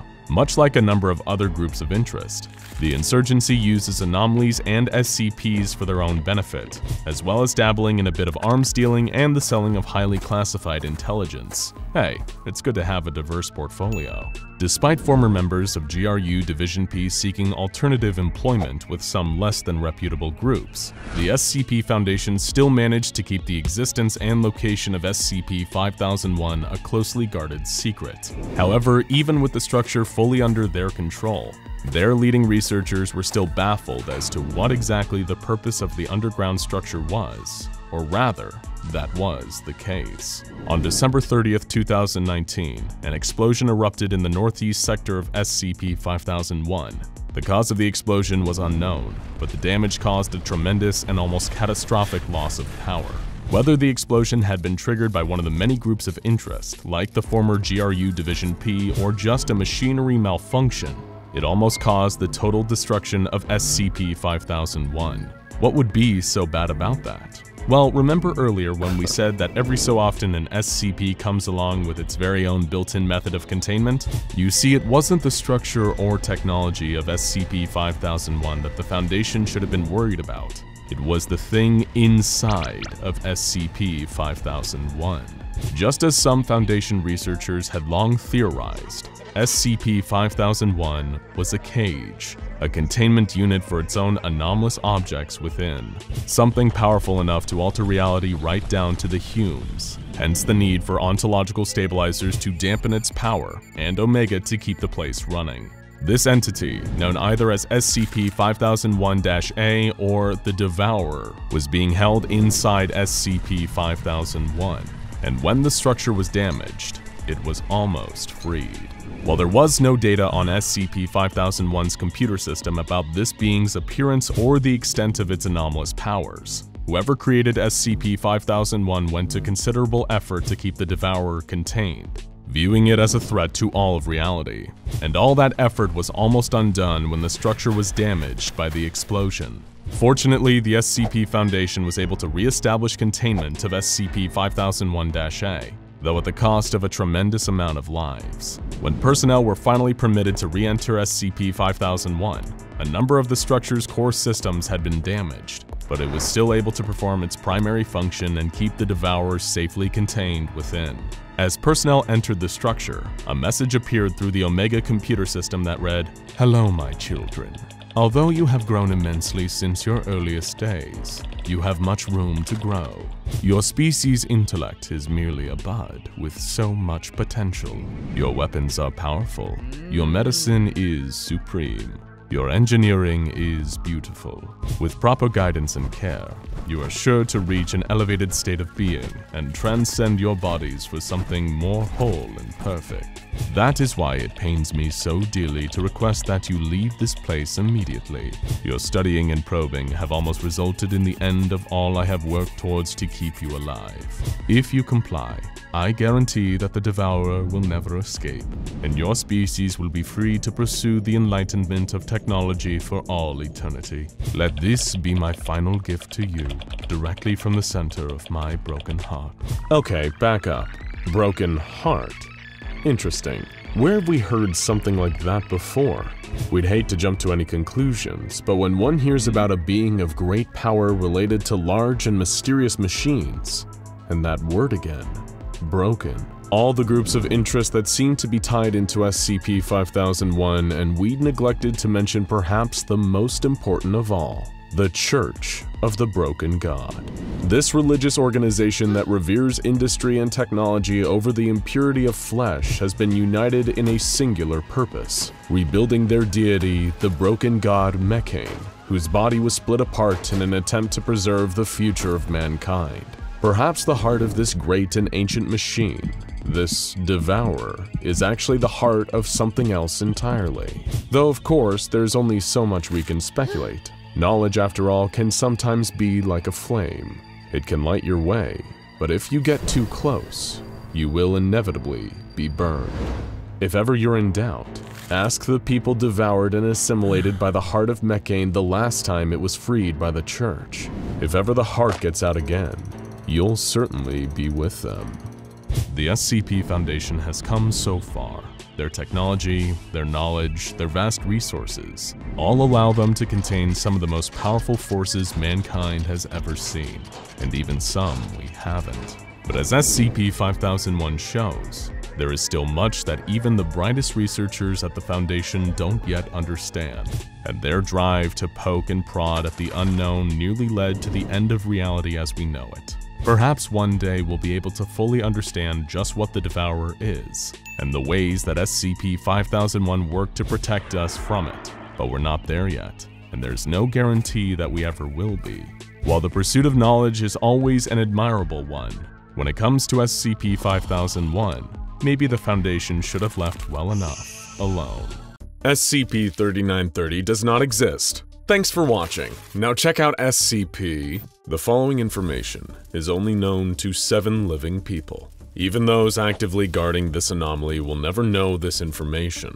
Every single person who believes they are aware of the existence of SCP-3930 has the potential to increase its danger. SCP-3930 has been given the risk class Critical, the highest possible risk class for an anomaly, meaning that individuals nearby will invariably be exposed to acute, life-threatening harm, and that these effects cannot be mitigated. You learn about SCP-3930 at your own risk, with the knowledge that this awareness puts your life at hazard. Someday soon, you may be forced to make the ultimate sacrifice for the good of all life and matter in the universe. That is why it is imperative that you know one essential thing. SCP-3930 does not exist. Now with that out of the way, we have only one question for you. Can you hear the screaming? It was when Dr. Vasiliev heard the screaming that he and his ragtag team of scientists knew it was already over. The year was 1971, and Dr. Vasiliev's team was stationed at a highly secretive Soviet research outpost near what would later be established as the Russian town of Usinsk within the Komi Republic. As far as Dr. Vasiliev was concerned, they were dead men already. Well, that's not entirely accurate. To be dead is to be something and the men that had once been stationed with them but were here no longer could not be considered something at all. Their brush with the immensely powerful and classified anomaly later known as SCP-3930 had robbed them of their very existence. Now Dr. Vasiliev knew that he and the few remaining men stationed at the base with him would be next. The Soviet government had dispatched a detachment consisting of around 100 soldiers and scientists to investigate the anomaly in the Komi Republic. As far as they could tell, it appeared to occupy a one kilometer square area within a forest. But to say that it really occupied anything would be a stretch. And out of the over 100 men who had been dispatched, now scarcely 30 remain. Observation teams had been sent into the anomalous zone to collect data on what exactly they were dealing with. But each time, it seemed as though the researchers were doomed to know less and less about what they were investigating. From a distance, the area didn't even appear to be anomalous. It looked simply like a continuation of the forest, complete with the expected flora, fauna, and even some distant evidence of human habitation, like an abandoned building. But without fail, nobody who had ever seen the building up close had ever returned. Thanks to SCP-3930, they had simply ceased to be, because simply put, when you introduce something into nothing, the nothing wins. Dr. Vasiliev had seen too many good men disappear into oblivion, and soon it would be his turn, too. But first something horrible would crawl out of the zone. Something that shouldn't exist. Something that didn't exist. Something that will never exist. And yet, here it was. In science, the observer effect is a dreaded phenomenon. All experiments involve the observation of phenomena to collect data and then prove or disprove a hypothesis. But the observer effect describes the frustrating scenario where the mere act of observing a phenomenon alters it, reducing the usefulness of the data. A common example of this in mundane life is checking the pressure of your car or bike's tires. To do this, you need to let out some air, thus changing the pressure. But pressure holds a very different meaning when you're working with what might be the universe's largest patch of nothing. Because of their prime directive, namely researching the anomaly, Dr. Vasiliev and his fellow scientists were effectively forced to observe SCP-3930, and 3930 apparently doesn't like that. The scientists only noticed sounds at first, barely perceptible little screeches that could easily be written off as your mind playing a trick on you. And in a sense, it is. But around SCP-3930, the tricks played by the mind become a lot more practical than anywhere else. What started as sounds soon came to take on a visual form as more people became aware of the anomaly and made futile attempts to observe it from the outside. These scattered visual and audio forms soon became nicknamed Screamers for their horrific, hateful wailing. Dr. Vasiliev and his team believed that despite the extremely hostile nature of the anomalies, they had no way of ever leaving the anomalous zone. That belief was soon proved wrong, and not long after, only 10 researchers remained. It seemed that the last of Dr. Vasiliev's hope died with the lost men, but there was some good news at least. With only 10 left to observe the SCP-3930 anomaly, the screamers began to disappear and the anomalous zone became stable once more. 10, it seemed, was the upper limit of observers that could distantly engage with SCP-3930 before all hell broke loose. And then the SCP Foundation arrived. By the time they reached the long since defunct research outpost, Dr. Vasiliev was the only one left. The final members of his team had sacrificed themselves by walking into the void and joining non-existence. Vasiliev himself remained for only one purpose, to tell the Foundation what he knew, what they needed to know, before bowing out into SCP-3930 himself, along with however many of the Foundation personnel needed to go to keep the number of active observers at a nice, clean 10. That is the burden of knowing, and accepting that burden is to accept that you may one day need to become unknown in order to protect your fellow human beings from the horrors that lay within. But what is SCP-3930, and what are these so-called screamers that lurk within? We have the answers to these questions. The only question for you is whether you're ready to take on the grave responsibility of knowing too. SCP-3930 does not exist. That isn't just a cover-up by the O5 Council. It doesn't not exist in the official capacity. It is, quite literally, the world's largest patch of nothingness, and anything that enters it is doomed to become nothing as well. It is a difficult concept to grasp because fundamentally, all language was built as a tool to communicate concepts that, on some level, exist, and SCP-3930 does not qualify. Close your eyes for a moment. Seriously, do it. And try to imagine nothing. What do you see? An infinite space of pure darkness? A white void stretching on into infinity? We're sorry to inform you that neither of these counts as being truly nothing. Though darkness may be the absence of light, to see that blackness is to still see something. The darkness even implies the existence of light. The same can be said for the white void.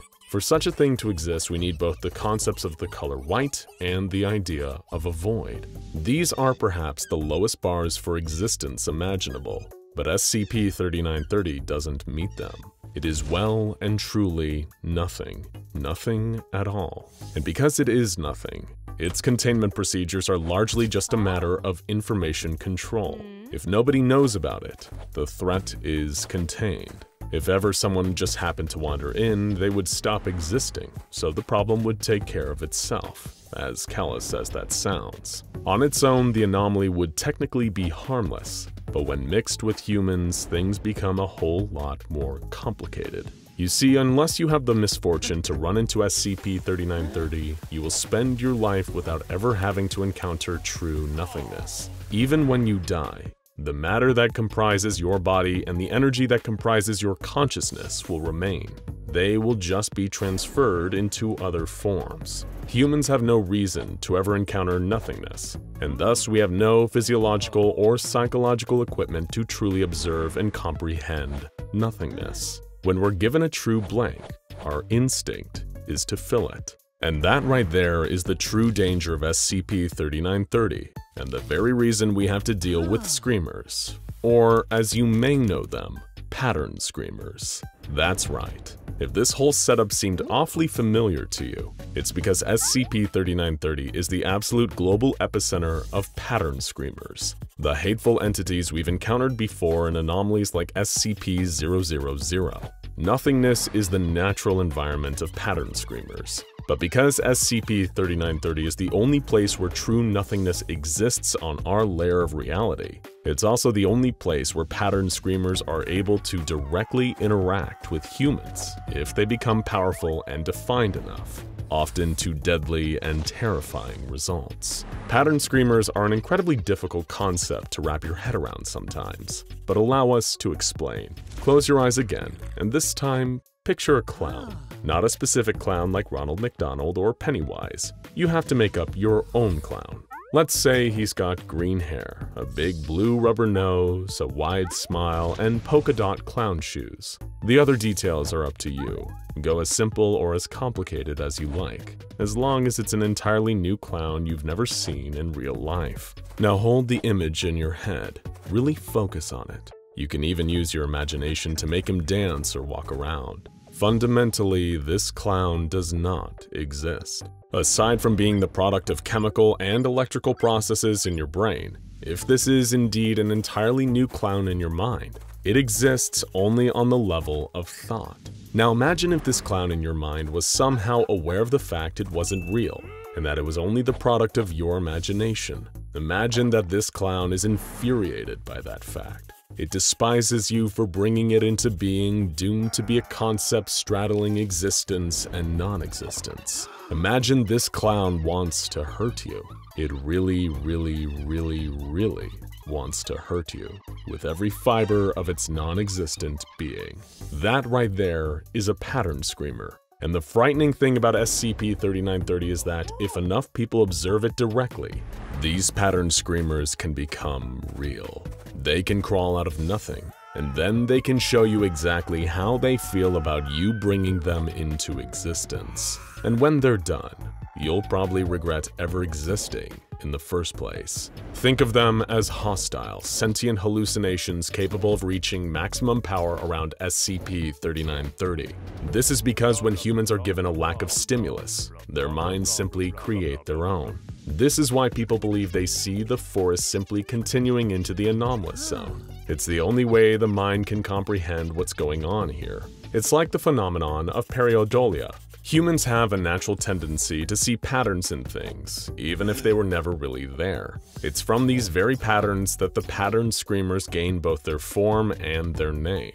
They're monsters that we create, cursed to live hellish half-existences, and they hate us for it. Dr. Vasiliev described SCP-3930 as a kind of hateful mirror that reflects back the ugliest shards of our own minds, first broken in the futile quest to comprehend the true nature of nothingness. Thousands have likely been lost inside SCP-3930, if we can even call them lost, as lost implies that something is still out there, somewhere even if we never actually find it. This cannot be said for the victims of SCP-3930. They are nowhere and nothing.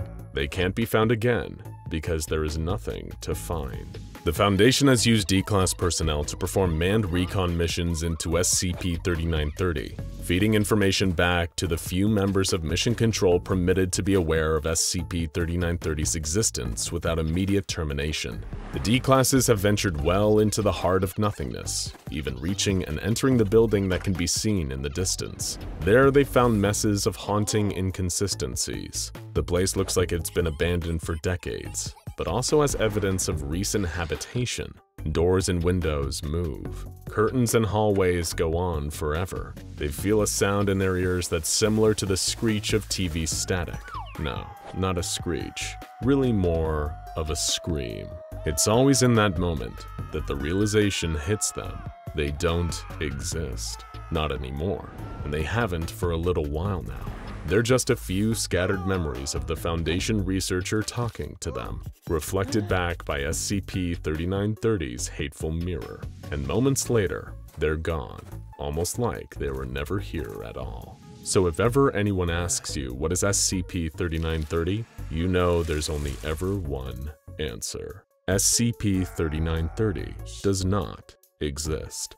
In the long history of the world, the planet has played host to a wide variety of ancient civilizations. There are far, far too many of those for any one video to cover. People make it their careers to discover and catalog the civilizations that preceded us in the modern era. Archaeologists and historians make it their life's work to learn everything there is to know about these mighty empires and kingdoms that span vast swaths of land where there are now dozens of countries. A lot of these civilizations are famous, even school children know about them.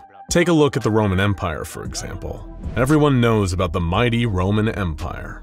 Julius Caesar took control of the Roman Republic and created the empire that would go on to be one of the largest empires in history at the time. It controlled practically everything in Europe and North Africa, and even parts of Asia. The Romans made amazing advancements in culture, architecture, law, and practically everything else. In fact, their legacy can even be seen in pop culture today.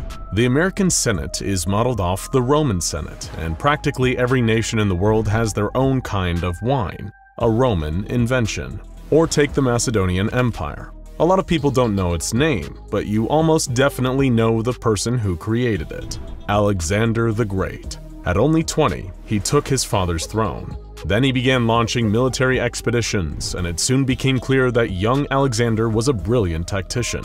Never defeated in battle, he managed to extend his vast empire across all of West Asia and North Africa stretching all the way to Egypt and India. Like Caesar would go on to do after him, he managed to create one of the largest empires in history, except he did it all before he even turned 30. Though he died young and his empire was split apart by his generals, he brought Greek thought, culture, and philosophy, not to mention science, to the far reaches of Inner Asia. And of course, there is the Mongol Empire, led by the fearsome Genghis Khan. The Mongols, a nomadic people from Central Asia, were divided into dozens of distinct tribes until Genghis Khan united them under one flag. And from there, they spread outward violently into the rest of Asia, conquering China, Korea, Eastern Europe, and practically all of Asia. In doing so, they created the largest empire in history and killed somewhere near 40 million people in their conquests, 10% of the world's population at the time.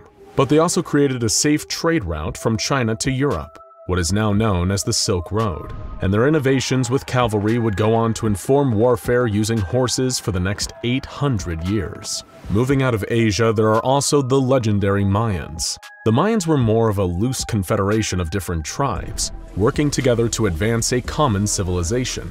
They didn't conquer as much land as the others, only one area in Central America, but they crafted a complex society with laws, civic duties, social rules, and extremely advanced religious rites and architecture. If you go to South America today, you can still see the remnants of their empire. Step pyramids that look sort of like ziggurats, deep in the South American jungle interior. They invented astronomy, calendars, writing, and many forms of art like mosaics, all without contact with European society. Needless to say, the advancements empires have made throughout history are so important, we use them in our daily lives all the time. And we know a lot about these ancient empires too. How could we not? They've made massive impacts on the planet and population, not to mention religion, culture, law, society as a whole. But what if there was an empire on the planet that was larger and more advanced than all of the ones we just looked through? And not just more advanced by a little bit, so advanced that they were creating nuclear reactors well before Alexander was taking his first steps, or Plutarch was trying to complete a history of the Greeks. So advanced that we still don't totally understand what they were capable of. I'd certainly call that anomalous, wouldn't you? And that's not all. What if this empire also managed to stay hidden from modern science for centuries? They didn't stay alive, but their ruins have never been found by the scientific community. Their relics have been squirreled away from the eyes of the world over the decades. You'd never find a reference to the Mekhanite Empire in a history textbook or in a museum, and that's for a very good reason. The SCP Foundation has spent an extremely large amount of time and money ensuring that the evidence of this ancient empire never comes out to the rest of the world. But even if a culture creates anomalies, is the culture itself anomalous? Does it need to be contained? Especially if they're all long dead and their technology has degraded into unusability. Well, maybe. Except their technology is doing just fine. 2,000 years and counting, their technology is still working perfectly. In some cases better than our modern devices. How can that be possible? How can that not be anomalous? Well, as unbelievable as it might seem, it's true. We'll dive more into what exactly this empire out of Greece was in a bit, but for now we're going to look at an SCP file associated with them. Except this one couldn't be picked up, stuffed in a box, and shipped off to a containment locker in Site 19. You'll see why in a minute. But for now, let's just take a look at the file. SCP-2406 lacks any images or flashy documentation, so no clues there. Unless it's not possible to photograph the anomaly for some reason. Hmm. The object class is safe, and the containment procedures aren't very long. A site, Provisional Site 31, has been constructed around SCP-2406 and is under the cover of a Kazakhstani military base. Provisional sites are temporary sites that the Foundation puts up in the field to contain an anomaly that can't easily be transported somewhere else for containment. And if it's a Kazakhstani military facility, the anomaly is probably somewhere in Kazakhstan and can't be moved. Hmm, seems reasonable enough. All personnel who work directly with SCP-2406 are required to wear a Type A hazmat suit when in contact with the anomaly, and to undergo a full decontamination bath upon exiting.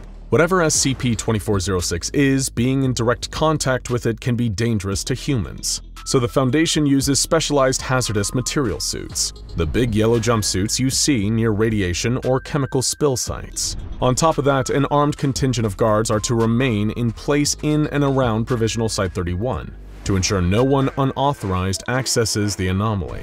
Though you'd have to wonder why anyone would try to access a military base. The containment procedures close out by declaring that anyone wanting to directly interact with SCP-2406-1, whatever it is, needs to get authorization from their site director. So, SCP-2406 has at least one sub-anomaly to deal with. Obviously, the Foundation is very interested in keeping this anomaly, or these anomalies, secret and protected at all costs as well as limiting human exposure to something potentially dangerous. Now, let's take a look at the description. SCP-2406 is a mechanical automaton that's 93 meters tall and weighs approximately 210 metric tons. For the Americans among us, that's about 300 feet in height and 230 tons, over 450,000 pounds. No wonder the Foundation couldn't move it. After investigating, research concluded that SCP-2406 wasn't sentient, so it wasn't a robot or cyborg or artificial intelligence. An automaton is a machine to perform a specific task, and this thing, whatever it is, was controlled by at least six different operators, if not more. They piloted the machine using 160 different valves and levers within the torso, head, and chest of the automaton. And if it has a head and chest, it has limbs limbs that were controlled by a combination of pneumatics, hydraulics, and clockwork machinery. But controlling is one thing. How the heck does something like this get the power to move? The answer is a nuclear reactor embedded in its torso, with power cables running to its arms and legs. Yep, unbelievable as it may seem, this ancient curiosity was powered by the same source our modern aircraft carriers and nuclear submarines use. SCP-2406 was discovered on August 7, 1985, in the Aralkum Desert, but not by the Foundation. The Aralkum Desert used to be part of the Aral Sea before the Soviets drained part of it. It was during one of these drainings that the Russian military discovered SCP-2406 by tracking the radiation coming from it. As soon as they realized what they found wasn't some sort of abandoned warhead or uranium deposit, they called in the GRU's P Division, the unit of the Soviet government who dealt with anomalies, in the same way the Foundation did. They kept custody of the anomaly, but only for a few years. When the USSR collapsed in 1991, the Foundation stepped in with their agents and took control of the anomaly while everyone else in the area was busy dealing with the political fallout. They immediately began performing research and learned that the material SCP-2406 is made of isn't just one metal, but a toughened alloy of copper, zinc, nickel, lead, and iron. The mixture is why the metal looks bronze, despite not having any bronze in it. They also found two markings on it. One was on the outside of its back and showed the Aegean numeral for 9.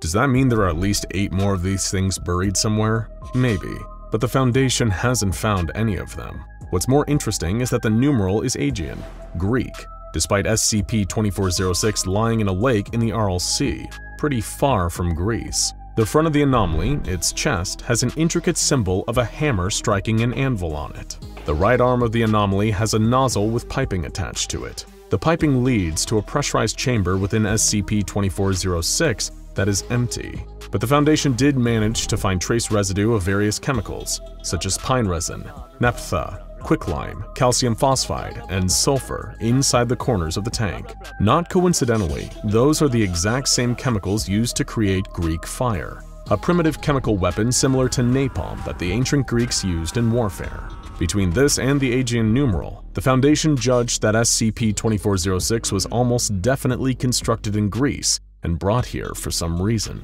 The left arm of the anomaly isn't attached to it. In fact, initial reports said it was torn off at the shoulder and couldn't be found with the rest of it, but it seems that the Foundation managed to recover it since, detailed in one of the addenda in the file. Chemicals weren't the only thing they found inside SCP-2406. When they busted the main access plate open, researchers found something decidedly more morbid.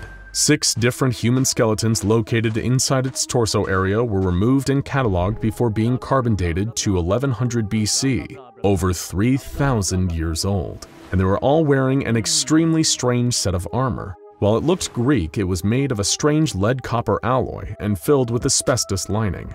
Presumably, the armor was designed to absorb the radiation put out by SCP-2406's reactor. There were also tubes from the helmets leading to the outside, so they could breathe safe air. One of the levers pumped water into the tubes so that the pilots didn't die of thirst, and another tube was near the groin, probably so they could pee. Seems like the designers ensuring that whoever was piloting SCP-2406 could do so for hours or days. The Foundation ensured through testing that SCP-2406 doesn't work. The limbs don't move, and many of the levers have rusted or broken. All of that damage from disuse is repairable, but there is even more extensive damage from combat. The limbs and head were first discovered run through by long, sharp spikes made of an unknown substance. Though it feels like chitin, its molecular structure is closer to coral, and on top of that, it's biological and contains some elements of human DNA. Parts of its limbs are also crushed or indented with a segmented pattern, like a boa constrictor wrapping around its prey. The evidence suggests that SCP-2406 was in an intense fight with some sort of giant monster and lost. But that's all in the past. SCP-2406 also has a more present problem, its reactor. It melted through the back of the anomaly, penetrating the Earth and seems to still be burning incredibly hot and radioactive nearly a kilometer under the surface. Engineers think that when it was intact, it works similarly to natural nuclear reactions rather than modern reactors, like when a uranium deposit begins to undergo fission, if nothing else, it means that SCP-2406's designers were studying those, and were far more advanced scientifically than any other culture on the face of the planet at the time, that we know of. While they were investigating the wreck, Foundation personnel also discovered something interesting, a watertight ceramic jar, like the ones ancient Egyptians used to preserve organs. When they broke the seal, they found two tightly bound scrolls written in a unique language resembling Mycenaean Greek, it took 10 years of research for the Foundation's best linguists to translate the scrolls. What they found confirmed their theory. The scrolls were religious and written by a group called the Followers of Mekhane, the ancient precursors to what we now call the infamous Church of the Broken God, an anomalous cult that seeks to rebuild their deity and make themselves more than human.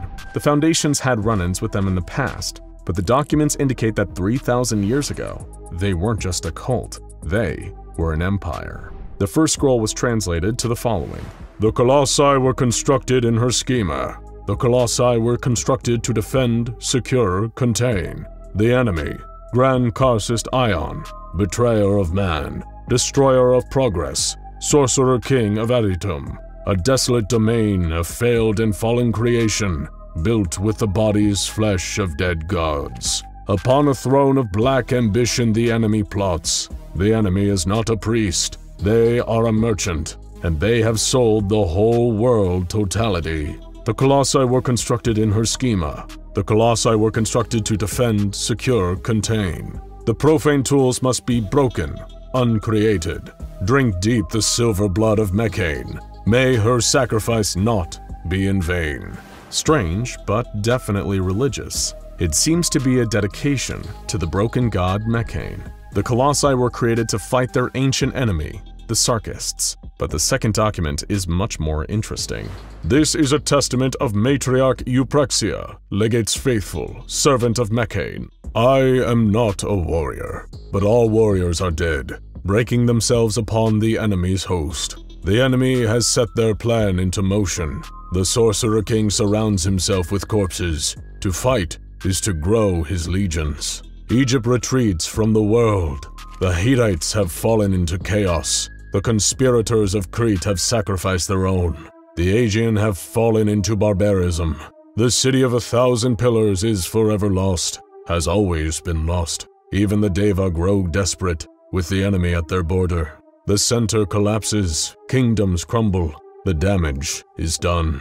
The light of reason flickers and wanes. But Mekhane sacrificed herself so that we might be free. We refuse to return to that darkness. We would rather die. But the siege at Euros was won.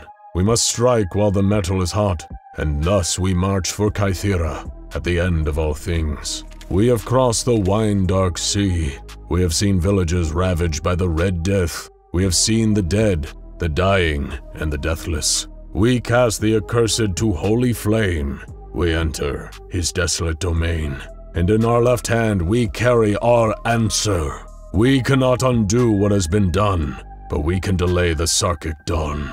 So it seems that the ancient Mekhanite Empire were once at war with another empire, the hated Sarkists. Losing and all their allies dying, they poured their resources into these massive mechs and sent them deep into enemy territory, equipped with some sort of doomsday weapon as a hope for success. What happens next is, unfortunately, a mystery.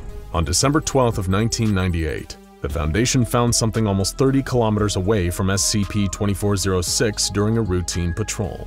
At first, the researchers were confused. Had they found another wreck, one of the other eight mentioned, or perhaps the body of the mysterious creature SCP-2406 had fallen in battle with. But after excavating it, they realized they had found something they hadn't even been looking for to begin with. SCP-2406's left arm. The way it landed suggested that it had been torn off during the battle and hurled away. But what monster could possibly throw something that heavy 30 entire kilometers? Either way, what the Foundation found attached to SCP-2406's arm is much more interesting. The researchers aren't sure what it is, but it's much different from the rest of SCP-2406. It seems to be some kind of weapon, but one that's not made of any metals on Earth, and with an incredibly anomalous design. The Foundation personnel, not sure of what to make of it, designated it SCP-2406-1. Its purpose is similarly unknown, and the consensus seems to be that whatever it is, it far exceeds human understanding. But what the Foundation is sure of is that it seems to bend reality near it, though they're not sure how because it doesn't seem to affect anything. The Foundation's best minds are stumped by it, all they can say for certain is that if it was ever repaired, powered up, and activated, it could do unprecedented damage to local reality. So interaction with it was highly regulated, and the Foundation put it away with the rest of SCP-2406. Now go check out SCP-2217 Hammer and Anvil, and SCP-001 The Broken God or Boros Cycle for more anomalous Mekhanite madness from SCP Explained.